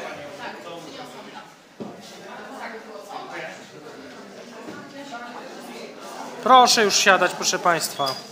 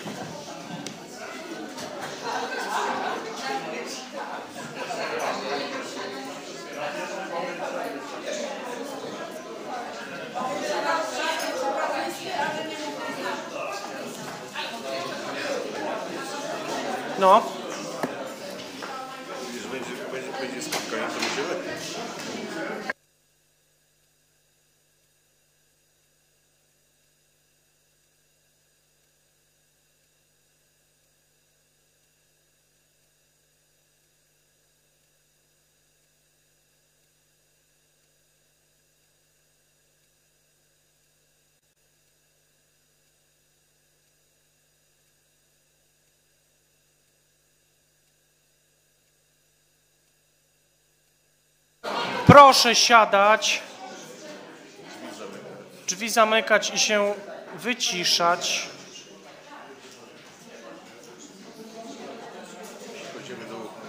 Aha, teraz?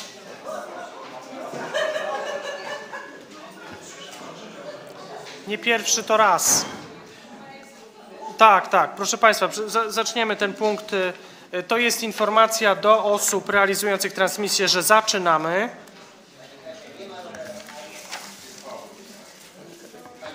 Witam Państwa po przerwie. Y, Przechodzimy do punktu 10 porządku obrad. To jest rozpatrzenie projektu uchwały y, zmieniającej wieloletnią prognozę finansową miasta Kobyłka na lata 2021-2033. Prosimy Pani Skarbnik o informację. E, Chciałam tutaj e, zgłosić e, autopoprawkę w tym punkcie, e, która wynikła z konieczności wprowadzenia dochodów i wydatków związanych z nowymi programami, czterema. E, Wcześniej już tu były wspominane, jest to szkoła online, e, laboratoria przyszłości, Narodowy Pro- Program Rozwoju Czytelnictwa i pomoc osobom niepełnosprawnym poszkodowanym w wyniku żywiołu lub sytuacji kryzysowych wywołanych chorobami zakaźnymi. E, Przenosimy też środki z jednorocznego zadania bieżącego remont pomieszczeń OPS w Kobyłce w wysokości 150 tysięcy na 2022 rok. E, Zabezpieczamy też środki na odbiór i zagospodarowanie odpadów komunalnych w latach 2022 i 2023 e, w kwocie 9 milionów w każdym roku. Dziękuję. Y, Dziękuję. Czy są pytania ze strony Państwa radnych do y, autopoprawek na tym etapie? Mhm. To myślę, że biorąc pod uwagę, że, że te autopoprawki też już miały możliwość, y, pani, pani skarbnik mówiła już o nich na komisji, to myślę, że możemy przegłosować, przegłosować same brzmienie autopoprawek. Prosimy w takim razie o uruchomienie głosowania. Proszę Państwa o oddawanie głosu.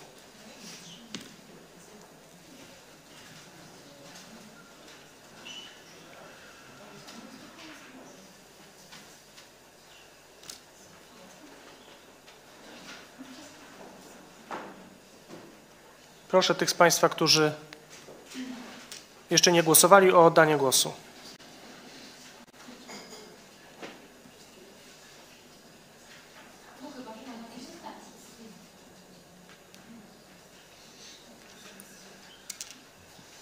Jeśli jest jakiś kłopot, to możemy ustnie zaprotokołować. Za. Mhm. Liczymy Panią Dominikę Ziemską za. I proszę o zakończenie głosowania.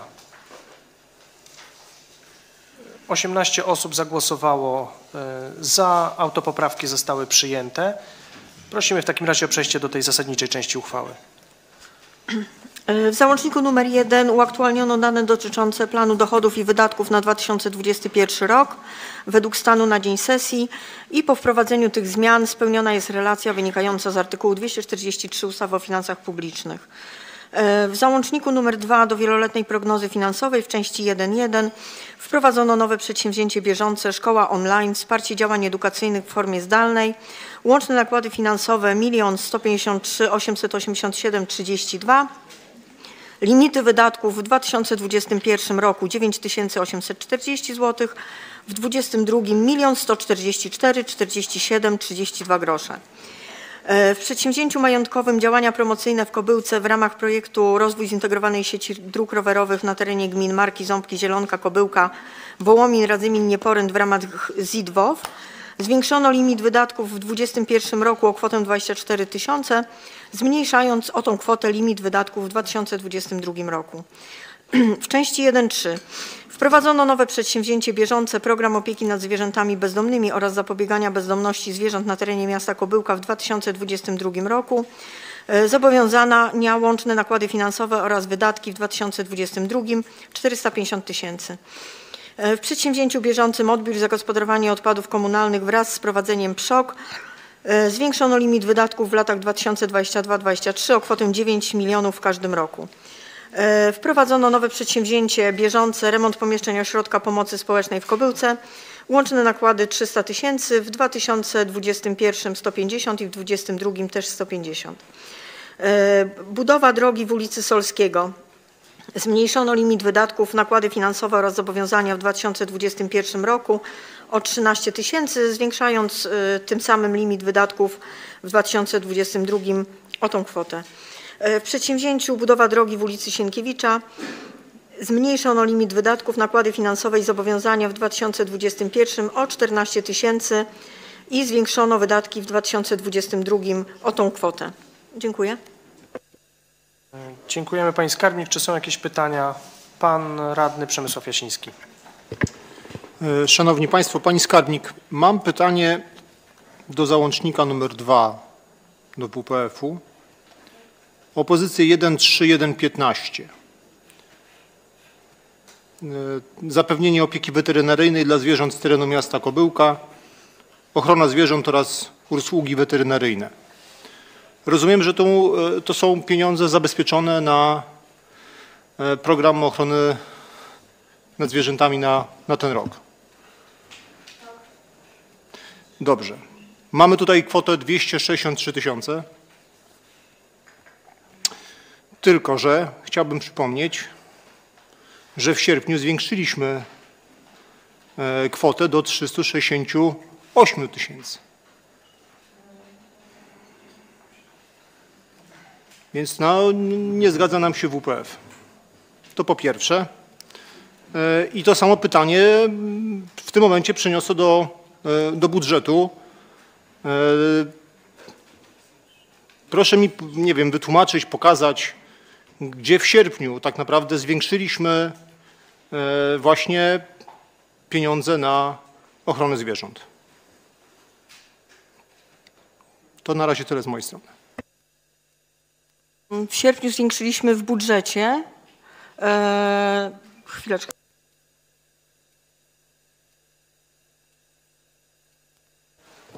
No, w tych wszystkich zwiększeniach w sierpniu ja się też nie mogę dopatrzyć e, żadnego zwiększenia z tego tytułu. Wasz tego zadania nie było e, w WPF-ie. Przepraszam, jakiego zadania nie było w WPF-ie pani, pani, pani skarbnik? To samo zadanie było. Ono funkcjonuje cały czas.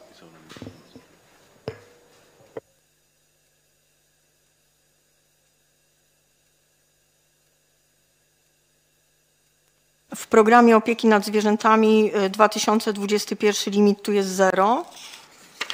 I, w dwudzie- i pieniądze zostały na e, dawnym zadaniu.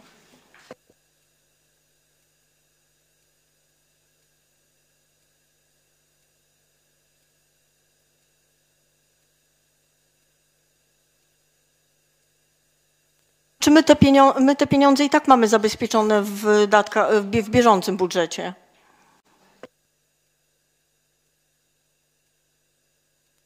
nie wyodrębnione w WPF-ie. Nie wszystkie zadania są wyodrębnione w WPF-ie. Teraz mamy wyodrębnione, żeby przystąpić do przetargu.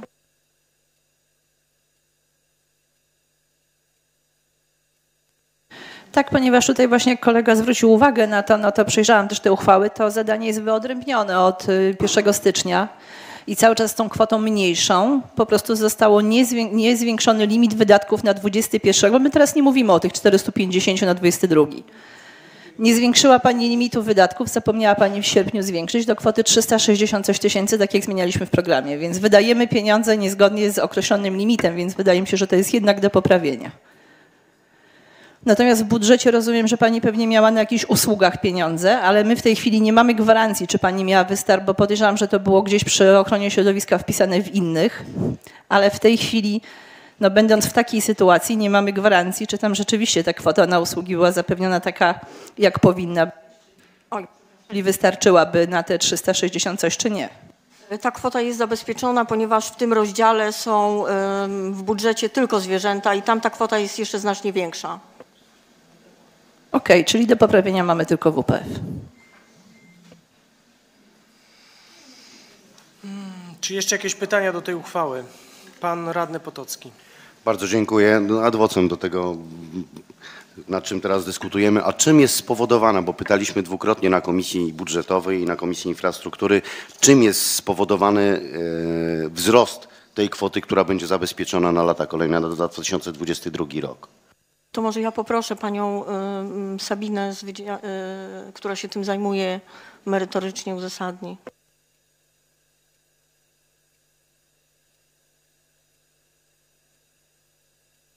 To prosimy. Prosimy tylko mikrofon włączyć. Dzień dobry. E, Kwota e, o wysokości, jakiej wystąpiliśmy o zabezpieczenie w WPF-ie, e, to 450 tysięcy. Mm, Byłaby to kwota przeznaczona nie tylko na program opieki nad zwierzętami bezdomnymi oraz zapobiegania bezdomności zwierząt, ale również pozostałe usługi dotyczące ochrony zwierząt na terenie miasta Kobyłka. E, czyli między innymi e, na przepłaszanie zwierząt dzikich z terenów miejskich. E, Dlatego też kwota może odbiegać od tej, którą byśmy przyjęli w programie opieki nad zwierzętami bezdomnymi.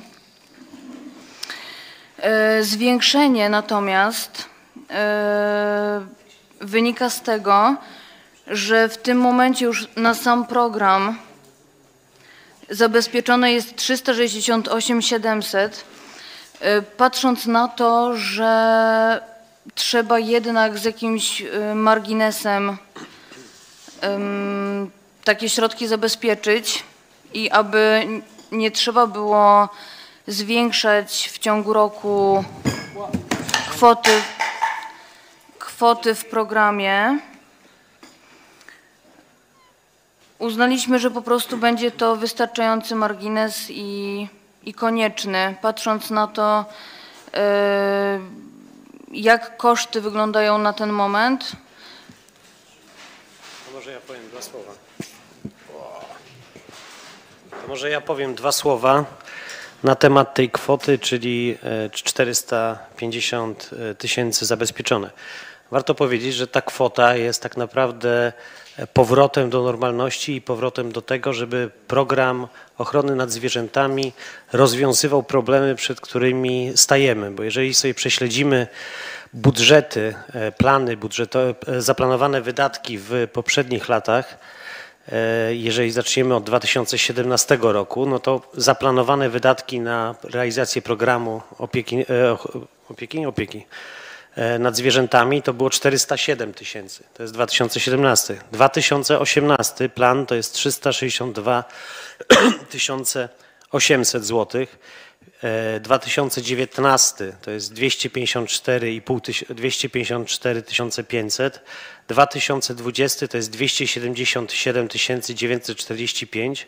2020 w tym momencie zaangażowane, zaplanowane, dobra. E, 368 700 i w końcu rok 2022 zaplanowana kwota e, za 450 tysięcy. Więc tak naprawdę wracamy do wydatków, które były w e, dobrym, e, dobrze zaplanowanym budżecie roku 2017 roku, kiedy jak widać e, nie trzeba było ograniczać się e, z swoimi działaniami na rzecz, na rzecz zwierząt. Budżety gmin, które my prześledziliśmy, e, których są planowane e, tego typu działania, zwykle e, ograniczają się do pewnego, pew- pewnej wysokości, e, do pewnej wysokości i potem miasto przestaje realizować część e, swoich zadań.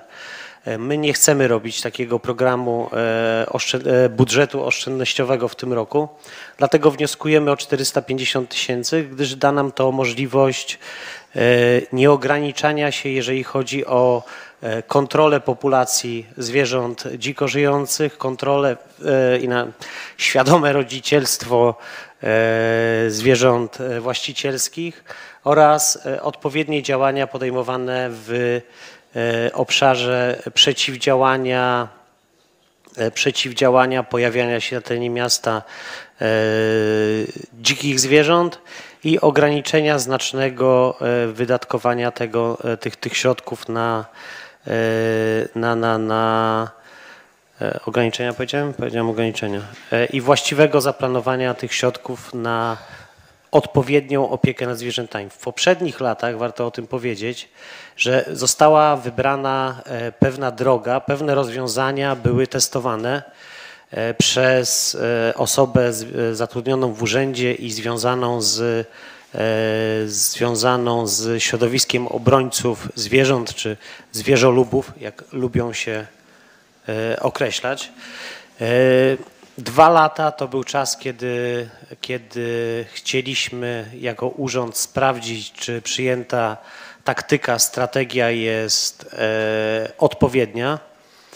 E, I po tym czasie e, wspólnie z e, zarządem i naszym wydziałem stwierdziliśmy, że e, należy zreformo odejść od e, pewnych, pewnych rozwiązań, które były wtedy w- poprzednim okresie pro- proponowane i podejść do sprawy w trochę, w trochę inny sposób. Rozwijać temat? Myślę, że nie, że będzie jeszcze dużo pytań, które będą okazją do rozwinięcia tematu. Ja tylko uprzedzając pewną dyskusję, bo jakby e, rozmawialiśmy też z radnymi i, i, i to budzi sporo kontrowersji. Chciałbym e, usłyszeć jeszcze tylko e, kwoty, które Państwo szacujecie w tej chwili na program nad, opieki nad zwierzętami bezdomnymi, bo to jest ta kwota taka no, netto, do której będziemy ewentualnie porównywać na rok 2022, czyli ile wyniesie sam program oraz ile wyniosą te działania, te działania związane z odstraszaniem zwierząt dzikich z terenu miasta. Bo jeśli chodzi o pozostałe składniki, czyli utrzymanie zwierząt gospodarskich, tam jest jeszcze kilka obowiązków, które miasto ma, no to są wydatki zupełnie marginalne. Ale czy Państwo tutaj macie jakieś szacunki? To nam troszkę pomoże uporządkować rozmowę. Znaczy nie rozumiem, dlaczego rozbił Pan program opieki nad zwierzętami Bo państwo na... to rozbiliście nie, nie, nie, nie, nie. Czym innym jest odstraszanie, jak Pan powiedział, dzikich zwierząt, a czym innym jest kontrola populacji dziko żyjących, ich wyłapywanie, chipowanie i tak dalej, a czym innym jeszcze jest kolejną, kolejną Dobrze. jakby pulą jest 450 kastracja, tysięcy- chipowanie, odzyskiwanie zwierząt właścicielskich. Z tych Więc 450 nie tysięcy, ma- jak Państwo szacujecie na ten moment wydatki? Więc nie ma dwóch grup, tak jak Pan powiedział, tylko są trzy grupy. To w każdej z tych grup, orientacyjnie, bardzo zgrubnie.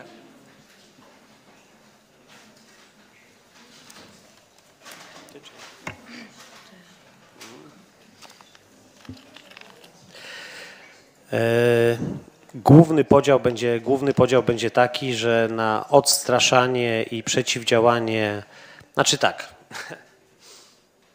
jeżeli chodzi o kontrolę, czy jak, jak pan powiedział, odstraszanie dzików, zaplanowanie w tym momencie budżetu i wydatków, jakie na przykład starostwo albo e, jakie będzie od nas wymagało, jakich wkładów, jakiego udziału w kontroli e, populacji dzika i kontroli tego przemieszczania się tego dzika po naszym terenie, nie jesteśmy w stanie stwierdzić. W naszych rozmowach wewnątrz i w planowaniu e, tego budżetu mówiliśmy o kwocie na początek 50 tysięcy złotych rocznie na odstraszanie, kontrolowanie czy podjęcie jakichś działań wspólnych z powiatem czy innymi gminami e, w temacie kontroli dzików.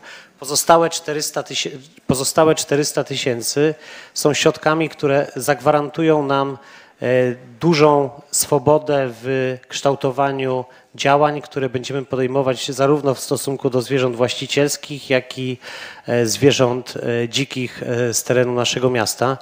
Będziemy też, e, jak pan, Państwo może pamiętają, nie pamiętam, czy rozmawialiśmy o tym na, e, czy rozmawialiśmy o tym na komisji, e, czy na sesji, ale w planach mamy i w przygotowaniu, a właściwie w analizie, o tak, bo temat nie jest tak prosty, jak się wydaje, zresztą temat został niezrealizowany przez dwa lata przez osoby, które wcześniej były zaangażowane w realizację programu opieki nad zwierzętami, czyli e, miejsce tymczasowego pobytu e, dla zwierząt. Jak Państwo wiedzą, w Zielonce naszej tuż za granicami Kobyłki mieści się taki punkt tymczasowego pobytu, pobytu zwierząt.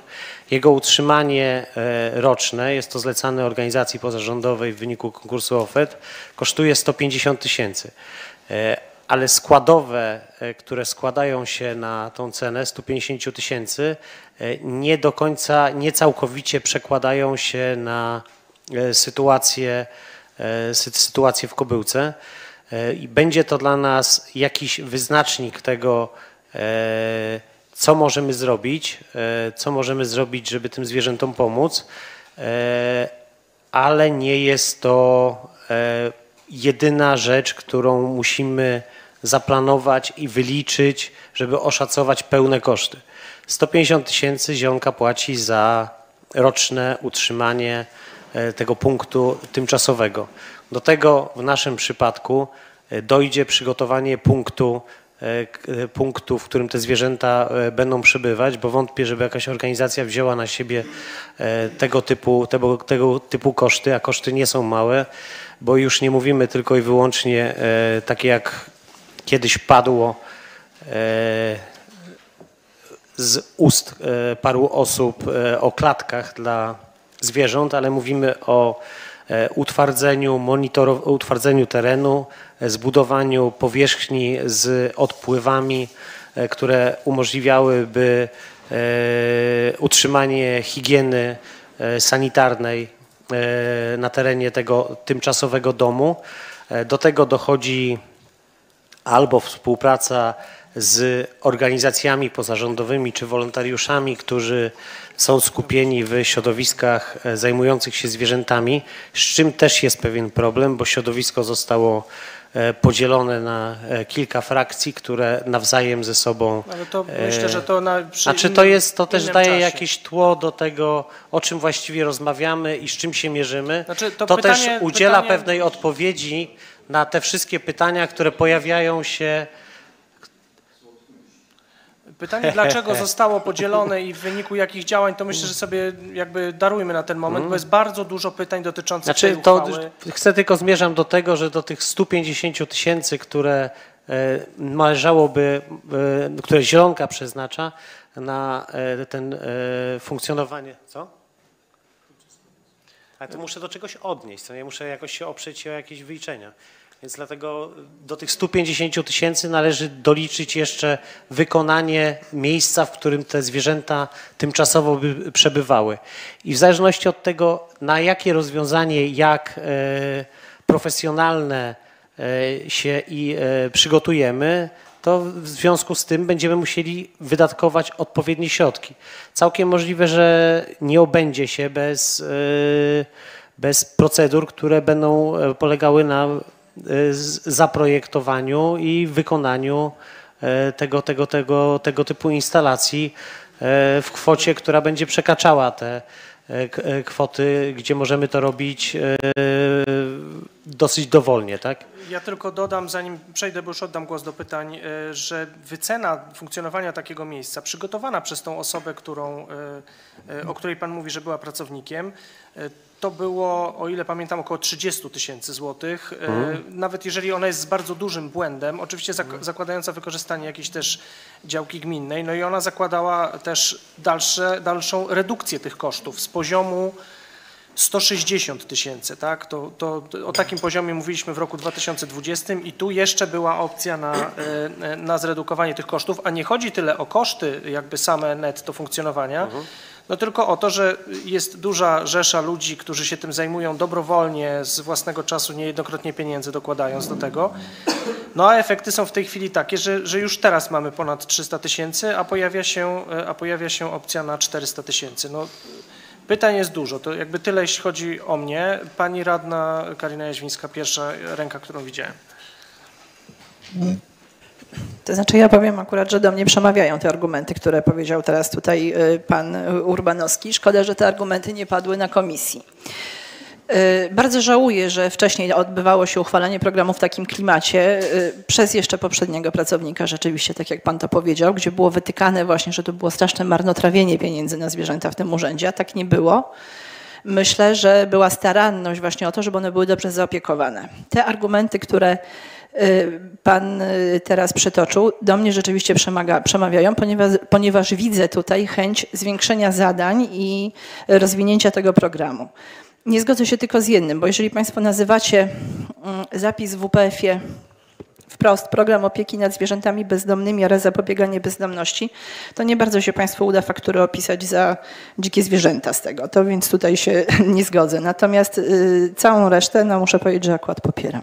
I dziękuję za te informacje, bo tych informacji rzeczywiście bardzo zabrakło na komisji.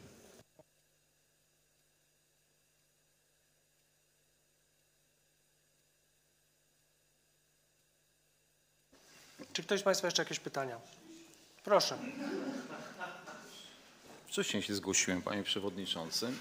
E, Tak, dziękuję, że dzisiaj dostałem od 13 bodajże informację zbiorczą odnośnie wydatkowania, o które prosiłem w poniedziałek tydzień temu, e, czyli stanu wydatków na e, ochronę, realizację programu ochrony zwierząt. To jest na dzień dzisiejszy, na koniec września, żeby było tak, to jest 270 tysięcy. Tyle do tej pory wydaliśmy na ochronę, realizację y, tego programu. Do końca roku mamy jeszcze y, no, prawie 100 tysięcy do wydania, a został nam jeden kwartał. Czyli y, raczej nie wydamy tych pieniędzy, chyba że na siłę. Y, Co do programu, będziemy, będziemy y, rozmawiać przy programie. To są oczywiście y, złote myśli, które usłyszałem w tej chwili, jeśli chodzi o realizację, tylko daleko jest do konkretów. Ja bym chciał zobaczyć, gdzie ma powstać ten, ten ośrodek, y, kosztorys, co ma tam się znaleźć, a nie dzisiaj planujemy 450 tysięcy, prawie 100 tysięcy więcej niż w tym roku, gdzie w tym roku mamy 270 tysięcy do tej pory wydanych przez trzy kwartały. Y, I pytanie po co? Na co? To, że y, do mnie przemawiają z kolei argumenty, że się zmniejszała ta liczba, ta ilość wydawa- wydatkowanych środków z prostej przyczyny. Ubywało zwierząt bezdomnych. W końcu to trwa już kilka czy kilkanaście lat. E, Ja bym jeszcze bardziej weryfikował i, i, i dopatrywał się większych oszczędności i te, te oszczędności przeznaczył chociażby pani dyrektor OSP na, e, na e, rodziny zastępcze czy, czy na ochronę i pomoc e, rodzinom wielodzietnym, pomoc społeczną dla ludzi. Tutaj są pewne dane, które nie, nie to miejsce, nie ten moment, e, bo to są konkretne, konkretne e, liczby, które mówią o wyłapanych psach, kiedy, co, jak. Nie chcę w to wchodzić, bo o tym będziemy rozmawiali przy programie. E, To, co koleżanka zwróciła uwagę, wydatkowanie na dzika czy na wronę musi być objęte programem. Co najmniej, który będzie zgodny z ustawą nie przemawia do mnie wydatkowanie większych środków na e, płoszenie dzików z tego paragrafu i z tego zadania. To jest raz. Drugie pytanie e, konkretne. E, ile w tym roku starostwo wpłaciliśmy starostwu na ochronę, na przepłaszanie dzików z terenu Kobyłki. Bo jak usłyszałem, mamy, nie, nie jest Pan pewien, jakie kwoty starostwo będzie chciało w przyszłym roku na odstraszanie dzików.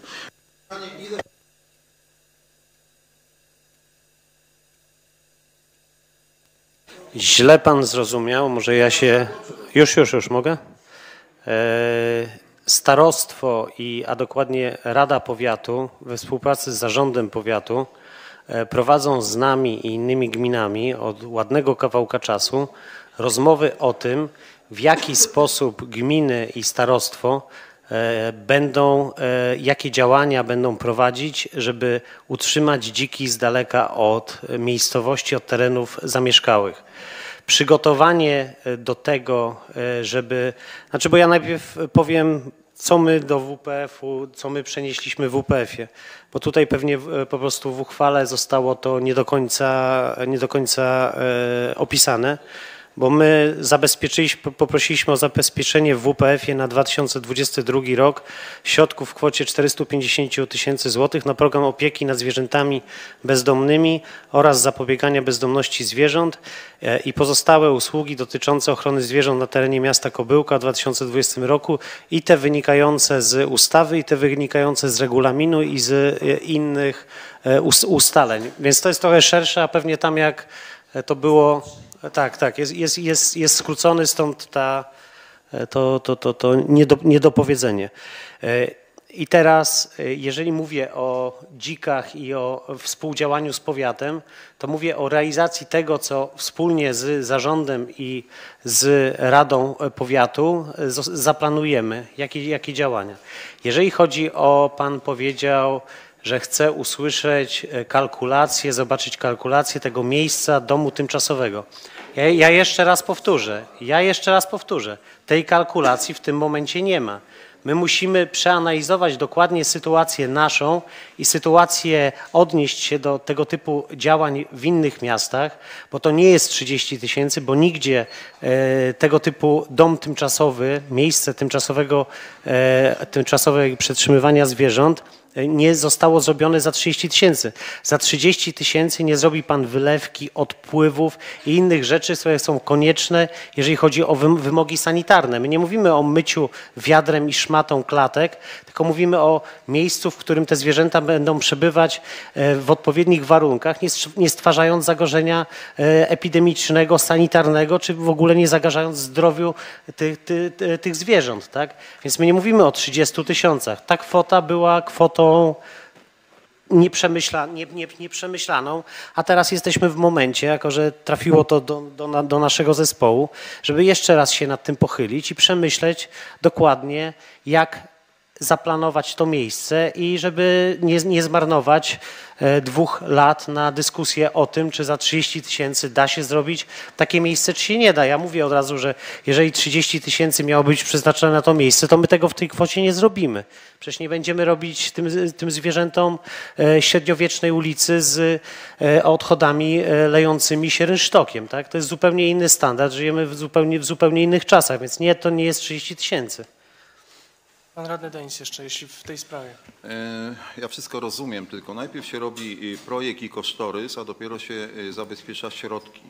E, Ja chcę zobaczyć, bo Pan ma plany, Pan nam opowiada, natomiast bez konkretów. Ja powiedziałem, gdzie to ma być, jak to ma wyglądać, w jakim zakresie, ile to ma kosztować. Jeśli taką, zaraz, moment, skończę. Jeśli ja zobaczę taką kalkulację, taki plan w przyszłym w styczniu, czy nie wiem, w grudniu, to nie ma najmniejszego problemu, żeby środki zwiększyć na te cele, ponieważ mamy, robimy pod coś konkretnego, a nie jakieś widzimisię, bo 450 tysięcy to może się okazać, że będzie za mało na w ogóle na w- utworzenie czegoś takiego. Pytanie tylko, ja nie widzę tego, pytam się, gdzie to ma być, na których działkach gminnych ma to powstać. Pani sekretarz, Nawet tego jeśli, nie wiecie jeśli w pa- tej samej sprawie, to pani sekretarz, proszę. Znaczy ja może się spytam, y, czy panu radnemu chodzi o szacowanie wartości, czy y, o szacowanie, szacowanie wartości? No bo cały czas mówimy, że zabezpieczamy, że zabezpieczamy środki na e, możliwość e, ogłoszenia zapytania przetargu na ochronę zwierząt. Proszę Państwa, no więc wydaje, po, po to zapytałem się, poprosiłem o wykaz wydatków. Na dzień dzisiejszy mamy 270 tysięcy wydanych, w budżecie na ten rok mamy 368 tysięcy. Po co 450 tysięcy zwiększamy wydatki, kiedy te wydatki powinny się zmniejszyć? I tyle. Znaczy, dlaczego powinny się zmniejszyć? Dlatego, że ubywa psów. Nie ubywa psów. Nie ubywa psów, nie ubywa zwierząt. Mhm.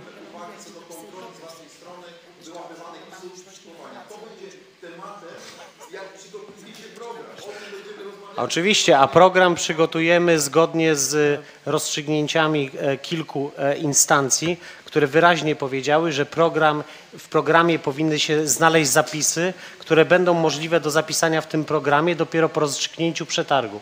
Pani sekretarz ma przygotowane na ten temat e, odpowiednie wyroki, które o tym mówią. Więc najpierw uporządkujmy w Pana E, pojmowaniu tego tematu pewne sprawy proceduralne, a potem przejdziemy do reszty. Bo to jest ważne, bo Pan mówi, że mamy... Ale tak mówi, ale proszę Pana, tak mówią właśnie wszystkie instytucje. Pani radna Muszyńska, bo jeszcze też czeka na głos. E, Ja chciałam się spytać, e, skoro my planujemy mm, budżet na 2022 rok, to czemu tego nie ma że tak powiem, teraz jest to włożone w ten. Rozumiem, że to chodzi o przetarg, żeby ogłosić przetarg. To czemu dajemy osobom, które mogą przystąpić do przetargu, możliwość dysponowania od razu kwotą, którą mamy zapisaną w WPF-ie? Pani sekretarz. To nie tylko to zadanie, bo w WPF-ie jest wiele więcej zadań, i, e, ale to jest nowe zadanie, ale ogólnie tak jest WPF. Dlatego dajemy, powiem pokrótce. W programie trzeba zapisać e, instytucje, które będą świadczyły, podmioty, które będą świadczyły usługi. Nie można zapisać, że to będzie schronisko, tylko konkretną nazwę podmiotu. E, program przekazuje się do 1 lutego do opinii do odpowiednich e, instytucji, tak? Weterynarz do 31 marca my ten program uchwalamy. Żeby móc wpisać te podmioty, musimy odpowiednio wcześniej zrobić przetarg. Dziękuję. Dziękujemy. Pani Muszyńska jeszcze? Ale ja chcę, no to i tak to mi się jakoś tak nie bardzo zgadza, gdyż y, no, do tej pory jakoś żeśmy funkcjonowali i wszystko było, y, że tak powiem, wpisywane normalnie, a teraz Przetargi były my... rozpisywane na podstawie tak. kwot? Przetargi były na podstawie budżetu w styczniu. I też przy, przyjmowaliśmy program e, ostatnio nawet w maju, w maju, ale poprzednio, poprzednio w marcu były też e, e, miesiące, kiedy były przyjmowane programy w lutym, e, ale zawsze przetargi były e, wcześniej. Znaczy ciągle trudno jest nam zrozumieć potrzebę tej kwoty w tym momencie, no zwłaszcza, że, bo się tu włączę do dyskusji, zwłaszcza, że e, no powiem wprost, to miejsce do, do, do tego przetrzymywania tych zwierząt między wyłapaniem a adopcją ja o to wnioskowałem e, rok temu oraz miesiąc temu. No, dotychczas było to no, lekceważone, no tak trzeba powiedzieć wprost. Już ta osoba nie pracowała tutaj i, i nie pracuje. E, myślę, że to też był jakby pomysł, e, pomysł tej osoby, ale jakby nikt się do tego poważnie nie przybierał. No w tej chwili nagle jakby te koszty rosną. Ja mam wrażenie, i to też prosiłbym, żeby się do tego odnieść, że to jest po prostu kwestia niepilnowania tych wydatków. No i takie są też głosy ze strony tego środowiska, które się tym no myślę z całym sercem, ale i też dużym profesjonalizmem zajmuje, że jest jakby dużo kosztów, które po prostu no, rodzą dużo, dużo pytań. Yy, proszę. Yy, no, kto pierwszy? Pan, yy, proszę się odnieść, jeżeli pan, jeżeli pan Lech Urbanowski chce się odnieść, to proszę odniesienie się. To może ja się odniosę do tego, co pani sekretarz powiedziała, bo akurat z tym się nie zgodzę, bo jeżeli teraz wrócimy się do początku dyskusji, i, i do tego, że mamy tak błąd w WPF-ie, który za chwileczkę musimy poprawić, bo nie zwiększyliśmy limitu na 21. Y, I pani skarbnik w zasadzie zgadza się z moim wytłumaczeniem, bo sama tego nie powiedziała, czyli że w budżecie nie było y, po co zwiększać tej kwoty, bo ona jest na usługach ogólnych na jednym paragrafie i nie jest wyodrębniona, no to nie możemy powiedzieć, że w poprzednich latach, jak ogłaszaliśmy przetarg na podstawie budżetu, to ta kwota była widoczna. No nie, to ona była niewidoczna wtedy. Więc tutaj pani sekretarz nie ma pani racji. Nie odnosiłam się do, co do widoczności tej kwoty, bo wszystkie kwoty, które są w WPF-ie, każde zadanie jest kwota widoczna. E, e, także w tym kontekście mówiłam, tak? WPF-u dopiero Państwo zaczęliście to wpisywać. Myśmy tego nie wpisywali, to jest zadanie jednoroczne, nie ma takiej potrzeby i nie ma obowiązku. Wiem, że się przetarg ogłasza e, w roku budżetowym, czyli w styczniu albo w lutym. Pani skarbnik, proszę. Y, Jeszcze tylko chciałam wyjaśnić, że tutaj jest zapewnienie opieki weterynaryjnej dla zwierząt, a to jest jakby jeden tylko z punktów. Y, Musiałabym zobaczyć na podstawie czego zostało to wpisane, ale podejrzewam, że być może był to y, przygotowane do przetargu tylko z tego jednego jakby punktu, bo to jest tak, w, dwa, na 2020, w 2020 na 2021. E, Być może było to wpisane właśnie na podstawie tego, że występowa- e, potrzebowaliśmy zrobić przetarg tylko na zapewnienie opieki weterynaryjnej. Mm, Musiałabym to, no po prostu nie pamiętam w tej chwili, dlaczego to zostało wpisane e, w takiej kwocie, ale jest to tylko jedno z zadań, więc myślę, że nie wydaliśmy tyle w tym roku na samą opiekę weterynaryjną. Znaczy przetarg musimy robić na wszystkie zadania, które ustawa mówi, że muszą są w programie. Że muszą być w programie. Oczywiście. Czy jeszcze jakieś uwagi w tej sprawie, czy też jakieś konkluzje? Pan radny się zgłaszał, ale nie wiem, z pytaniem? Proszę. Tak, jeszcze może niech padnie, kiedy planujemy ogłosić ten przetarg konkretnie. I boję się y, usłyszeć odpowiedzi, że wydział wie, kiedy ten przetarg trzeba ogłosić. Tylko no właśnie, kiedy? No proszę po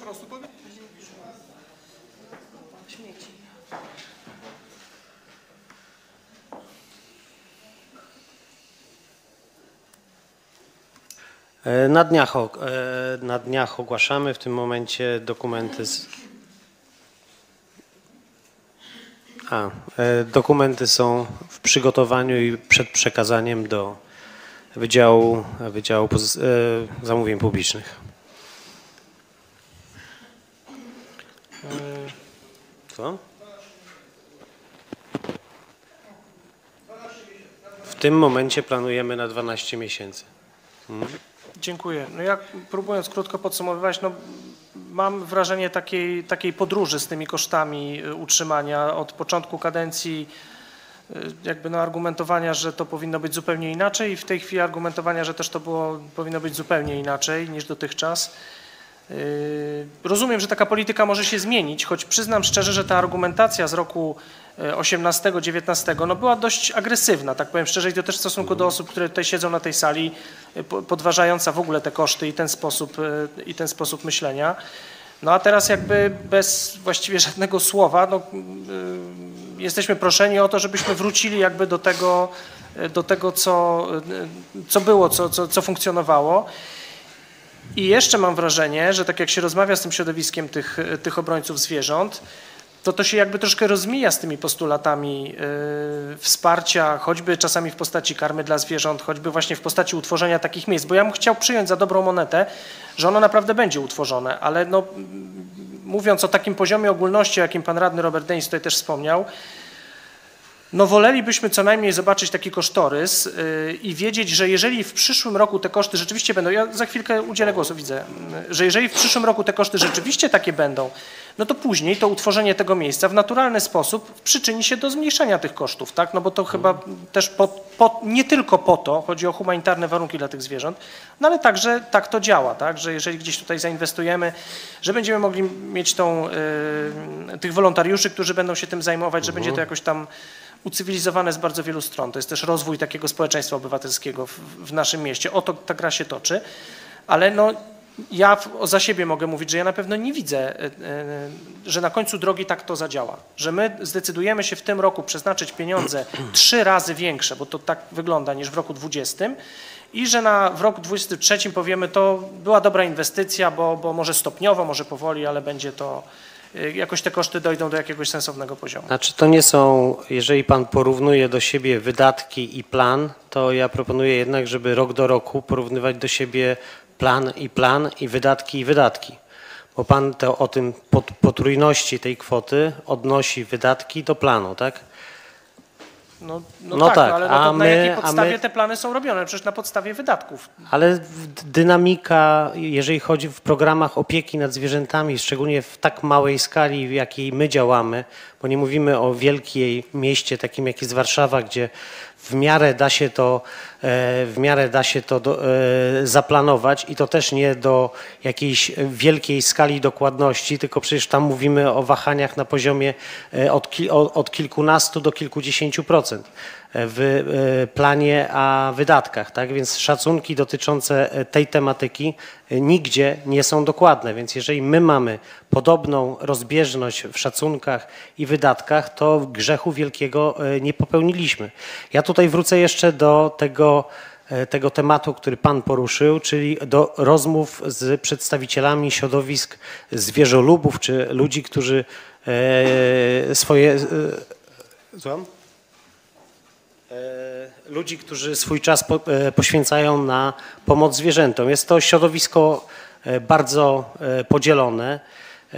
To środowisko, z tego środowiska wywodziła się osoba wcześniej zajmująca się opieką nad zwierzętami i realizowała część postulatów dużej części tego środowiska. I sporo tych osób zaangażowanych w opiekę nad zwierzętami było zadowolonych z tego faktu, bo mieli swojego człowieka, który e, zajmował się jakimś tematem.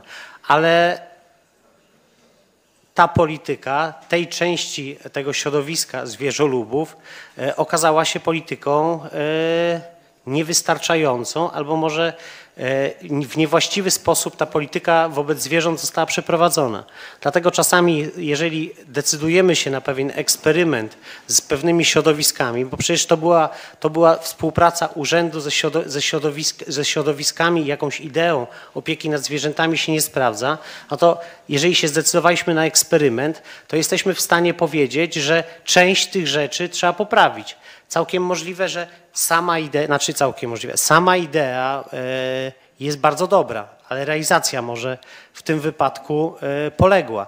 Doszło do dużego skonfliktowania środowisk, doszło do dużego skonfliktowania, e, inaczej, do dużego problemu ze współpracą, ze znalezieniem wykonawców na e, część działań, które e, gmina musi wykonywać na rzecz, na rzecz zwierząt na swoim terenie.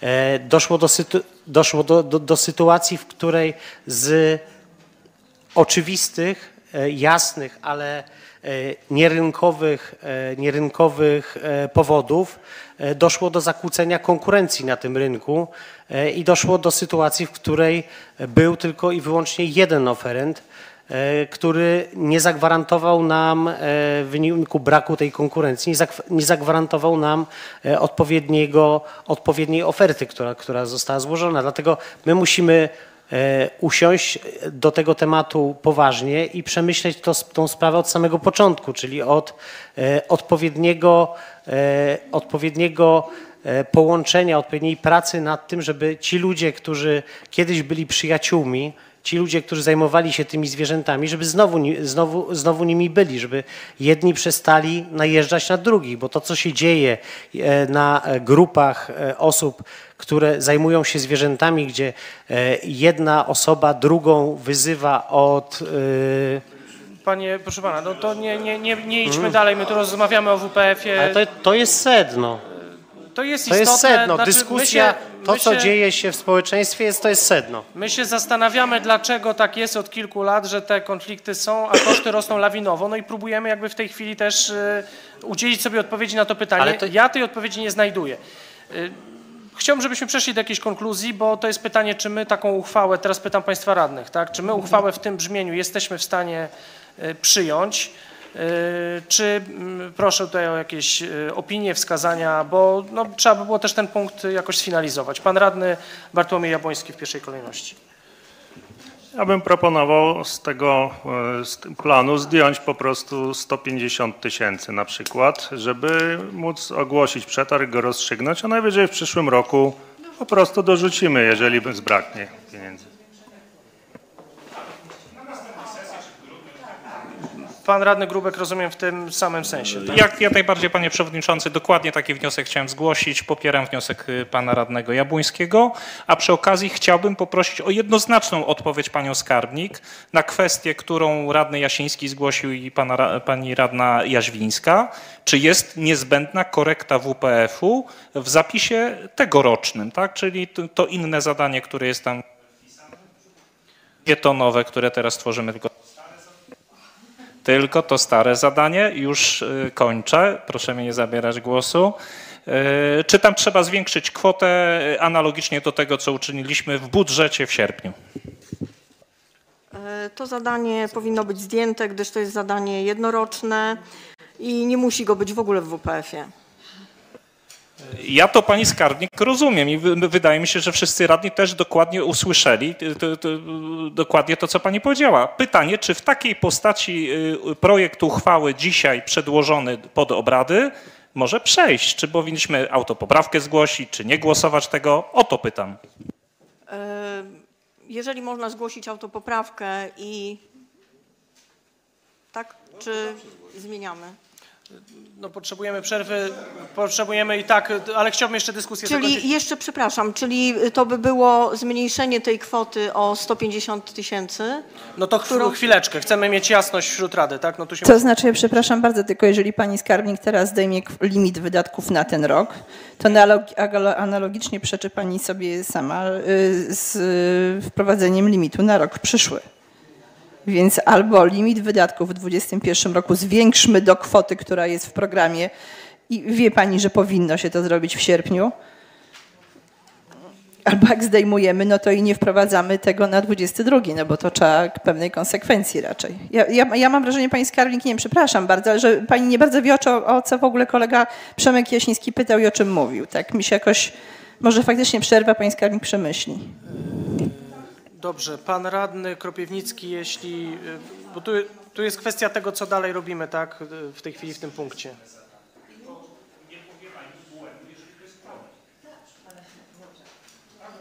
Nie, już tego. Tak? Dobra. Czy ja, by, ja bym zrobił przerwę, niech pani skarbnik po prostu określi. No dobrze, dobrze, to przerwę. My wiemy, że będzie potrzebna przerwa, natomiast czy mamy konsensus w Radzie, czy mamy konsensus w Radzie, że będzie przyjęta uchwała, że będzie przyjęta uchwała, jeżeli będzie ten limit o 150 tysięcy złotych mniejszy. I ja tu się pytam, ja tu się pytam przedstawicieli klubów. Pan radny Jabłoński mówi za swój klub? Czy pan radny Grubek, nie chciałbym przeszkadzać, e, także jest w stanie za swój klub określić się, że będzie e, e, przyjęta uchwała, jeżeli będzie wprowadzona taka poprawka? Klub kiwa głową, że tak. Dobrze. Czy klub Prawa i Sprawiedliwości? Też tak. Pozostali, przepraszam, że tak w taki sposób, ale państwo radni, pan, pan radny wni- wnioskodawca, jeśli chodzi o pytanie, panowie. Rozumiem, czyli pan, e, panowie i panie. Panowie, przepraszam, panowie i panie jeszcze, przepraszam. Ale, ale, ale to nie, nie są. No to tak się Ale kojarzy- poczekaj chwileczkę. Czy mamy tutaj jednomyślność, pani radna, panie radny? Prze- Przepraszam, nie, no to chodzi o to, żeby była jednomyślność, że jeżeli pani skarbnik, że jeżeli pani skarbnik taką autopoprawkę zaproponuje, składającą się po pierwsze ze zmniejszenia środków, po drugie z korekty, ym, z korekty zadania, to taka autopoprawka zostanie przez nas przyjęta. Y,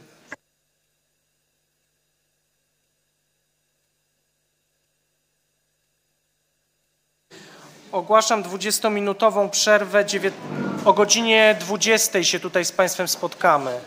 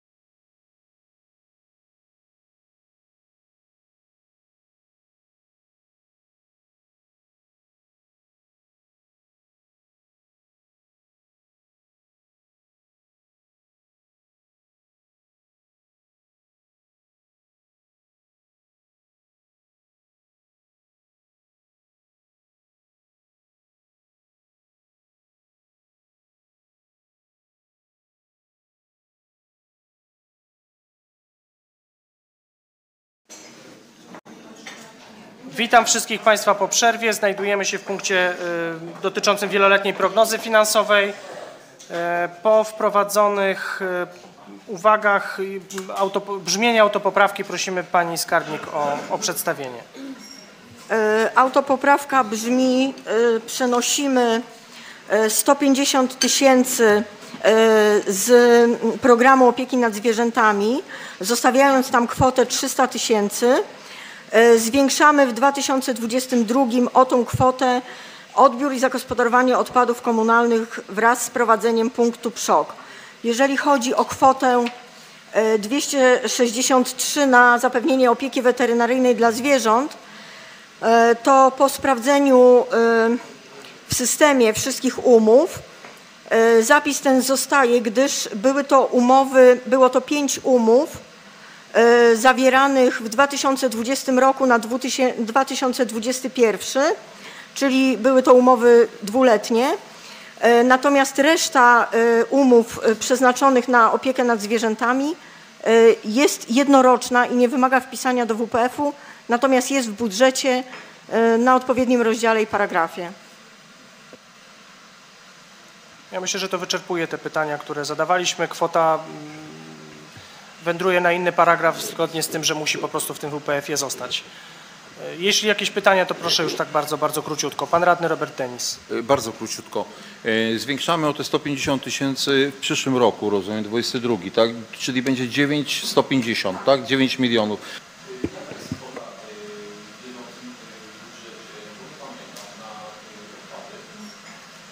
W tym roku tak z głowy jest 12, około 12,5 miliona.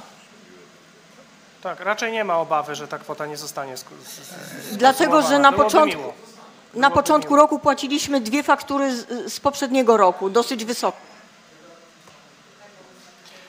Dobrze, proszę Państwa, jeżeli nie ma więcej pytań, to proponowałbym, żeby tą kolejną autopoprawkę przegłosować. Proszę w takim razie o przygotowanie jeszcze głosowania.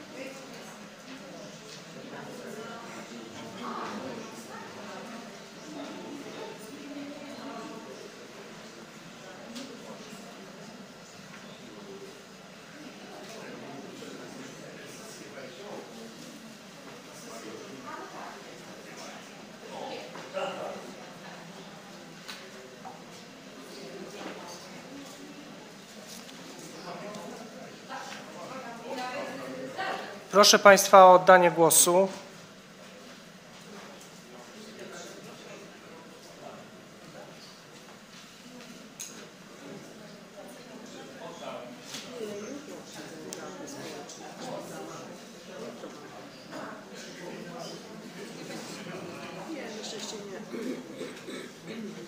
Dwadzieścia jeden y, osób opowiedziało się za wprowadzeniem autopoprawki, została ona przyjęta. Y, Rozumiem, że to także kończy kwestię dyskusji na temat uchwały. Czy jeszcze są jakieś pytania z Państwa strony? Nie widzę. Chciałbym poprosić o opinię y, Komisji Stałych Rady Miasta, począwszy od Komisji y, Infrastruktury. E, Komisja Infrastruktury przy 13 osób, osobach głosujących, dwie były za, 10 się wstrzymało jedna osoba przeciw. Przy czym chciałem zaznaczyć, że czekaliśmy cały czas na wyjaśnienie odnośnie programu opieki nad zwierzętami. Dziękuję. Dziękuję. No stąd te pytania w tym punkcie. Komisja Finansowo-Budżetowa. Komisja y, głosowała, sześć osób za przyjęciem. Dziękuję. Komisja Rozwoju. W Komisji Rozwoju dwie osoby głosowały za przyjęciem uchwały, jedna osoba przeciw i pięć wstrzymało się od głosu. I Komisja Oświaty. Wszyscy członkowie Komisji Oświaty y, oddali głos wstrzymujący się. Dziękuję bardzo. No tutaj czekaliśmy na te wyjaśnienia, tak jak widać. Yy, Skoro nie ma więcej uwag do formy, do treści uchwały, to proszę o głosowanie w sprawie yy, przyjęcia całej, całej yy, wieloletniej prognozy finansowej po poprawkach.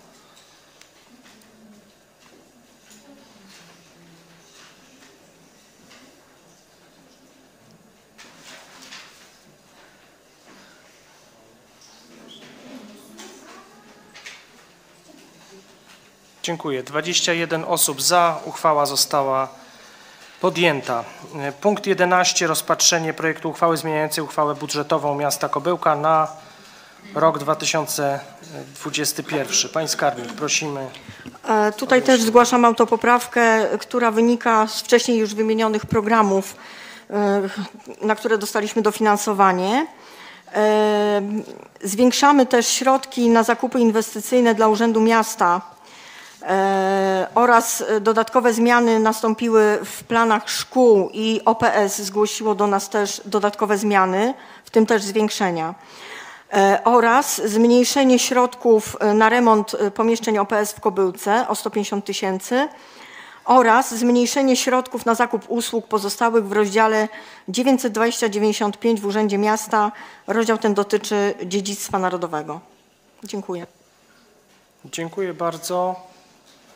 Do uchwały budżetowej tych pytań było na komisjach trochę mniej, ale czy ktoś z Państwa jeszcze ma tutaj jakieś pytania? Nie widzę. E, Proszę w takim razie o opinię, e, przepraszam, e, w, kwestii autopoprawki, czy, czy są jakieś pytania, no bo tutaj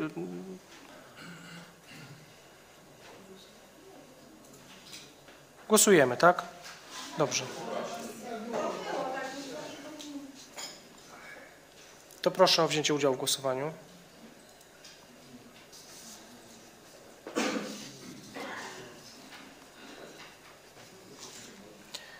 Dwadzieścia jeden osób za. Autopoprawka została przyjęta jednogłośnie. To do zasadniczej części uchwały przejdziemy. Zwiększamy dochody, plan dochodów ogółem o kwotę 856 600.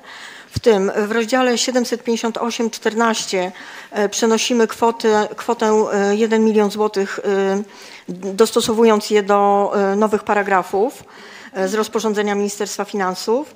E, W 801.01 e, zwiększamy e, kwotę e, w paragrafie 203 o 12 tysięcy oraz w 218 o 741 600. E, W rozdziale 801.04 zwiększamy e, kwotę na paragrafie 203 o 3000. E, W rozdziale 851.95 e, przenosimy 60 tysięcy e, na paragraf e, 218 z paragrafu 097. E, W rozdziale 852.95 e, przenosimy 22 811 z paragrafu 270 na 218 oraz zwiększamy środki na paragrafie 217 o 100 tysięcy. E, Zwiększa się też plan wydatków e, o 856,16, w tym e, w rozdziale 616 e, z- zmniejszenie na budowę ulicy Sienkiewicza 14 tysięcy, na budowę ulicy Solskiego 13 tysięcy, na działania promocyjne w Kobyłce w ramach projektu Rozwój Zintegrowanej Sieci Dróg Rowerowych na terenie gmin Marki, Ząbki, Zielonka, Kobyłka, Wołomin, Radzymin, Nieporęt w ramach ZIDWO. Zwiększenie ogółem o 24 tysiące. E, W rozdziale 750-23 zwiększamy o 45 569 27 na zakupy inwestycyjne. 801.01 szkoły podstawowe zwiększamy ogólnie o kwotę 899 600.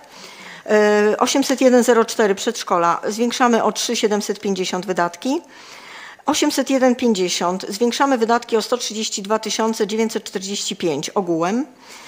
801,95 ogółem zwiększamy wydatki na 9840 o 9840. E, W rozdziale 852,14 zwiększamy kwotę e, o wydatków o 9975 zł. 852,19 zmniejszamy 150 tysięcy na remont pomieszczeń OPS Kobyłce. 852,95 ogółem zwiększamy o 118 tysięcy 46 zł 73 grosze. 854,01 świetlice szkolne zmniejszamy wydatki ogółem o 244 845 zł. Rozdział 854,15 zwiększamy e, o 160 tysięcy stypendia dla e, o 160 zł stypendia dla uczniów. 854,16 zmniejszamy o 5 tysięcy stypendia dla uczniów. 855,08 rodziny zastępcze zwiększamy kwotę wydatków y, o 69 359. E, 995 pozostała działalność. y, Zmniejszamy kwotę wydatków o 4800 na zagospodarowanie terenu w miejsce starego basenu przy ulicy Warszawskiej w Kobyłce. E, 921,95 E, na zakup usług pozostałych zmniejszamy 25 tysięcy. Po wprowadzeniu zmian e, oprócz wymienionych załączników nr 1 i 2 zmienia się też załącznik nr 3 majątkowy, e, wydatki majątkowe na 2021 rok zgodnie z załącznikiem nr 3 do uchwały. Dziękuję. Dziękujemy Pani Skarbnik. Tutaj widzę pytanie ze strony Pana Radnego Jabłońskiego. Proszę. Chciałem spytać o punkt e, zagospodarowanie terenu w miejscu starego basenu. Zmniejszamy tutaj kwotę o 4800. E, Czy to jest zmniejszenie do kwoty, na którą mamy podpisaną umowę? Podejrzewam, że to jest zmniejszenie do kwoty wydatków. E, Pan kierownik. Znaczy, inwestycja jeszcze nie jest zakończona. Czy to nie będzie na przykład jeszcze jakichś e, robót dodatkowych? Panie kierowniku, prosimy. Tak, y, to zm- zmniejszenie 4800 wynika tylko z, z tego powodu, że potrzebowałem na promocję na mm, projekt zitowski, czyli na, na, na tablicę, tak? To nie jest zmniejszenie do kwoty umownej. Czy jeszcze jakieś pytania ze strony Państwa radnych do zmiany uchwały budżetowej? Pan radny Robert Denis. Krótko pytanie techniczne. Yy, 60016 są w dwóch pozycjach rozbite działania promocyjne. Dlaczego? E, To mm, 19 200 są to środki nasze, 4800 unijne. Tu jest podział po prostu na środki nasze i unijne.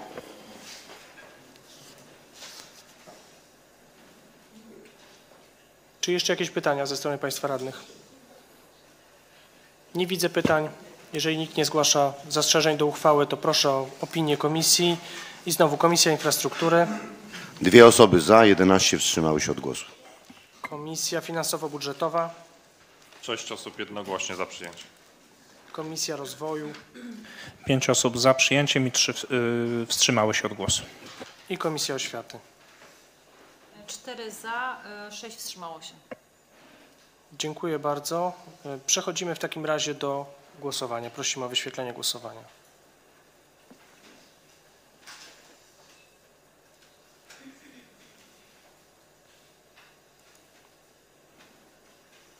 Dwadzieścia jeden osób za. Uchwała została przyjęta. Dziękujemy. Punkt y, dwunasty to jest rozpatrzenie projektu uchwały w sprawie nabycia nieruchomości położonej w Kobyłce przy ulicy Sikorskiego. Wchodzimy takie tematy związane z gospodarką przestrzenną. Witamy Panią Kierownik Wydziału Gospodarki Przestrzennej. Prosimy o y, przybliżenie nam sprawy. E, Szanowni Państwo, e, uchwała, e, po- podjęcie uchwały mm, o wyrażeniu zgody na nabycie nieruchomości przy Sikorskiego pozwoli nam uregulować już zastały stan, to znaczy ulica jest wybudowana na tym fragmencie i nieruchomość jest zgodnie z planem przewidziana pod drogę publiczną, więc tutaj zachodzi potrzeba jakby na- nabycia tego gruntu do gminnego zasobu. E, W sumie to są dwie działki, e, 96 metrów powierzchni mają obie. Dziękujemy Pani Kierownik. Czy jakieś pytania? Nie widzę, to są drobne tematy gruntowe. E, Proszę o opinię komisji w takim razie. Komisja... Jest pytanie?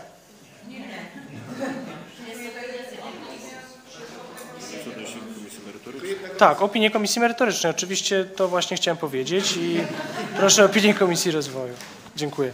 Komisja jednogłośnie jest za przyjęciem tej uchwały. Czyli też dyskusja podobnie jak u nas dość e, krótka. E, proszę o wyświetlenie głosowania. Nikt z Państwa radnych nie zgłasza zastrzeżeń. Prosimy o... Idziemy dalej. Prosimy o wyświetlenie głosowania.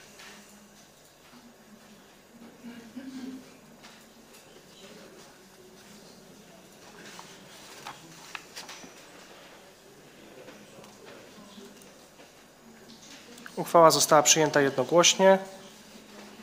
Dziękuję bardzo. Kolejna uchwała także w tej samej tematyce to jest rozpatrzenie projektu uchwały w sprawie nabycia nieruchomości położonej w Kobyłce przy ulicy Bolesława Krzywoustego. I także Pani Kierownik prosimy o informację. Nieruchomość pod e, ulicę Krzywoustego to jest w pasie drogi e, gminnej, e, 143 metry powierzchnia e, i tutaj na etapie budowy właściciele nieruchomości e, e, cofnęli się z ogrodzeniem, więc siłą rzeczy ten grunt został w pasie drogowym i też e, realizując plan miejscowy e, powinniśmy nieruchomość nabyć, żeby uregulować tutaj e, tą, tą część gruntu. Dziękuję bardzo za wyjaśnienie. Czy są jakieś pytania do, do tej uchwały? Pan Radny Paweł Majkowski, proszę.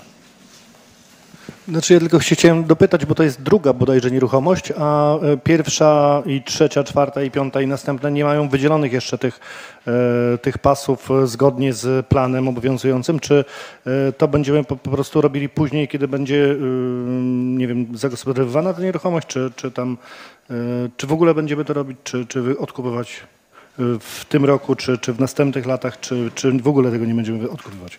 Tych pozostałych nieruchomości.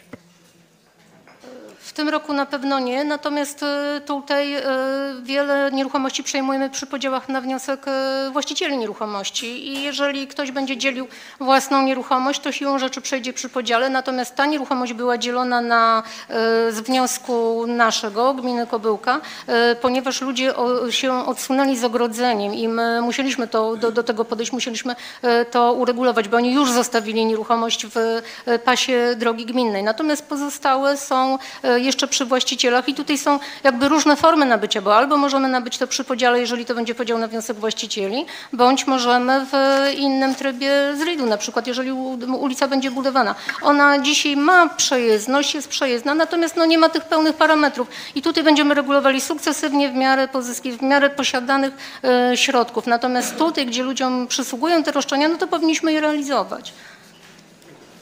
Tak, dziękujemy za wyjaśnienie. Czy jeszcze ze strony Państwa radnych są jakieś pytania do tej uchwały? Nie widzę. Tutaj także o opinię była proszona tylko i wyłącznie Komisja e, Rozwoju i Gospodarki Przestrzennej, więc słucham. Jednogłośnie za przyjęciem uchwały jest ta komisja. Dziękuję bardzo. Nie widzę uwag do formy, do treści uchwały. Przejdziemy w takim razie do głosowania. O, ale szybko się pojawiło. Proszę o wzięcie udziału w głosowaniu.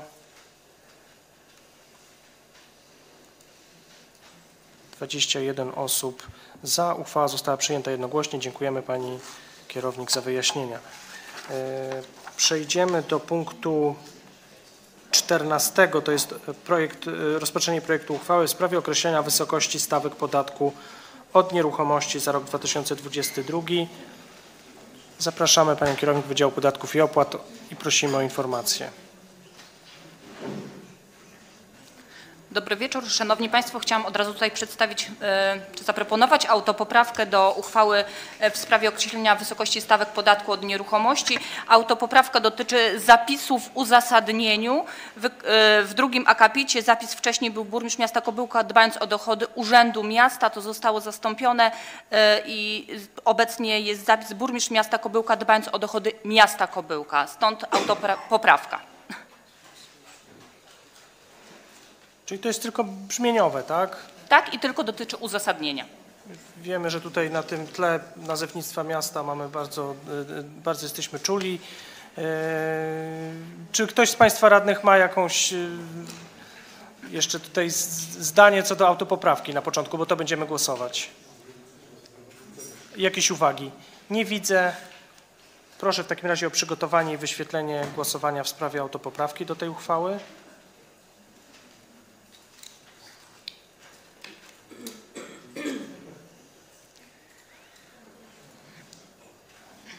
I Państwa radnych o wzięcie udziału w głosowaniu.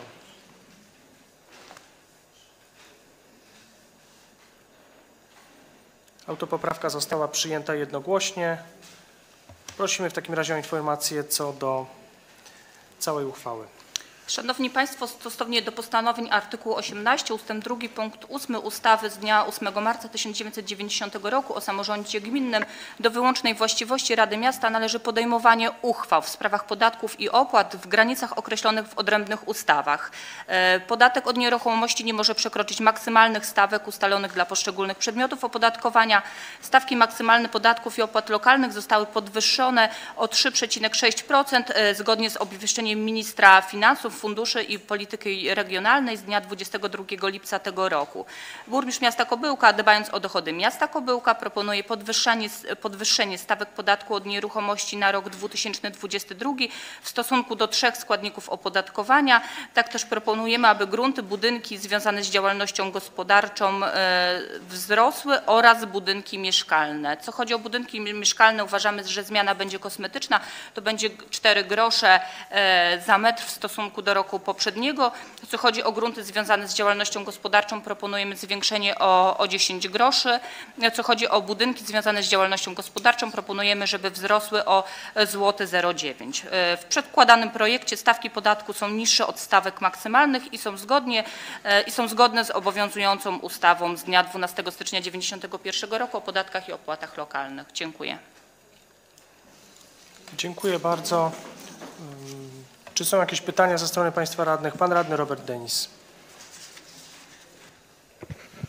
E, O ile pamiętam, y, 3,6 wzrost, y, wzrosły wysokości z tych stawek. e, No nie, nie. E, Dla ob- zobrazowania, ile procent wzrosną? Ma Pani te... 36%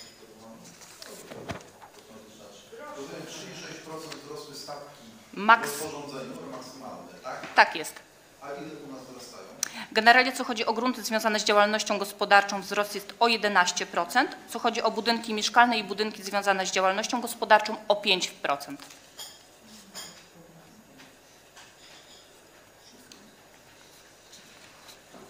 Czy jeszcze jakieś pytania z Państwa strony?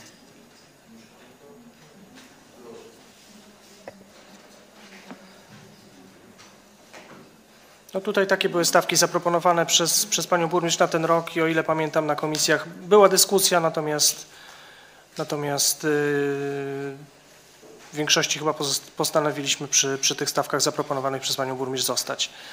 Yy, Nie widzę więcej pytań. Yy, Tutaj była, y, projekt uchwały, te uchwały podatkowe były dekretowane do Komisji Finansowo-Budżetowej. Proszę więc o opinię tej komisji. Trzy osoby za przyjęciem i trzy osoby wstrzymały się od głosu. Dziękuję. E, Nie widzę uwag co do formy, co do treści. Przejdziemy w takim razie do, do, głosowania, e, do głosowania nad całą uchwałą. Proszę Państwa radnych o udział w głosowaniu.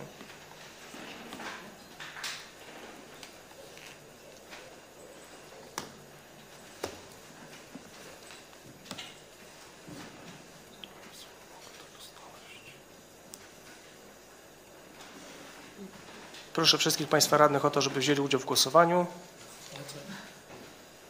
Przepraszam, ale nie mogę. Można zaprotokołować, jeśli jest jakiś Ja kłopot. jestem za. Mhm. Coś mnie wyrzuciło. I kończymy. Yy, Uchwała została podjęta. 16 głosów za, 5 wstrzymało się od głosu. Yy, Przechodzimy do, kolejnej, yy, do kolejnego projektu uchwały. To jest yy, uchwała dotycząca wysokości opłat za środki transportowe.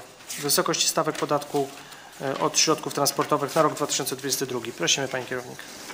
Szanowni Państwo, zgodnie z artykułem 10 ustęp 1 ustawy z dnia 12 stycznia 1991 roku o podatkach i opłatach lokalnych Rada Miasta określa w drodze uchwały wysokość stawek podatku od środków transportowych w granicach stawek minimalnych i górnych określonych dla poszczególnych grup środków transportowych. Na podstawie obwieszczenia ministra finansów z 22 lipca tego roku e, stawki maksymalne wzrosły o 3,6 e, w stosunku do roku bieżącego. Wzrosną w przyszłym roku w stosunku do roku bieżącego. Burmistrz miasta Kobyłka proponuje pozostawić stawki podatku od środków transportowych na poziomie stawek z 2021 roku. Powyższa propozycja jest formą wyjścia naprzeciw lokalnym przedsiębiorcom. Dziękuję. Dziękuję bardzo. Y, I tu znowu, czy są jakieś pytania ze strony Państwa radnych? Pan radny Robert Denis. Tak kwoli wy- wyjaśnienia dla, dla może obserwujących, bo mimo, że się stawki nie zmieniają, ja rozumiem, że Rada y, obligatoryjnie musi co roku ustalać stawki, mimo nawet jak się nie zmienią, tak? Tak, taki jest zapis w ustawie, że Rada co roku podejmuje stawki podatku od nieruchomości na przyszły rok. Oczywiście jest luka, że jeżeli Rada by nie podjęła, to mamy taką możliwość, żeby stawki obowiązywały z roku poprzedniego, jeżeli mieścimy się w tych widełkach górnych i dolnych, ale co do zasady Rada co roku powinna podejmować uchwałę w sprawie określenia wysokości stawek podatku na przyszły rok. Dziękuję bardzo. Czy jeszcze jakieś pytania ze strony Państwa radnych? Nie widzę. Tutaj także proszę o opinię w związku z tym Komisji Finansowo-Budżetowej. Komisja głosowała jednogłośnie, sześć osób za przyjęciem. Dziękuję bardzo. Ponieważ nie widzę uwag co do formy, co do treści uchwały, przejdziemy w takim razie do głosowania.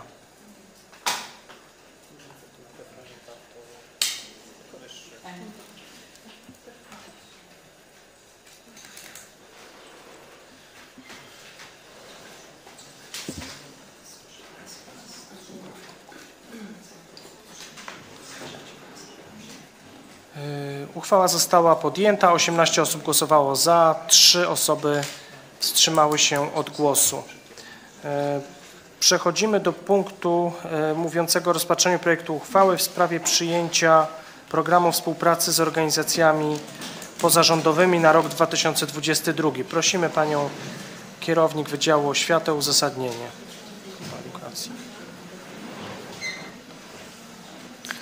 Panie Przewodniczący, Wysoka Rado, Panie Burmistrz, e, zgodnie z artykułem 5a organ stanowiący jednostki samorządu terytorialnego uchwala do 30 listopada e, program współpracy. Projekt e, programu współpracy Państwo otrzymali. Jest on zbieżny z programem, który już realizujemy w tym roku za 2021 rok. Myślę, że się sprawdza, e, obejmuje sfery zadań publicznych, które e, są realizowane w mieście, ale też przewidujemy współpracę pozafinansową, e, którą też realizujemy w sposób e, czy edukacyjny, czy informacyjny, czy udostępniając chociażby e, pomieszczenia e, organizacjom pozarządowym. Nie wiem, może są jakieś pytania, to odpowiem. Jeżeli są pytania, to, to proszę bardzo pa- o zadawanie pytań teraz. Dodam, że został skonsultowany zgodnie z e, ustawą e, w przypadku Rady Działalności Pożytku Publicznego z dwutygodniowym terminem i tygodniowym zgodnie z naszą uchwałą, jeśli chodzi o organizacje pozarządowe.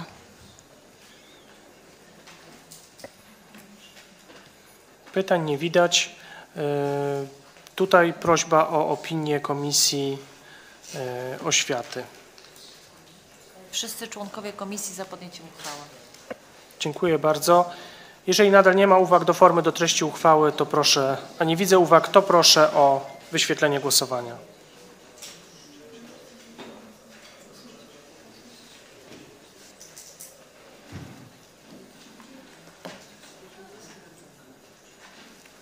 Zakończymy głosowanie. E, Uchwała została podjęta jednogłośnie. 20 osób opowiedziało się za jej przyjęciem. E, Kolejny punkt to jest rozpatrzenie projektu uchwały w sprawie zobowiązania do kontynuacji działań wskazanych w indywidualnym planie poprawy dostępności dla publicznej szkoły podstawowej z oddziałami dwujęzycznymi nr 1 imienia Zofii Naukowskiej w Kobyłce oraz indywidualnym planie poprawy dostępności dla publicznej szkoły podstawowej z oddziałami integracyjnymi nr 2 imienia bohaterów Bitwy Osowskiej w Kobyłce przy Zespole Szkół Publicznych nr 2 w Kobyłce. Także Pani Kierownik prosimy o informację. Zgodnie z uzasadnieniem, e, tak jak nasze zobowiązanie e, brzmi, powinniśmy podjąć uchwałę, w której zobowiążemy się do e, realizacji tych zapisów, które są w indywidualnym planie poprawy dostępności dla jednej i drugiej placówki. Na komisjach były też pytania odnośnie szkoleń. To jest niewiele, bo to jest w granicach 16 ponad tysięcy z projektu, bo tutaj jedna radna pytała właśnie jeśli chodzi o te szkolenia, jaka to jest kwota w projekcie. Tak. Więc y, wypełniając, tak, wypełniając to zobowiązanie powinniśmy podjąć taką uchwałę, że te nasze placówki w ciągu najbliższych lat będziemy y, no, zwiększać ich przede wszystkim dostępność, jeśli chodzi o y, potrzeby osób ze specjalnymi potrzebami i głównie w tym zakresie. A pani Justyna dziś mówiła też o tym projekcie Szkoła dla Wszystkich, że między innymi właśnie na te działania żeśmy pozyskali 629 154 tysiące w ramach grantu. Dziękuję bardzo za informację. Czy jakieś pytania ze strony Państwa radnych? Nie widzę. E, Tutaj także Komisja Oświaty proszę o swoje stanowisko. E, Wszyscy członkowie komisji za podjęciem uchwały. Dziękuję bardzo. Jeżeli nie ma uwag do uchwały, to proszę o wyświetlenie głosowania.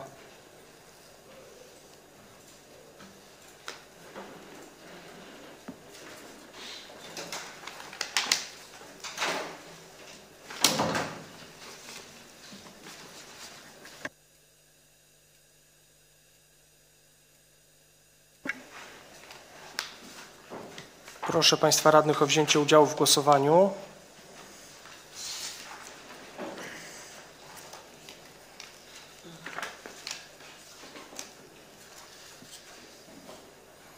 Uchwała została przyjęta jednogłośnie. 21 osób za. E, Dziękujemy bardzo Pani Kierownik. E, Przechodzimy do tematów bardziej infrastrukturalno-środowiskowych. To jest rozpatrzenie projektu uchwały w sprawie regulaminu parkingu w Parkuj i Jedź e, PKP Kobyłka w mieście Kobyłka. Prosimy Pana Kierownika Wydziału Inwestycji o e, przybliżenie nam tej sprawy. Szanowni Państwo, e, regulamin dotyczy parkingu, który jest w tej chwili realizowany przy ulicy Warsza parkingów, które są realizowane przy ulicy Warszawskiej i ulicy Granicznej e, w ramach projektu ZIT e, pod nazwą budowa parkingu Parku Jedź PKP Kopełka. E, Inwestycja jest współfinansowana z, z Europejskiego Funduszu e, Rozwoju Regionalnego. Regulamin jest niezbędny e, w celu prawidłowego użytkowania e, powstających parkingów. Także proszę o podjęcie uchwały. Dziękujemy bardzo za tę informację. Czy są jakieś pytania ze strony Państwa radnych?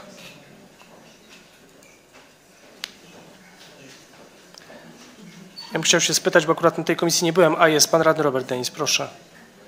Krótkie pytanie. Ten regulamin, rozumiem, będzie opublikowany, i- to znaczy opublikowany, wydrukowany i wywieszony jakieś tablice na, istnieją, na, tych, na tych parkingach, które są, tak? Tak. Tak. Na parkingu. Tak. Jeżeli będzie tam na tym parkingu, bo to Kobyłka, prawda, budujemy obiekt małej architektury, e, to on będzie miał, rozumiem, oddzielny, od, oddzielny e, regulamin swój. Dobrze, czy jakieś pytania jeszcze ze strony Państwa radnych? Nie widzę. Tutaj prosiłem o opinię Komisji Infrastruktury. Przy 12 radnych głosujących 6 osób za, 6 wstrzymało się od głosu. Dziękuję bardzo. Spytam jeszcze raz na wszelki wypadek, czy są jakieś uwagi do formy, do treści tej uchwały? Nie widzę takich uwag. Proszę w takim razie o wyświetlenie głosowania.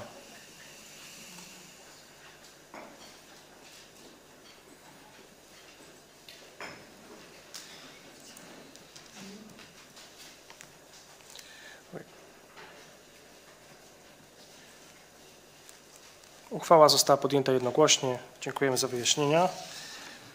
E, Punkt 21 to jest e, rozpatrzenie projektu uchwały zmieniającej uchwałę w sprawie przyjęcia programu opieki nad zwierzętami bezdomnymi i zapobiegania bezdomności zwierząt na terenie miasta Kobyłka. Pani wiceburmistrz Katarzyna Rostek, prosimy o zgłoszenie autopoprawki.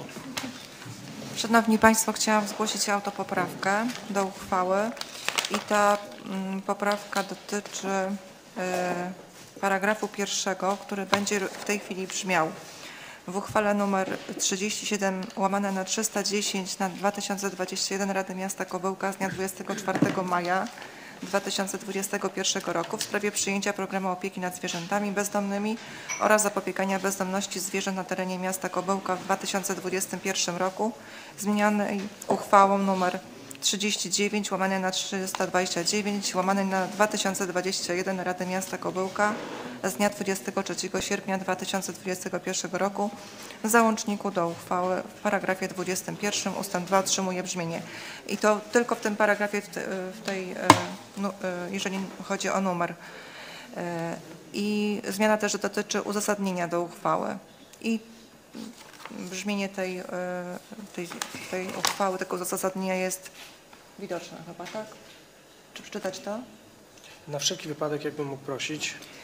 E, Uzasadnienie do uchwały zmieniającej uchwałę nr 37 łamane na 310 na 2021 Rady Miasta Kobyłka z dnia 24 maja 2021 roku w sprawie przyjęcia programu opieki nad zwierzętami bezdomnymi oraz zapobiegania bezdomności zwierząt na terenie miasta Kobyłka w 2021 roku zmienionej uchwałą nr 39 łamane na 329 łamane na 2021 Rady Miasta Kobyłka z dnia 23 sierpnia 2021 roku. Zmienia się również dziennik ustaw, na który się powołujemy. Tutaj e, jest e, z 2021 roku pozycja 1372. Dobrze. E, Dziękuję bardzo. Czy są pytania ze strony Państwa radnych do autopoprawki? No, myślę, że to są brzmieniowe takie e, kwestie. Mm, Proszę w takim razie o przygotowanie i wyświetlenie głosowania w sprawie autopoprawki najpierw.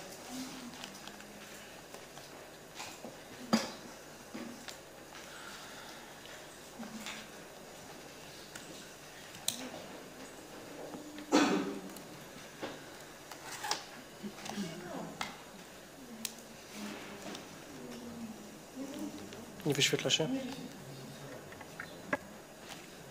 No dobrze, a jak odnotować? Ja się wstrzymuję.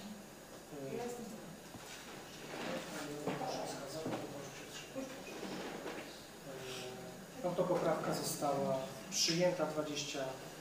Autopoprawka została przyjęta 20 osób za, jedna wstrzymała się od głosu. E, Przechodzimy w takim razie do zasadniczej części uchwały i tutaj prosimy o uzasadnienie.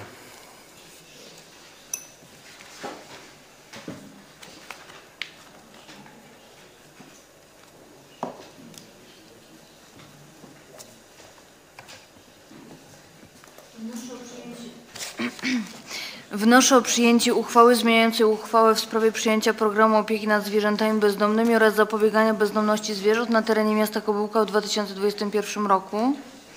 W uchwale nr 37 łamane na 310 łamane na 2021 Rady Miasta Kobyłka z dnia 24 maja 2021 roku w sprawie przyjęcia programu opieki nad zwierzętami bezdomnymi oraz zapobiegania bezdomności zwierząt na terenie miasta Kobyłka w 2021 roku zmienionej uchwałą nr 39 łamane na 30 329 łamane na 2021 Rady Miasta Kobyłka z dnia 23 sierpnia 2021 roku w załączniku do uchwały w paragrafie 21 ustęp 2 otrzymuje brzmienie.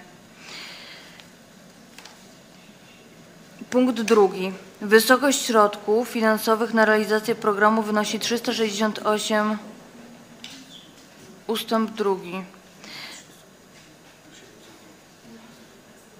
Wysokość środków finansowych na realizację programu wynosi 368 700 zł i obejmuje następujące zadania. 1. Zapewnienie bezdomnym zwierzętom miejsca w schronisku wraz z obligatoryjną sterylizacją lub kastracją do 20 tysięcy złotych. 2. Zapewnienie miejsca w gospodarstwie rolnym dla zwierząt gospodarskich do 1000 dy- 1200 zł. 3. Opieka nad wolno żyjącymi kotami, w tym ich dokarmianie do 5000 zł. 4. Odławianie bezdomnych zwierząt do 82 200 zł. 5. Usypianie ślepych miotów, sterylizacja, kastracja, elektroniczne czipowanie, zapewnienie całodobowej opieki weterynaryjnej dla zwierząt bezdomnych, gospodarskich i wolnożyjących w przypadkach zdarzeń drogowych z udziałem wyżej wymienionych zwierząt, poszukiwanie właścicieli dla bezdomnych zwierząt, edukacja mieszkańców do 207 500 zł. 6. Dofinansowanie kosztów zabiegów sterylizacji, kastracji, czipowania do 52 800 zł. Wykonanie uchwały powierza się burmistrzowi miasta Kobyłka. Uchwała wchodzi w życie po upływie 14 dni od dnia ogłoszenia w Dzienniku Urzędowym Województwa Mazowieckiego. Uzasadnienie. Pod koniec Może poprosilibyśmy takie zasadnicze elementy z tego uzasadnienia, dobrze? Bo jakby to, co według Państwa jest najistotniejsze. Ym, Pod koniec roku 2021 widać znaczną dysproporcję wysokości kosztów ponoszonych przez miasto Kobyłka na poszczególne usługi. Dlatego proponuje się przesunięcie środków między usługami, przeznaczenie większych środków na usługi tego wymagające, takie jak odłowienie bezdomnych zwierząt, usypianie ślepych miotów, sterylizacja, kastracja, elektro- elektroniczne czipowanie, zapewnienie całodobowej opieki weterynaryjnej dla zwierząt bezdomnych, gospodarskich i wolno żyjących w przypadkach zdarzeń drogowych z udziałem wyżej wymienionych zwierząt, poszukiwanie właścicieli dla bezdomnych zwierząt, edukacja mieszkańców, a zmniejszenie szacowanej sumy wydatków na usługi, których re realizacja do końca roku będzie mniejsza niż początkowo szacowano.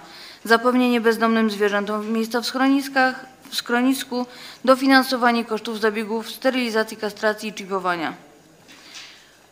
Propozycja nie zwiększa ogólnej kwoty przeznaczonej na realizację programu opieki nad zwierzętami bezdomnymi oraz zapobiegania bezdomności zwierząt na terenie miasta Kobyłka w 2021 roku. Chodzi tylko o przesunięcie y, tych kwot na te usługi, które po prostu tego wymagają. Dziękuję bardzo. Czy ze strony Państwa radnych są jakieś pytania? Pan radny Wojciech Reut. Ja bardziej w kwestii formalnej do pana mecenasa, też pytaliśmy się o to na, na komisji. E, Podejmując tę uchwałę, nie trzeba, rozumiem, e, przedkładać jej do e, powiatowego lekarza weterynarii i, i tych stowarzyszeń. Przy tej uchwale nie ma takiego obowiązku. Dziękuję. No, duża część dyskusji już skonsumowana przy tematach WPF-owych. Rozumiem, że tutaj możemy przechodzić do, do głosowania, a zanim głosowanie opinia Komisji, yy, Komisji Infrastruktury i Ochrony Środowiska. Jedna osoba za, trzy przeciw, osiem wstrzymało się od głosu. Rozumiem. Czy ze strony, i dziękuję bardzo, czy ze strony Państwa radnych są jakieś uwagi co do formy, co do treści uchwały jeszcze? Nie widzę. Przejdziemy w takim razie do głosowania. Proszę o wyświetlenie głosowania.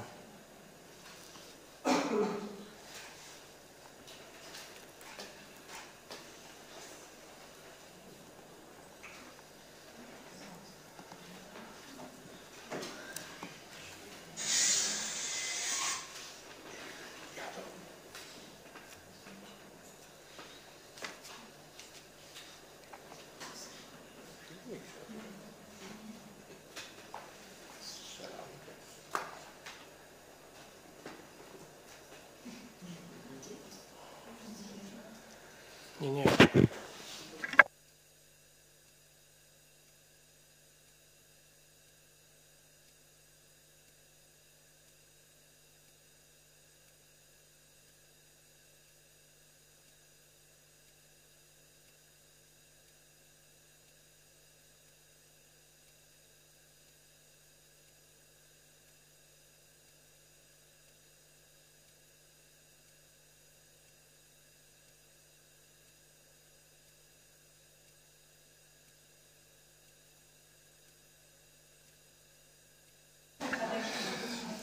Uchwała została przyjęta jednogłośnie. Dziękujemy za wyjaśnienia. E, punkt, punkt 22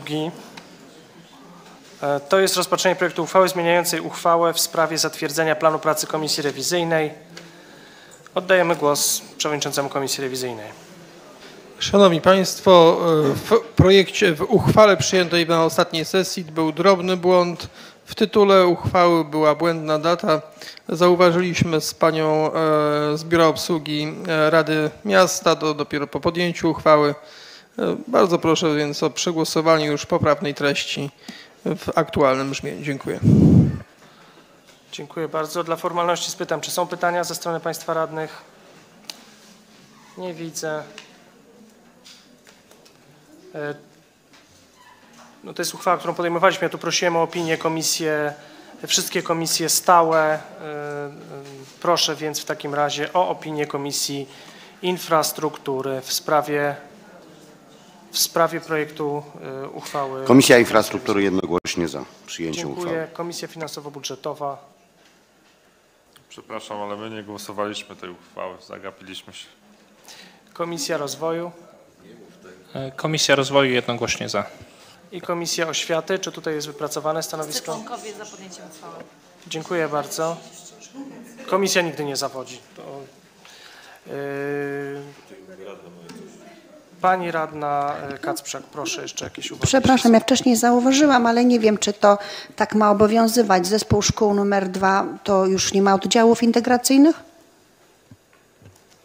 Mówimy o, mówimy o pełnej nazwie. Tak, tak, bo tutaj wszystkie są z oddziałami dwujęzycznymi, oddziałami sportowymi. Ja oczywiście no, widziałam to na, na y, komisji, ale myślałam, że to będzie jak gdyby poprawione i teraz nie wiem, czy... No nie, no na przyszłość prosimy zgłaszanie właśnie No takich. właśnie. A, to jeszcze pani radna Jarząbek. A.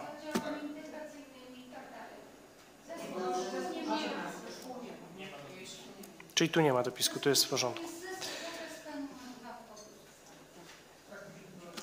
To tutaj mamy jasność. Czy jeszcze jakieś pytania do uchwały albo Nie widzę więcej pytań. E, Mamy opinię komisji. Przejdziemy w takim razie do głosowania. Proszę o wyświetlenie głosowania.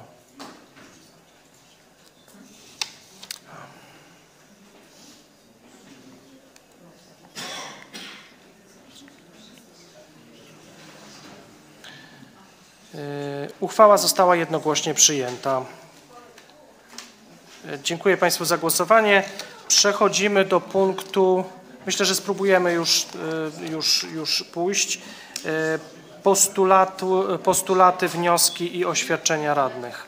Nie, nie, nie. Jeszcze rozpatrzenie projektu. Przepraszam, skargi. Ja mam stary, ja mam stary ten, który sobie pokreśliłem, ale oczywiście. Jeszcze rozpatrzenie dwóch, e, dwóch skarg. E, e, Chodzi o, e, o projekt uchwały w sprawie pozostawienia bez, rozpatrzenia skarg z dnia e, 1 września 2021 roku. Panie Przewodniczący Komisji Skarg, proszę o zabranie głosu. Dnia 1 września 2021 roku do Urzędu Miasta Kobyłka wpłynęły skargi mieszkanki na czynności burmistrza miasta w związku z toczącym się postępowaniem w sprawie ustalenia opłaty adiacenckiej z tytułu wzrostu wartości nieruchomości w związku z wybudowaniem drogi gminnej ulicy Granicznej. E, Przewodniczący Rady Miasta przekazał skargi Komisji Skarg, Wniosków i Petycji. Zgodnie z opinią prawną przedmiot skarg objęty jest prowadzonym przez burmistrza miasta Kobyłka postępowaniem administracyjnym. Skargi złożone przez stronę podlegają rozpatrzeniu w toku postępowania, a organem właściwym do rozpatrzenia skarg jest organ, przed którym toczy się postępowanie. Biorąc pod uwagę powyższe, podjęcie uchwały w sprawie pozostawienia skarg bez rozpoznania należy uznać za zasadne.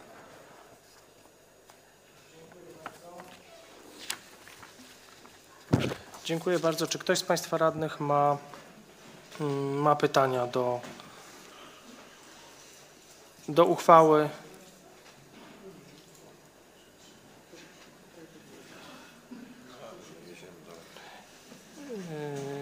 Nie widzę. No przyznam, że tutaj nie prosiłem o, yy, nie prosiłem o opiniowanie komisji, więc tym bardziej, jeżeli ktoś z Państwa ma uwagi, no tak myślałem.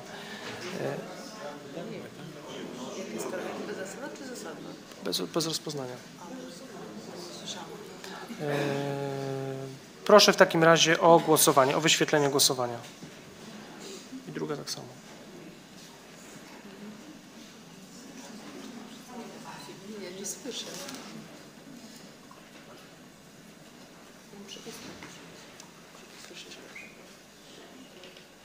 Uchwała została podjęta jednogłośnie.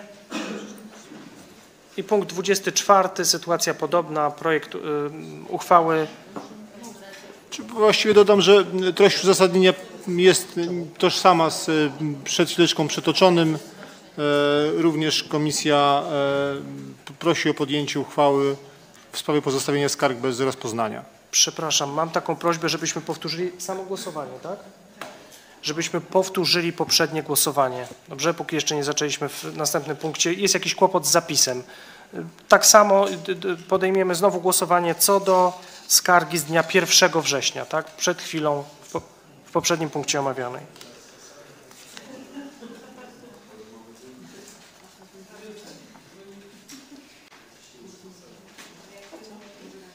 Przypominam tylko, że to jest reasumpcja głosowania. Głosujemy tak, jak głosowaliśmy w poprzednim głosowaniu. Tak, tak, to za chwilkę zostanie wyświetlone. A to reasumpcja powinna być przegłosowana, czy może być?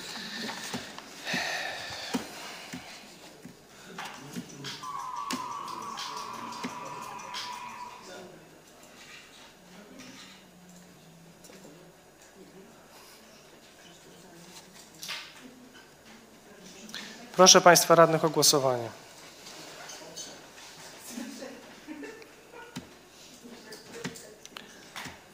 Podobnie jak w głosowaniu pierwotnym, 21 osób za.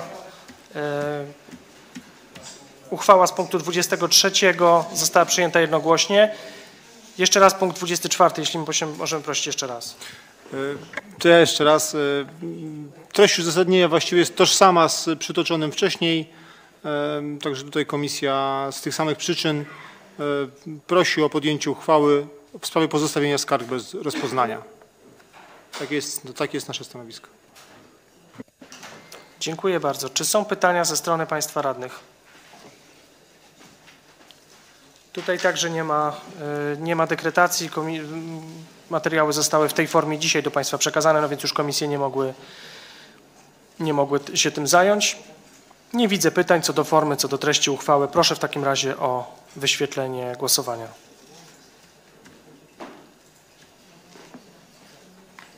A Państwa radnych o wzięcie udziału w głosowaniu.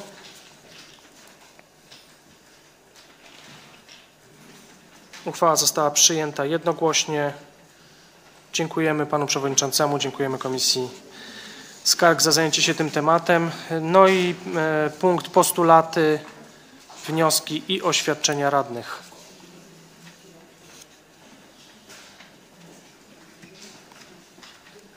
Pan radny Paweł Potocki. E, Zaszła drobna pomyłka w e, e, sprawozdaniu z, czytanym tak z OPS-u przez panią dyrektor. Otóż samochód ostatni, który był z Banku Żywności, który dowiózł całą żywność, która był, nie był rozładowywany przez wojska, a nie chciałbym pominąć naszych strażaków, czyli druhów strażaków z, o- z Ochotniczej Straży Pożarnej w Kobyłce, bo naprawdę dobrą robotę zrobili i cały samochód rozładowali. Znajdując na ten czas. Dziękuję. Dziękujemy. Mm, Rozumiem, że to w ramach sąsiedzkiej pomocy z ośrodka opieki. E, Ale dziękujemy bardzo, już tak bez, bez żartów to dziękujemy, że na strażaków zawsze można liczyć. E, Pan radny Robert Denis. Chciałbym tylko zawnioskować i poprosić, abyśmy w nawiązaniu do ogrodzenia, które e, remontowane było mm, na Napoleona, abyśmy przyjęli taką zasadę w urzędzie, żeby na żadnej nieruchomości, która, e, którą, która jest własnością gminy i gdzie realizujemy, żeby no nie wiem, ja nazwę to paskudnymi, bo mi się nie podobają faktycznie te e, ogrodzenia betonowe. Żebyśmy ich po prostu nie e, stawiali, bo w większości zapisów planu, tak jak kolega Piotr wskazał, plan, plany zabraniają, jak nie na całości, to przynajmniej od frontu budowania ty, tego typu ogrodzeń. I tutaj prosiłbym o przyjęcie takiej zasady, żebyśmy przynajmniej my dawali jakąś tam, e, no, nie, nie naciągali czy nie przekraczali tego prawa miejscowego, które sami ustaliliśmy, a poza tym estetyka też e, po- poprawi to estetykę, estetykę miasta i tyle. Dziękuję. Dziękuję bardzo. Proszę o wyciszenie telefonów. Pani burmistrz się odnosi, czy... Ja w zasadzie mogę powtórzyć to, co, co y, mówiłam wcześniej, co pan Paweł Dylewski mówił, że to było w formie remontu zrealizowane, więc odtworzyliśmy to ogrodzenie y, w tej samej jakby formule i technologii y, ogrodzenie betonowe w tym przypadku. Natomiast no, też nam zależy na estetyce y, i nowe ogrodzenia na pewno będą stawiane no, z nieco szlachetniejszych materiałów i nieco bardziej estetyczne. I pan radny Wojciech Reut w kolejności. Zacznę od sprawy najważniejszej, y, tą, którą poruszaliśmy na ostatniej sesji odnośnie tych ulic, które są cały czas ciemne. Sytuacja się poprawia, y, ale nadal no jest, jest problem. Przyznam się szczerze, z, punk- z perspektywy y, mojego osiedla y, był, była znaczna poprawa, za co bardzo dziękuję, ale no, nawet teraz podczas sesji mieszkańcy do mnie pisali, że na ulicy Dąbrowskiego e, nie świecą się latarnie. I też pewnie tutaj każdy z nas by mógł dołożyć parę rzeczy. Jeżeli mogę tak e, zbiorczo parę pytań pozadawać i ewentualnie e, wspólną jakąś tam grupę odpowiedzi. Kolejne moje pytanie jest prośba, postulat odnośnie nieterminowego przyjeżdżania autobusów. E, Też mieszkańcy proszą, zgłaszają dzieci, które jeżdżą autobusami do e, obydwoma do szkoły. Obydwa autobusy, przynajmniej tak jak powiedziałem, z perspektywy tych przystanków w mojej dzielnicy e, spóźniają się, często jest to nawet 15 minut, co powoduje, że dziecko się spóźnia na lekcję.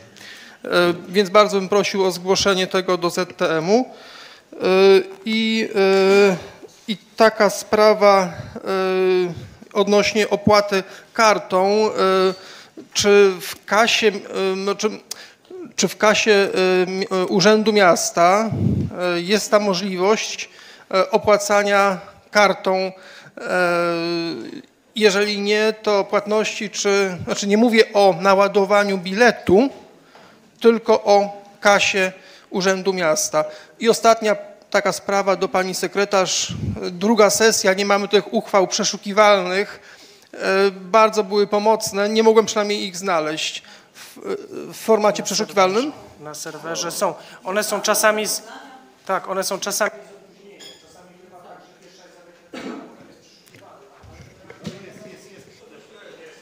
Okej. Dobra, to jakby te... Trzeba śledzić. Czyli to wszystkie pytania, tak? Dziękuję. No, jeśli chodzi o płatność kartą, to chyba w tej chwili można. Jeżeli chodzi o płatność kartą, to już y, lada moment uruchomimy ten terminal, już y, kończymy jakby przygotowanie regulaminu y, oraz będziemy podpisywać już umowę z bankiem, żeby dostarczył do kasy terminal. Jeszcze w tym roku powinno to się odbyć. Czyli nie ma, ale za chwilkę będzie. Czy do autobusu? Y, Tak, zgłosimy do ZTM-u y, te spóźnienia autobusów. Y, Rzeczywiście mamy głosy, że y, niepunktualnie przyjeżdżają autobusy. Także tutaj zostanie zgłoszenie do ZTM-u dostarczone. Co do oświetlenia, w środę mamy spotkanie z firmą Eltast, z naszym konserwatorem, który cały czas y, konserwuje nasze oświetlenie, bo y, latarnia, to już sprawdziłam, tak? Latarnia to nie tylko oświetlenie, ale tam cała jeszcze masa innych y, podzespołów, nie wiem, no różnych tam urządzeń, które trzeba konserwować. To, co nam odpisał konserwator, to jeśli chodzi o te awarie, tak, oświetlenia, to to, że awarie były spowodowane przez warunki atmosferyczne, przez wiatry. Y, No, mówię to, co nam od- odpisał pan konserwator. Y, Natomiast awarie były też po stronie PG. E, Więc w środę będziemy wiedzieć więcej, no, co, co, co, co robimy z tym tematem dalej. No, generalnie wiadomo, że nie, od, nie odbierzemy roboty, jeżeli nie będzie to działało. y, i to jest oczywiste, natomiast zna, mam, mam świadomość tych utrudnień. Jaki jest status i termin? Bo pytałem jeszcze o termin. 15 listopada. Mhm. Znaczy ja jeszcze w tym temacie, przepraszam, bo jakbyśmy mieli mm, my jako radni też udzielać później odpowiedzi mieszkańcom, którzy nas pytają i mówić, że to y, warunki atmosferyczne albo PGE, to znaczy no ja czegoś takiego nie przekażę, tak? Czyli to w czasie tej rozmowy no, trzeba zwrócić uwagę, że to całe ulice i całe dzielnice, no to jest, to jest po prostu niemożliwe. To... W środę będziemy wiedzieć więcej, od razu z Państwem się podzielimy tymi inf- informacjami, żebyście mogli odpowi- odpowiadać coś mieszkańcom. Rozumiemy, że to jakby te wyjaśnienia podawane przez Panią na poprzedniej sesji, że to może być kwestia oddawania całości pewnych, tak, transformatorów. No to obwodów, no to, to bardziej trafia jakby, tak, i tu jest kwestia koordynacji tego. Tak może, żeby nie był wyłączany cały obwód, tylko żeby dopiero aż on będzie wymieniony, to wtedy, to wtedy jakoś ta praca całościowo była bardziej oddawana. Przepraszam za taką dygresję. Y, Szczerze mówiąc już nie pamiętam. Y, Pan radny Majkowski, a w tym samym temacie, to dobra. No w tym samym temacie, bo pytałem o ten status, o termin umowy i właśnie o to, kto to konserwuje. Y, Ja może powtórzę po panu przewodniczącym, ale no to nie jest tak, że to warunki atmosferyczne i PGE. Wiemy, że to działo się w momencie wymiany, po wymianie i wielokrotne, wielokrotnie całe obwody gasły albo się zapalały. Y, Jedną rzecz tylko muszę jeszcze raz zgłosić, bo to jest temat, który nie jest naprawiony od samego początku po wymianie. To są tylko trzy oprawy na ulicy Jerzynowej pomiędzy Szeroką a Spacerową. One nie świecą od samego początku. Spacerowa została naprawiona, a te na Jerzynowej, jeszcze raz powtórzę, trzy oprawy pomiędzy Szeroką a Spacerową nie świecą do dnia dzisiejszego od kilku tygodni. Wielokrotnie był to temat zgłaszany. To już. Pan radny Majkowski był od jakiegoś czasu, to proszę.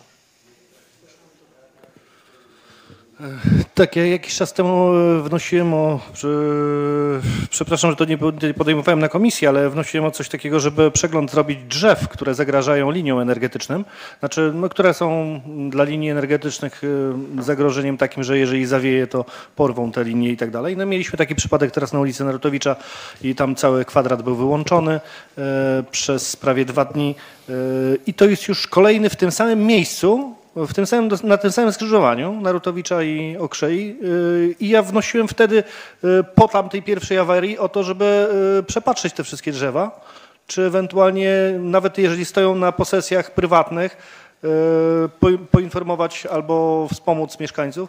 No i, i znowu spadły gałęzie, porwały trzy linie i czekaliśmy dwa dni. Także jeszcze raz prośba o to, żeby jeszcze raz przejrzeć wszystkie takie ulice, tym bardziej tam, gdzie już były kiedyś awarie, żeby te awarie no, nie powtarzały się przynajmniej na tych samych, w tych samych, dokładnie w tych samych miejscach. E, To jest jedna sprawa. E, Druga rzecz, e, no o kamery dopytam też na, poruszałem sprawę co prawda, ale nie wiem, chciałem, żeby wybrzmiało też na, na, o placu zabaw na osiedlowej, czy, czy ta kamera może zostać, bo temat już jest bardzo, bardzo dawny. Mm, I, e, I jeszcze, no i ograniczenie tonażu ulica Sienkiewicza, bo mam znowu mieszkańca pytanie, e, który, m, który się niepokoi i, e, i może przeczytam jeszcze tylko, że, że jest coś takiego.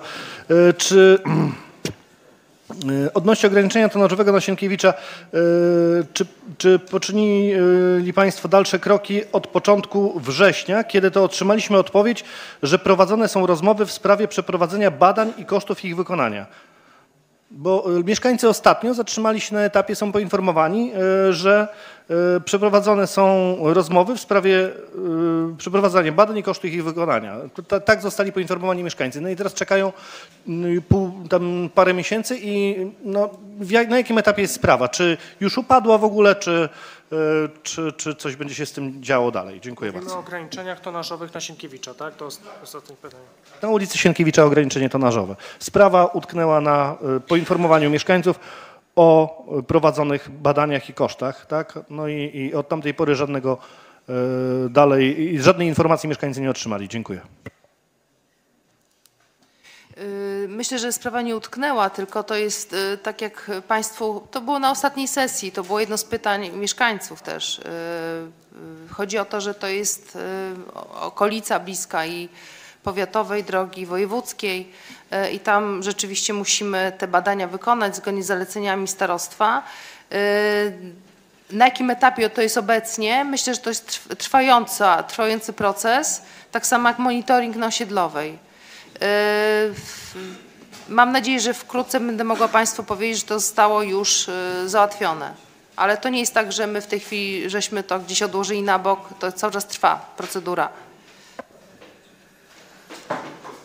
Pani radna Kacprzak. Y, Ja prosiłabym bardzo i wnioskuję, bo podczas modernizacji oświetlenia zdemontowano y, jedną lampę, która oświetlała ogródek przedszkolny w tej części miejskiej przy ulicy Narutowicza. Teraz już ta lampa jest zdjęta i nie oświetla ogródka przedszkolnego i od razu dobrze by było, żeby wróciło to oświetlenie w tej części y, miasta, ale dobrze by było, żeby jeszcze doposażyć dodatkowo y, w oświetlenie ogródka tego przedszkolnego przy szkole, przy przedszkolu numer dwa, czyli od strony Elizy Orzeszkowej. To jest y, jedna prośba i pytanie, wniosek. I jeszcze następny wniosek, czy w ogóle można by było w jakiś sposób informować harmonogramem mechaniczne zamiatanie ulic. Bo y, jest, no mieszkańcy nie wiedzą, a chcieliby się podłączyć y, w takiej kwestii, że y, zmietliby nawet z chodników, więc to by było o tyle e, nawet pożyteczne z uwagi na to, że mm, jeżdżą mm, oczywiście zamiatarki kilka razy, nawet wręcz ulicą, nieraz środkiem jadą, bo oczywiście na ulicach stoją zaparkowane samochody, więc jak byłby ten harmonogram dostępny, więc mieszkańcy mogliby po prostu wstawić te samochody na podwórko, ileś to jest możliwe.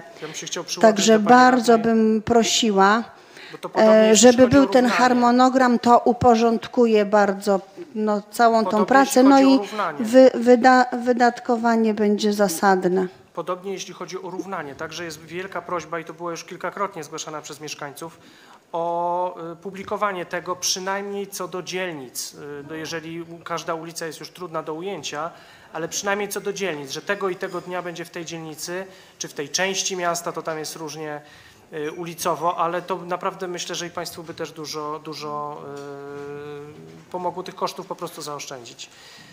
Ja się jeszcze tylko I, przyłączę od, z I od razu kwestią. jeszcze jak można by było, to pani burmistrz chciałabym też, żeby te ogródki były monitorowane. Przy szkole numer, czyli przedszkole numer dwa i to, i to miejskie, w, w miejskiej części.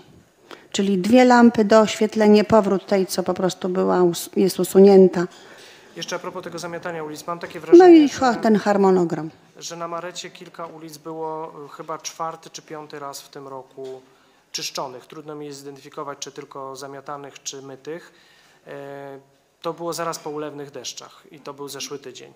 E, Ja się kilka razy wstrzymywałem już z tym, no ale jestem po prostu bardziej niż pewny. No, wi- widzę, co się dzieje za oknem, że to, są, że to są czwarty czy piąty raz. Ja próbowałem to w Wydziale Merytorycznym, kiedyś nawet widzi, widziałem te raporty z mycia tej, y, ty, tych ulic y, na Marecie dookoła mnie. Trudno mi jest rozeznać, czy na ile to było zasadne, na ile niezasadne. Y, Wykazywały się przejazdy tylko raz, ale jestem bardziej niż pewny, że, że ten y, auto tam jeździ. Ja je co dwa miesiące, co trzy miesiące widzę. Mm, No generalnie nie uważam, żeby to było aż tak zasadne, żeby na tych ulicach tak robić. Proszę. To ja ba- bardzo proszę o zgłaszanie takich sytuacji, bo ja osobiście jeździłam za y, wozem, który czyści ulicę i za każdym razem nakryłam na jakieś nieprawidłowości. Albo nie było wody i wzniecał ogromny kurz, albo jechał przyjacielską y, w godzinach szczytu, kiedy ludzie wracali z pracy.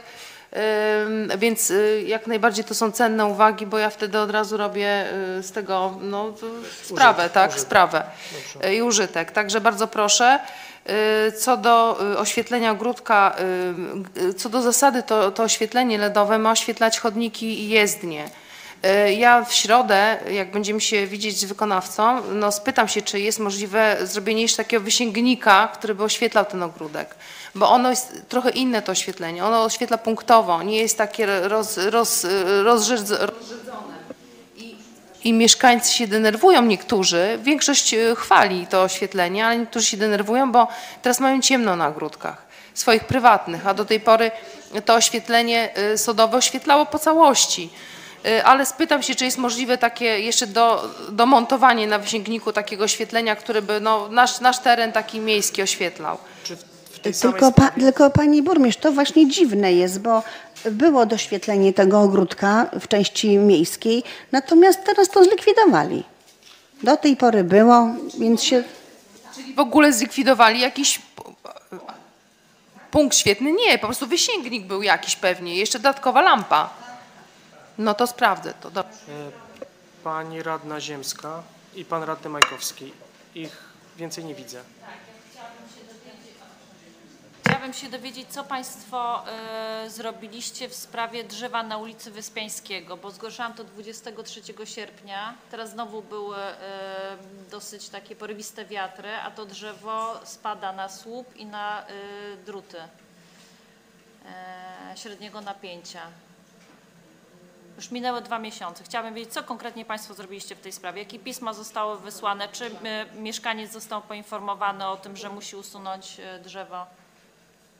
To jest to drzewo prywatne, tak? Na, na prywatnej posesji. Przypuszczam, że się zgłosi, znaczy przypuszczam, muszę to sprawdzić, bo, bo w tej chwili już nie ma pracownika Wydziału Ochrony Środowiska. Y, y, Natomiast y, no, musimy się jakby zwrócić do, do tego, do tej właściciela, tak? Że Państwo powinniście się zwrócić, tylko ja chcę wiedzieć, co od dwóch miesięcy zostało w tej sprawie zmienione. Czy Państwo się zgłosiliście, czy mieszkaniec został poinformowany pismem, czy odpowiedział na to pismo, co, czy, czy już coś postanowił, że nie wiem, będzie usuwał, to tam już są dwa zwalone drzewa e, i one e, spadają na, e, zostanie zniszczony słup z nowym oświetleniem LED i zostaną zerwane kable. Pewno się zgłosili, tak? Zgłosili, inaczej wysłali pismo do prywatnego właściciela, natomiast jaka jest konsekwencja tego, to, to, to, to po prostu przygotujemy Pani, tak, informację. To nie jest tak prosto, wie Pani, skontaktować się z kimś, kto powiedzmy może nie mieszka tam albo przybywa czasowo, wie Pani, no to, to, jest, to nie jest taki prosty proces, że ktoś odbiera list.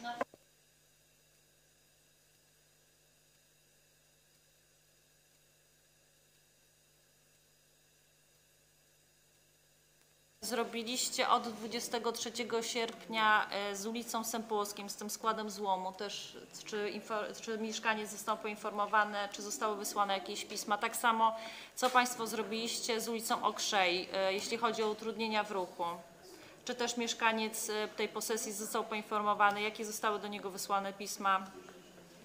Chciałabym też wiedzieć, y, co od 9 września, bo 9 września mieszkaniec z ulicy Sienkiewicza, jeśli chodzi o ograniczenie tonażu, dostał pismo, w którym jest napisane, że Państwo y, jesteście w trakcie.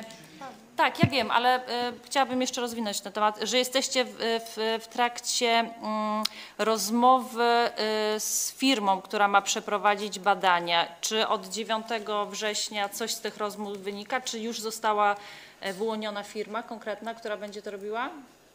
Bo minęło półtora miesiąca. Jak firma co będzie robiła?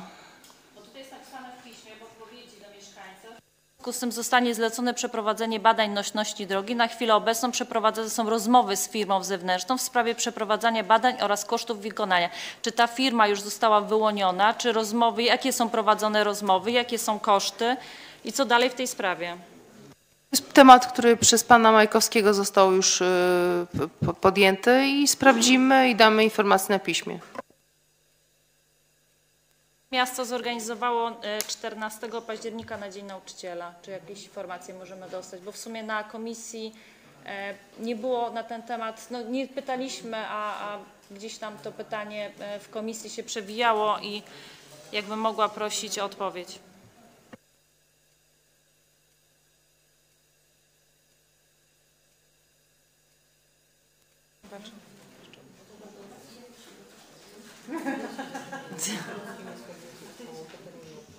Tutaj mieliśmy problem taki polegający na tym, że y, dyrektorzy dwóch szkół y, spóźnili się z wnioskami o przyznanie nagród dla nauczycieli. W związku z powyższym y, no, chcemy jakby to, z, z, chcemy taką imprezę związaną z Dniem Nauczyciela, z Dniem, Dniem Edukacji Narodowej zorganizować w innym terminie, żebyśmy mogli te wszystkie procedury uzupełnić i, i wręczyć nauczycielom e, nagrody.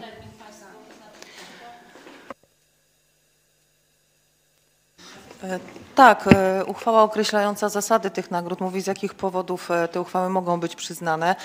Dzień Edukacji Narodowej już minął i to będzie Szkoły dla Niepodległej. Termin? Kobyłkowskie Szkoły dla Niepodległej, termin? Podamy w dniu jutrzejszym, ale no blisko Święta Niepodległości, czyli już niedługo.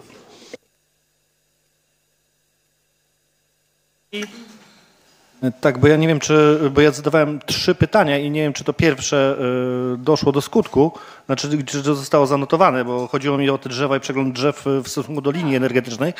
Tylko jeszcze mam jeden pomysł, bo jakby Państwo nie wiedzieli, gdzie były te awarie związane z tym, to jest Straż Pożarna i nasza Straż Pożarna, nasi, nasi dzielni strażacy zawsze usuwają te, y, te właśnie konary i tak dalej. Y, Wobec czego, wobec czego nie posiadają pewnie dużo informacji o tym, gdzie te wypadki się powtarzają, tak? Dziękuję. Y, Pani radna Łach, widziałem rękę w sprawie pytania. Y, I czy ktoś z Państwa radnych jeszcze ma pytania? Pani radna Ziemska. Było, było pytanie czy nie? Przepraszam, to jak nie było, to jak źle widziałem, to Pani radna Ziemska pierwsza. Chciałam y, y, poinformować Państwa, że Komisja Oświaty na ostatnim posiedzeniu złożyła wniosek o zwiększenie liczby kamer, e, żeby zamknąć w mieście u nas, tak? Y, Był u nas komendant na, e, na posiedzeniu Komisji Oświaty i prosił nas o, o, to, żeby złożyć taki wniosek o polepszenie też jakości e, tych kamer i o zamontowanie kamer przy, e, wyloto, przy drogach wylotowych z miasta, żeby zamknąć miasto, ponieważ przy S8, tak, ponieważ tam jakby to są miejsca bez kamer e, i jakby no wiele incydentów jest, że policja nie może znaleźć sprawców e, w związku z tym, że po prostu tam tych kamer nie ma. Nie, nie, ale drogi wylotowe mają znaczenie. To, to było już kiedyś mówione, że p- dla policji to ma kluczowe znaczenie, jeśli chodzi o kradzież aut, o określenie trasy z przemieszczania auta. Teraz to był pan radny Piotr Grubek i dopiero potem ewentualnie. Panie Przewodniczący, Wysoka Rado, Pani Burmistrz, mi osobiście też brakowało takich uroczystych obchodów miejskich Dnia Nauczyciela i też o to dopytywałem, dlaczego nie ma, no bo no, stało się pewnego rodzaju już tradycją, y, nie tylko w naszym mieście, ale też i w sąsiednich gminach, a, a, a w naszym też, no, że w związku z Dniem Edukacji Narodowej honorujemy naszych nauczycieli wszystkich kobyłkowskich szkół. Szczerze mówiąc, nie przekonuje mnie, że dwóch dyrektorów spóźniło się z wnioskami, to nie zorganizowaliśmy tego. Bardziej mnie przekonało, że mamy, nie wiem, COVID znowu, fala czwarta czy, czy piąta. To by był bardziej przekonujący argument niż to, że się dyrektorzy spóźnili z wnioskami. Jak się spóźnili, no to po prostu nie byłoby tych nagród, ale y, jeszcze raz powiem, moje zdanie jest takie, że szkoda, że nie uhonorowaliśmy we właściwy sposób naszego grona nauczycielskiego kobyłkowskiego. Dziękuję. Zrekompensujemy to na pewno nauczycielom w trochę innym terminie po prostu, żeby, żeby było też elegancko. Mieliśmy zamiar uczcić odpowiednio, no ale po prostu no też jakby nie mam wpływu na to, że ktoś nie pilnuje terminów, no a chciałabym, żeby to wszyscy, żeby wszyscy byli uhonorowani właściwie. Y, Pani radna Hanna Łach. Pa- Pani burmistrz, ja chciałam tylko przypomnieć, bo mm, e, wcześniej pani mówiła, że chciałaby ulicę Kwiatową umieścić w budżecie, więc ja przypominam, że to jest ostatni rok, trzeci rok, kiedy jest projekt ważny ulicy Fałata i bardzo proszę o umieszczenie ulicy Fałata w budżecie na 2022 rok. Dziękuję. Y, y, Taki mamy zamiar. Dobrze. Tu dziękujemy. Czy jeszcze jakieś pytania? Czy tak możemy już zamknąć tym finałem ten, ten, ten punkt? Zamknijmy w takim razie ten punkt. Przejdziemy, tylko zanim pytania czytane, to jest z nami pani mieszkanka, która e, prosiła o możliwość zadania pytania. Jeżeli to jest ciągle aktualne, to prosimy. Ja celowo nie wymieniam imienia i nazwiska, no bo to od pani... Od, oczywiście, ale to od pani, od pani zależy, czy, y, czy pani będzie chciała się przedstawić. Prosimy o przedstawienie w miarę takiej formie zwartej y, swojej sprawy. Mamy jeszcze kilka pytań od mieszkańców, tylko one są e, zadane pisemnie.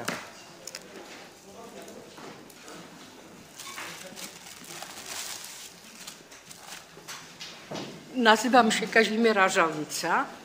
Mieszkam w Kobyłce przy ulicy Węgierskiej 5. Moja sprawa dotycząca wadliwie przebudowanej ulicy Węgierskiej, e, co skutkuje zalewaniem mojego budynku i powstały szkody i ciągle mam problemy z doprowadzeniem sprawy do końca właśnie w historii odwodnienia. Sprawa, i mówię to nie tylko do Państwa, y, mówię do internautów, bo spotkałam się z ogromną rzeszą wyrazów uznania, odwagi, współczucia, jak się sprawa zakończyła. Więc, szanowni internauci, bardzo dziękuję za wsparcie i przystępuję o co mi chodzi. W sprawie zalewania i przebudowy ulicy e, Rada Miasta Kobyłka podjęła trzy uchwały. Pierwsza 30 maja 2016 druga 28 września 2020 roku i ostatnia z 15 marca 2021. Proszę Państwa, Szanowni internauci, oczywiście konkluzja. Uchwał bezzasadne. Nie powinnam z tym występować. Wobec uznania przez Radę Miasta, przez Zarząd Miasta bezzasadności moich wystąpień informuję Państwa, że skieruję sprawę do Samorządowego Kolegium Odwoławczego w Warszawie przy ulicy Kieleckiej, załączając uchwały, w których jestem w posiadaniu, łącznie z korespondencją, z dokumentacją, z decyzją nadzoru budowlanego. Może w końcu ktoś sprawę doprowadzi do końca. Y, Osiem lat, proszę Państwa, i może byłby koniec, ale zdarzył mi się sąsiad, y, który powiedzmy prowadził działalność gospodarczą zarejestrowaną gdzieś tam w Polsce. No wiadomo, teren potrzebny, dostawy, odbiory i jakbym już poprzestała na tym, chodzi o zlikwidowanie fragmentu zjazdu z mojej działki. To jest pasek szerokości centymetrów, y, co przy nawet odwodnieniu, które zainstalowano, wymuszone przeze mnie na terenie, y, w y, obszarze pasa drogi, dokładnie nie spełnia zadania. Myślę, że ten 90-centymetrowy pasek chłonąłby powiedzmy, no, posiałabym trawę, czy nawet posadziłabym nasadzenia. Oczywiście Urząd Miasta odmówił. Urząd Miasta odmówił, motywując jak? Bo przecież Urząd Miasta ma coś do powiedzenia w tej sprawie. Proszę Państwa, zadaję pytanie, czy Urząd Miasta ma się kierować sympatią, no nie wiem, wyczuciem sytuacji, czy przepisami prawa. Co stanowi prawo drogowe? Obszar w pasie drogi przyległy bezpośrednio do mojej działki w odpowiedniej tam odległości. Ja za ten obszar jestem odpowiedzialna. Zjazd jest tylko z mojej i wyłącznie mojej działki. Uzasadniam konieczną potrzebą Chciałam tę dziewięcio, prawie ośmioletnią, przepraszam, już dołożyłam rok, walkę z tym urzędem miasta zakończyć. Nie, pani sekretarz. E, dołączyłam do ostatniej, ostatniej prośby do Rady Miasta. No tu pan był uprzejmy, bo to jest chyba nowy pan od skarg i wniosków. Załatwiam szybko. Czy czytaliście panowie, czy państwo? Poprosiłam, zapoznajcie się wszyscy. I teraz, ponieważ nie mam zaufania do zarządu miasta, znajdę się może jak łobuzica. Sąsiad składał nieprawdziwe deklaracje e, w zakresie podatkowym, w zakresie Pani odbioru ale to, odpadów. takie rzeczy to prosimy zgłaszać, jeżeli jest Pani pewna e, odpowiednim organom, a niekoniecznie publicznie o tym mówić, dlatego Chwileczkę, że... dokończę. Wycofuję Dlatego, te że słowa. tak, to może się odbić też na Pani sytuacji. My byśmy tego nie chcieli i nie chcielibyśmy też, żeby na forum Rady y, takie informacje padały. O tak. Dobrze, niech nie padają. Proszę o sprawdzenie.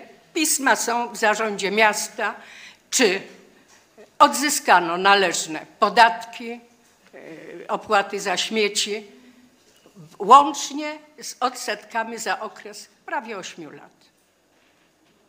Następna sprawa. Zgłosiłam się do pani burmistrz ze sprawą, bo powiedzmy, no ktoś, młody człowiek, bardzo pracowity, on osiągnie sukces ekonomiczny na pewno, ale jest bezwzględny i bezkarny.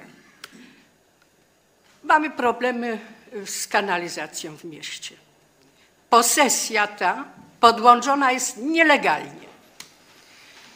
Pani Kazimiero, no znowu, te informacje Ale chwileczkę. Prosimy Niech się zgłaszać. pan nie boi, to mnie posadzą i ukażą, nie tak, ale, ale też y, nie jest to odpowiednie miejsce, Proszę żeby mi takie... pozwolić dokończyć. Pani Kazimiero, bardzo chętnie bym pozwolił dokończyć, ale to nie jest miejsce, gdzie spory sąsiedzkie są rozstrzygane. Jeżeli jest Pani indywidualna sytuacja, to my słuchamy, jasne, no jesteśmy dla Pani, ale też w, nie jesteśmy od rozsądzania sporów sąsiedzkich. Jeżeli ma Pani swoją kwestię, tutaj tej ym, y, powierzchni chłonnej przed wjazdem, no to rozumiem. Jeżeli są jakieś nowe rzeczy, które powinniśmy wziąć pod uwagę, to proszę, słuchamy.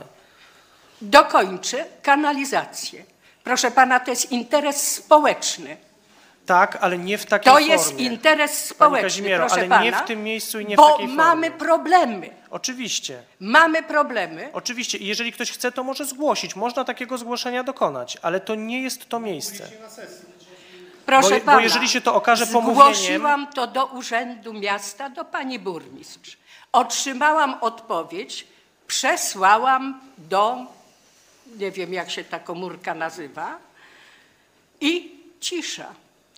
Odezwał się do mnie po jakimś czasie pan, czy ja mogę do pani przyjechać i wyjaśniać. Proszę pana, u mnie skopiuję państwu dokumenty, protokoły odbioru instalacji, przekażę. Resztę mnie nie obchodzi. Działajcie wy. Proszę pana,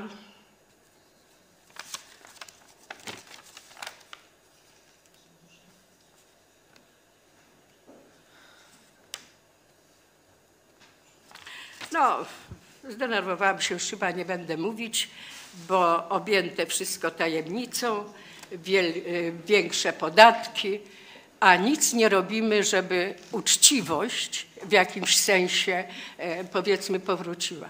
I jeszcze mam jedną sprawę.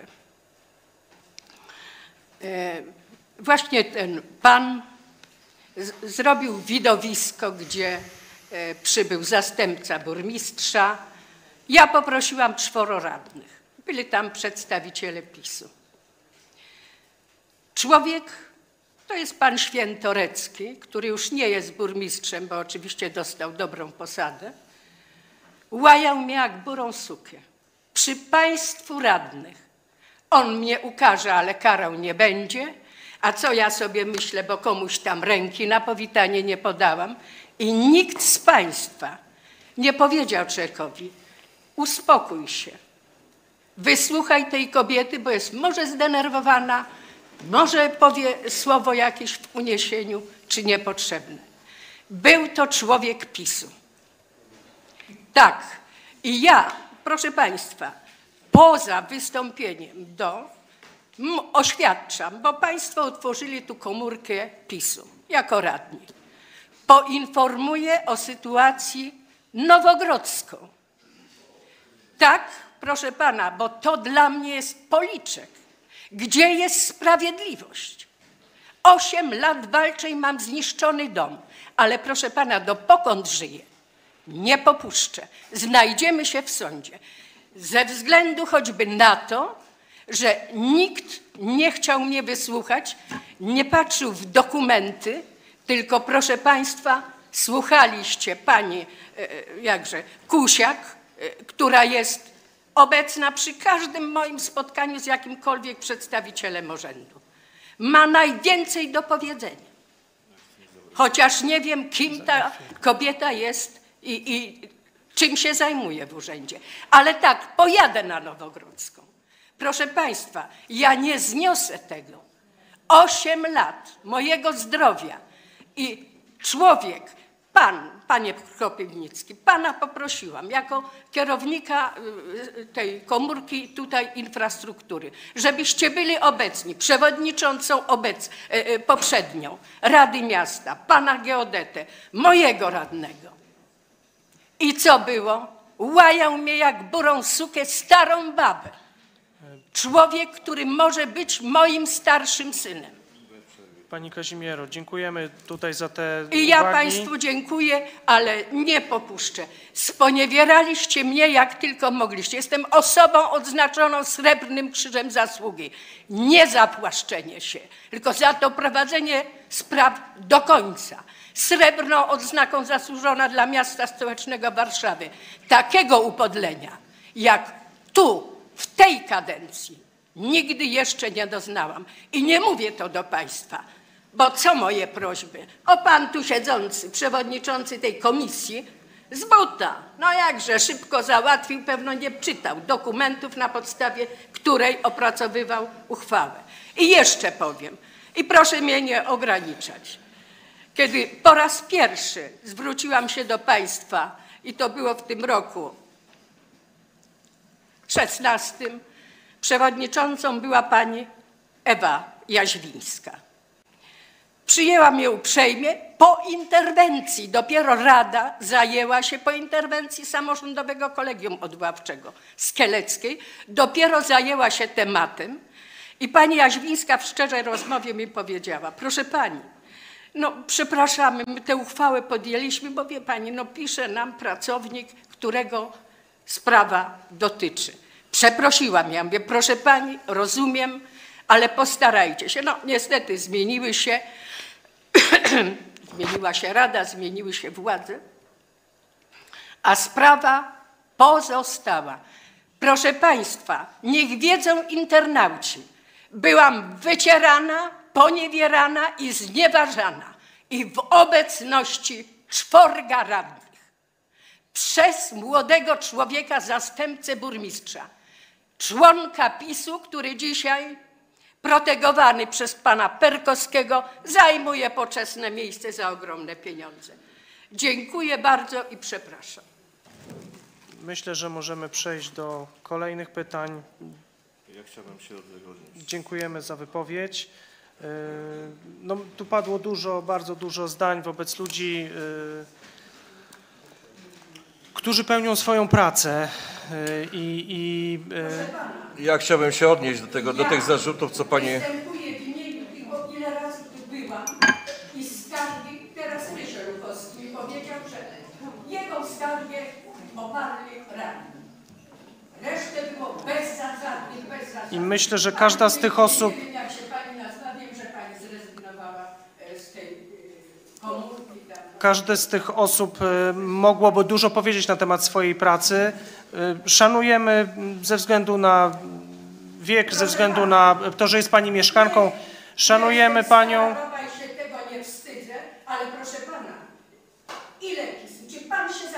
Ja się zapoznałem, ja się z Panią spotykałem także w tej sprawie i wie Pani o tym dobrze.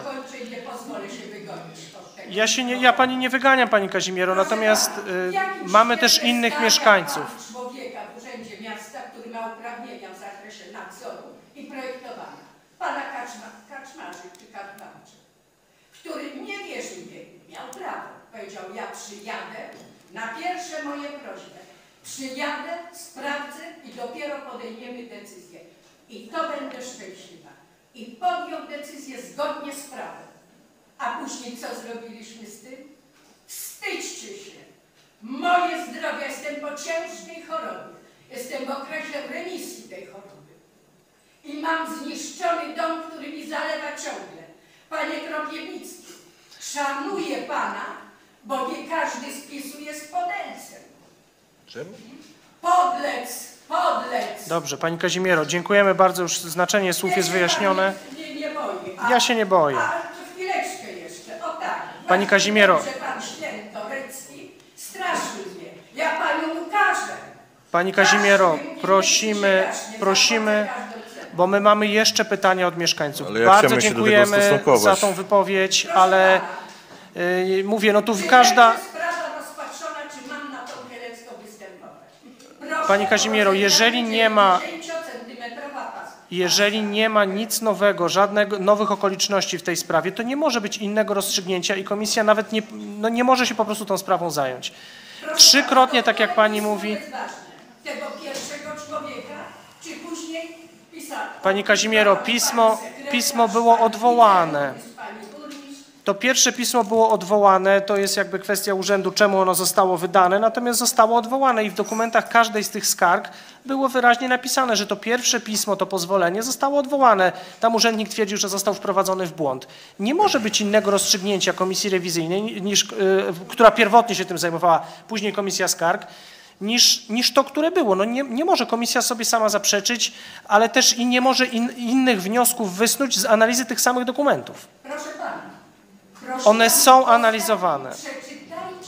Były uważnie czytane, Pani Kazimiero. Poświęciłem czas, żeby się spotkać yy, i, i, i, też, i też nieraz. Szanuję tą sytuację, tą sprawę, ale no po prostu mamy w tej chwili też innych mieszkańców, których też trzeba uszanować. To pan był wtedy y, przewodniczący E, Panie Przewodniczący, e, ja chciałbym się ustosunkować tutaj do zarzutów panie, pod moim... panie wiceprzewodniczący, każdy chciałby się ustosunkować. Ale zostało moje, nazwiska- moje nazwisko zostało tu wypowiedziane i są po prostu tu pewne rzeczy nieprawdziwe. Nie, I ale chciałbym będziemy- to tak samo sprostować. Nie, Nie. będziemy przedłużać. To jest opinia. Pani Kazimiero, to jest Pani opinia, podobnie jak w kwestii sąsiada, podobnie jak w kwestii kilkorga pracowników Ale panie przewodniczący, ja mam prawo się tak samo bronić do czegoś i mam tak samo coś do Tak, ale powiedzenia. będziemy przedłużać Ale- to. Wiemy, że to są Pani to opinie pan tak samo ogranicza innym tak samo e, rozmowy. Ograniczam też sobie tą, Nie, po to prostu pan ogranicza po prostu teraz adwokat się do tej wypowiedzi o- odpowiedzi. Jeżeli tak ma być, to proszę bardzo, niech pan, pan sam prowadzi tą, tą. A ja bym miał prośbę o, spoko- jakby podejście spokojnie do tego. Słyszeliśmy dużo wzburzonych słów. Y, Jesteśmy w stanie naprawdę sami to ocenić, tak? Y, nie Moim pot- zdaniem teraz jest odbieranie w ogóle głosu radnym, także dziękuję panie przewodniczący. Nie, nie, to nie chodzi o odbieranie komukolwiek głosu. Chodzi o to, że mamy jeszcze około 10 pytań od innych y, mieszkańców i też Ja tak samo mam prawo. Dziękuję w takim razie za odbiór głosu. Nie radnym nie udzielenie głosu przez pana przewodniczącego Nie Konrada Kostrzewy. nie jest to odbiór głosu. Ja bym chciał, żeby pan wiceprzewodniczący i państwo radni nie reagowali podobnym wzburzeniem. Y, Jeżeli pan wiceprzewodniczący też czuje, że tutaj y, jego dobre imię zostało naruszone, y, biorąc pod uwagę też głos państwa radnych, proszę o zabranie głosu, ale proszę o zrobienie tego w sposób spokojny, żebyśmy się nie przekrzykiwali tutaj w, no, w, taki sposób. Proszę o zabranie głosu.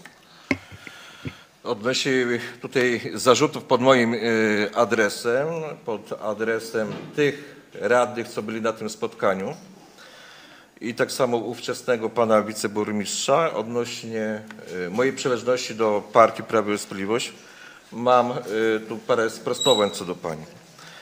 Spór pani prowadzi odnośnie zalewania rzekomo pani działki nie od trzech lat, tylko do ośmiu pani powiedziała. Ja jestem radnym i ci y, radni, którzy byli na tym spotkaniu zaproszeni przez panią, jesteśmy od trzech lat. W tej chwili w wypowiedzi pani, to jesteśmy my wszyscy winni, że nie reagowaliśmy, nie tego. My reagowaliśmy. Na co my mamy reagować? My reagujemy po prostu na przepisy prawa, jakie są, a nie na kłótnie międzysąsiedzkie. A pani na tym spotkaniu wywołała kłótnie sąsiedzkie. Rada nie będzie się zajmowała sporami sąsiedzkimi. A pani ma żal do nas, że my się nie wstawiliśmy za panią, jeżeli pani się kłóci ze, swoim sąsiadem. My nie jesteśmy od tego. Niech pani to po prostu zrozumie. I pani mówi merytorycznie i całą prawdę po prostu. a nie konfabuluje, że było spotkanie i pani nie pomogliśmy. Pan Świętorecki panią uświadomił, jakie jest prawo, gdzie pani ma i kiedy ma pani wystawiać śmieci przed furtkę. To pani było poinformowane. Pani było tak samo poinformowane, żeby pani w pasie drogowym nie wkładała drutów kolczastych. I to pani mówi, że to jest po prostu pani. Ktoś pani zwrócił uwagę, to pani myśli, że to pani jest o- o- obleżliwy dla pań? To jest po prostu zwrócenie, zwrócenie uwagi pani, że pani robi bezprawie. I tylko tyle. A odnośnie raz mówię, jeżeli ma pani spór międzysąsiedzki, to nie pani obarcza Prawa i Sprawiedliwości, wszystkich radnych i wszystkich świętych, że pani jest pokrzywdzona. Po prostu trzeba zachować mir sąsiedzki i tyle. I będzie wszystko w porządku. Dziękuję. Dziękuję bardzo. Też w tej sprawie, pan radny? Pro, upraszam o wystąpienia na tyle spokojne, przynajmniej na ile pana wiceprzewodniczącego, żebyśmy się tutaj nie dali, nie dali emocjom ponosić. Tak, szanowni państwo radni, e, e, ja chciałem tylko odnieść się, że to już jest kolejne jakby zabieranie głosu tak emocjonujące przez, e, przez panią mieszkankę. I mm, jakby zaj- zajmuje nam bardzo dużo czasu, a treści merytorycznych nie dodajemy w żadnej z kolejnych skarg. I tu był wymieniany kilkanaście, no kilkakrotnie wymieniany przewodniczący nowy Komisji Skarg, Wniosków i Petycji, który Bogu ducha winien y, po prostu zapoznaliśmy się z tymi wszystkimi materiałami jako radni, tak? I okazało się, że żadnej nowej okoliczności, tak jak pan przewodniczący wspomniał, nie było. Wobec czego no, wymienianie teraz człowieka, że jest nowy, że jest jakiś, no, y, nie wiem, nie zapoznał się, nie czytał, nie tego, przy, takiej, y, przy takim oblężeniu komisji, y, gdzie rzeczywiście poświęcili nad, tym, nad tą sprawą bardzo dużo i nawet by mieli chęć coś zrobić, no ale bez nowych okoliczności niestety się nie dało.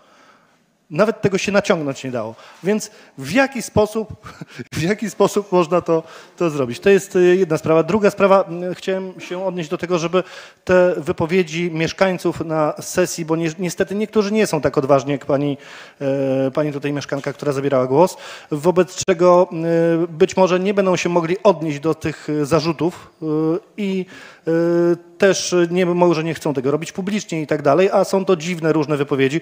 Ja chciałem, żeby y, się odnosić tylko do swoich spraw, tak jak pan przewodniczący mówił, i żeby od razu ucinać takie wypowiedzi y, i y, po prostu no, odsuwać od głosu y, niestety, jeżeli y, nie jest y, po, po danych y, y, po danych zwracania uwagi, y, nie wiem, drugi, trzeci raz pani dalej prowadzi w dalszym ciągu tą samą narrację i przedłuża to i nie na temat, bo zaczęliśmy tylko od tematu, przypominam, skargi, tak?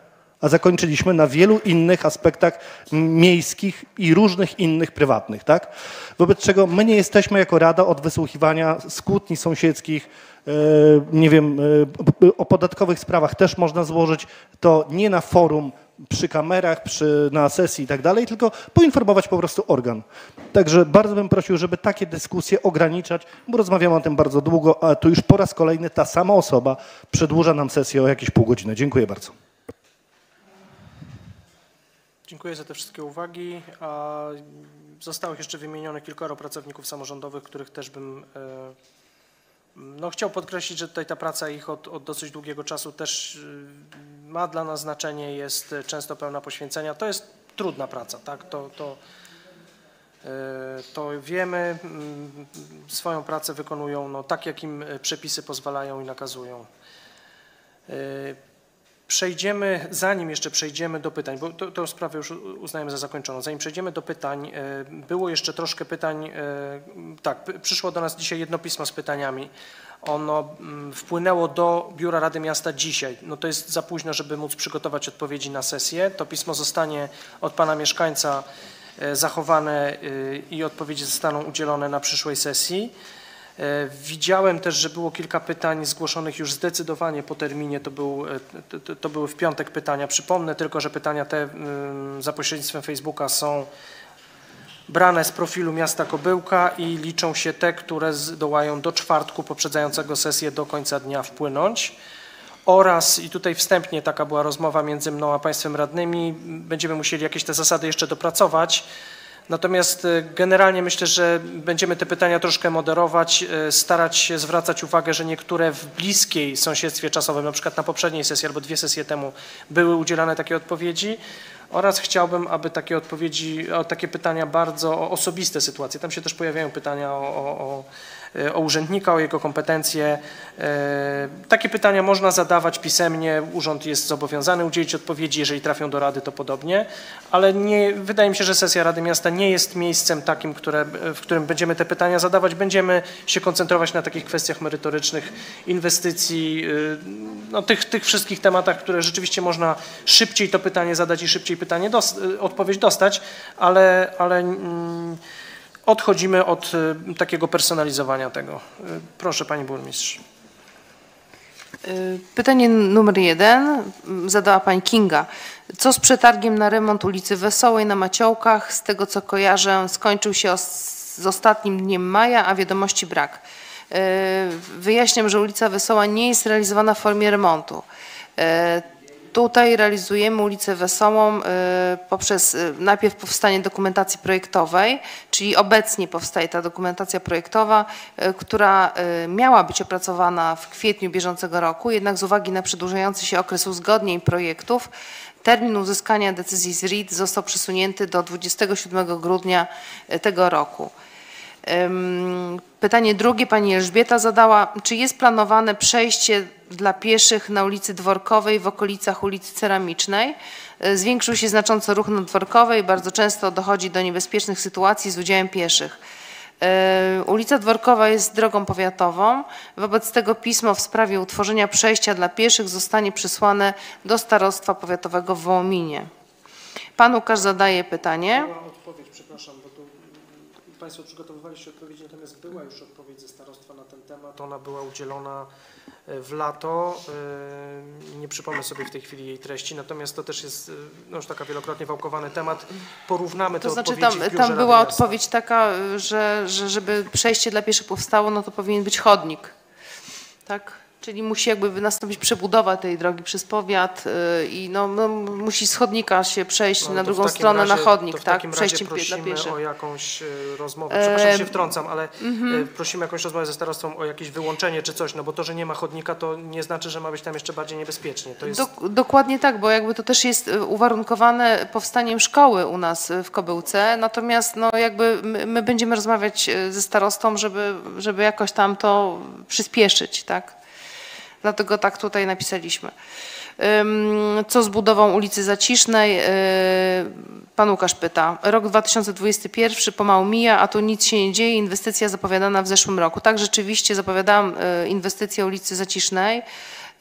Yy, Sama o tym mówiłam, pisałam. Natomiast musieliśmy przebudowę ulicy Zacisznej podzielić na dwa etapy. E, Pierwszy etap dotyczy odcinka, na której miasto jest właścicielem wszystkich działek wchodzących w skład pasa drogowego i to jest ten odcinek od Czarnej Kawki do ulicy Kochanowskiego. E, Ale na tym odcinku została teraz zaprojektowana e, kanalizacja deszczowa i chcieli, chcemy po prostu to połączyć. Remont nawierzchni wraz z wykonaniem kanalizacji deszczowej planowany jest do realizacji w 2022 roku. I to jest ten, to jest ten etap, że tak powiem, klarowniejszy. Natomiast drugi etap dotyczy odcinka drogi, na której miasto nie posiada pełnej własności, ten od Kochanowskiego do Jałowcowej. I w związku z tym w 2022 roku planowane jest opracowanie dokumentacji projektowej niezbędnej do złożenia do pozwolenia na budowę na podstawie specustawy drogowej. Czyli dwa etapy będzie zaciszne. Jedna będzie w remoncie wykonana, druga z projektem, niestety, bo nie mamy własności. Y, W 2022 ten remont nastąpi od Czarnej Kawki do, Kochanowskiego, łącznie z tą y, kanalizacją deszczową. A drugi etap to jest projekt, a potem będziemy, będziemy myśleć, jak to zrealizować. Kolejne pytanie y, pani Natalia zadała. Ulica Tadeusza Rozwadowskiego była zaplanowana na realizację w 2021 roku. Kiedy będzie wbudowana? Y, Przypuszczam, że pani Natalii chodzi o, y, o ujęcie tej ulicy w planie priorytetowych inwestycji drogowych. Natomiast ten plan obejmował większość ulic gruntowych w Kobyłce, y, ale my musimy realizację dostosować do posiadanych środków w budżecie miasta. Y, Ulica wymaga opracowania projektu drogowego z odwodnieniem. Szacunkowy koszt realizacji tej ulicy to około 4 milionów złotych i do tego się po prostu musimy finansowo przygotować. Y, Kolejne pytanie pani Iwona zadała, kiedy ulica Nowa doczeka się nawierzchni, która nie jest w stanie lotnym. Jakość, ciężko mówić o jakiejkolwiek jakości. Obecnie mm, nie, jest nie do przyjęcia. Y, Przejazd jaki, jakiegokolwiek samochodu wzbija tumany kurzu. Ludzie, którzy, którzy poruszają się pieszo są, są zmuszeni to wdychać, nawet nie wspominając o tym, jak to wygląda na samochodach i oknach. Sama biegłam z wodą do starszego człowieka, jak po przejechaniu samochodu i tym, co się wzbiło w powietrze, zaczął strasznie kaszleć. No to ja przypominam po raz kolejny pani Iwonie, bo to już mm, przypuszczam, to jest któreś kolejne już pismo na temat ulicy Nowej, że ulica Nowa znajduje się na terenie zamkniętym. Urząd Miasta wystąpił do wojewody o przeniesienie tytułu własności, a do czasu y, pozyskania tytułu własności stan drogi będzie utrzymywany w ramach bieżących napraw. Y, Kolejne pytanie pani Beaty. Mam pytanie dotyczące ulicy Rataja, ulicy, która zgodnie z planami inwestycji miasta Kobyłka miała być zrobiona w 2020 roku razem z ulicą Sikorskiego. Niektórzy mieszkańcy wyżej wymienionej ulicy zostali wykwaterowani i co dalej? Kiedy ta ulica będzie zrobiona? Po rozmowach z panem radnym Adamem Markuszewskim w 2020 roku poinformował, że będzie brana pod uwagę przy inwestycjach na 2021 rok. Rok się powoli kończy, a informacji nie ma. Moje pytanie, czy ulica Rataja będzie kiedyś zrobiona i czy w ogóle jest brana pod uwagę w planach na 2022 rok. Jak się okazało, pan radny Markuszewski miał rację. Uzyskaliśmy dofinansowanie do budowy ulicy Rataja z Polskiego Ładu i to wiemy to z dzisiaj, więc świeżutka sprawa. Realizacja drogi planowana jest w przyszłym roku, bo musimy w ciągu 12 miesięcy od podpisania umowy, jeszcze umowy nie podpisaliśmy oczywiście, ale jak podpiszemy umowę, 12 miesięcy mam na to, żeby zrealizować ulicę. I to w całości, całą ulicę. Y, Pytanie numer 7, pan Paweł. Na jakim etapie są prace nad obiecywanym przyszłorocznym budżetem obywatelskim w Kobyłce? No to tak jak mówiliśmy wcześniej, rozstrzygnięto postępowanie w zakresie e-usług, którego jednym z elementów, jednym z elementów jest program obsługi budżetu obywatelskiego. Wdrożenie całości to marzec 2022 rok. Jak już poinformowano, projekt uchwały zostanie przedstawiony do końca bieżącego roku. Przewidujemy powstanie budżetu obywatelskiego w przyszłorocznym budżecie i myślę, że tutaj co do tego nie mamy wątpliwości jako zarząd i, i państwo radni. Y, Kolejne pytanie ósme, pan Paweł. Kiedy pokazane będą mieszkańcom pierwsze projekty placu 15 sierpnia? Zgodnie z umową z projektantem projekt placu 15 sierpnia zostanie wykonany w grudniu bieżącego roku. Natomiast pe- pewnie panu chodzi o koncepcję i to, y, i ta koncepcja rzeczywiście miała być przedstawiona do 15 września, ale z uwagi na to, że jest w tej chwili poprawiana, y, bo nie zawierała takich elementów, na których nam zależało i w najbliższym czasie, jak tak naprawdę wykonawca miał ją przedstawić do końca tamtego tygodnia. Ale jak tylko dostaniemy tą koncepcję, od razu zostanie ona udostępniona.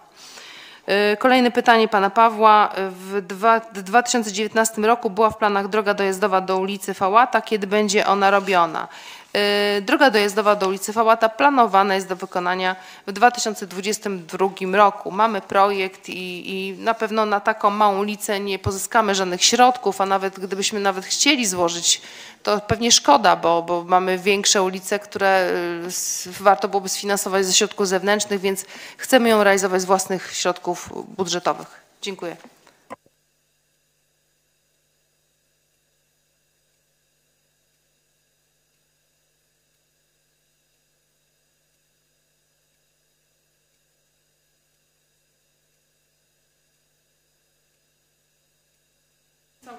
Od Kościoła do Poniatowskiego na tym odcinku. Okej. No właśnie dlatego pytałem, a padło cała, cała. Do kościoła. Do Kościoła i do Poniatowskiego. Ale projekt był, Ale projekt, projekt jest do Poniatowskiego. projekt Okej. był do Poniatowskiego, według Tak, projektu tak, był tak. składany. Tak, ale to żeby sprostować. Yy, Dziękuję. To są wszystkie pytania. Yy, Kolejną sesję yy, planuję w czwarty poniedziałek, E, w czwarty poniedziałek listopada, to jest 22 listopada. W międzyczasie mamy jeszcze kilka, kilka wydarzeń, co do których z Państwem radnymi musimy się e, upewnić, ale to one są związane z, ze szkoleniami. E, dziękuję, zamykam sesję Rady Miasta. Dobranoc Państwu.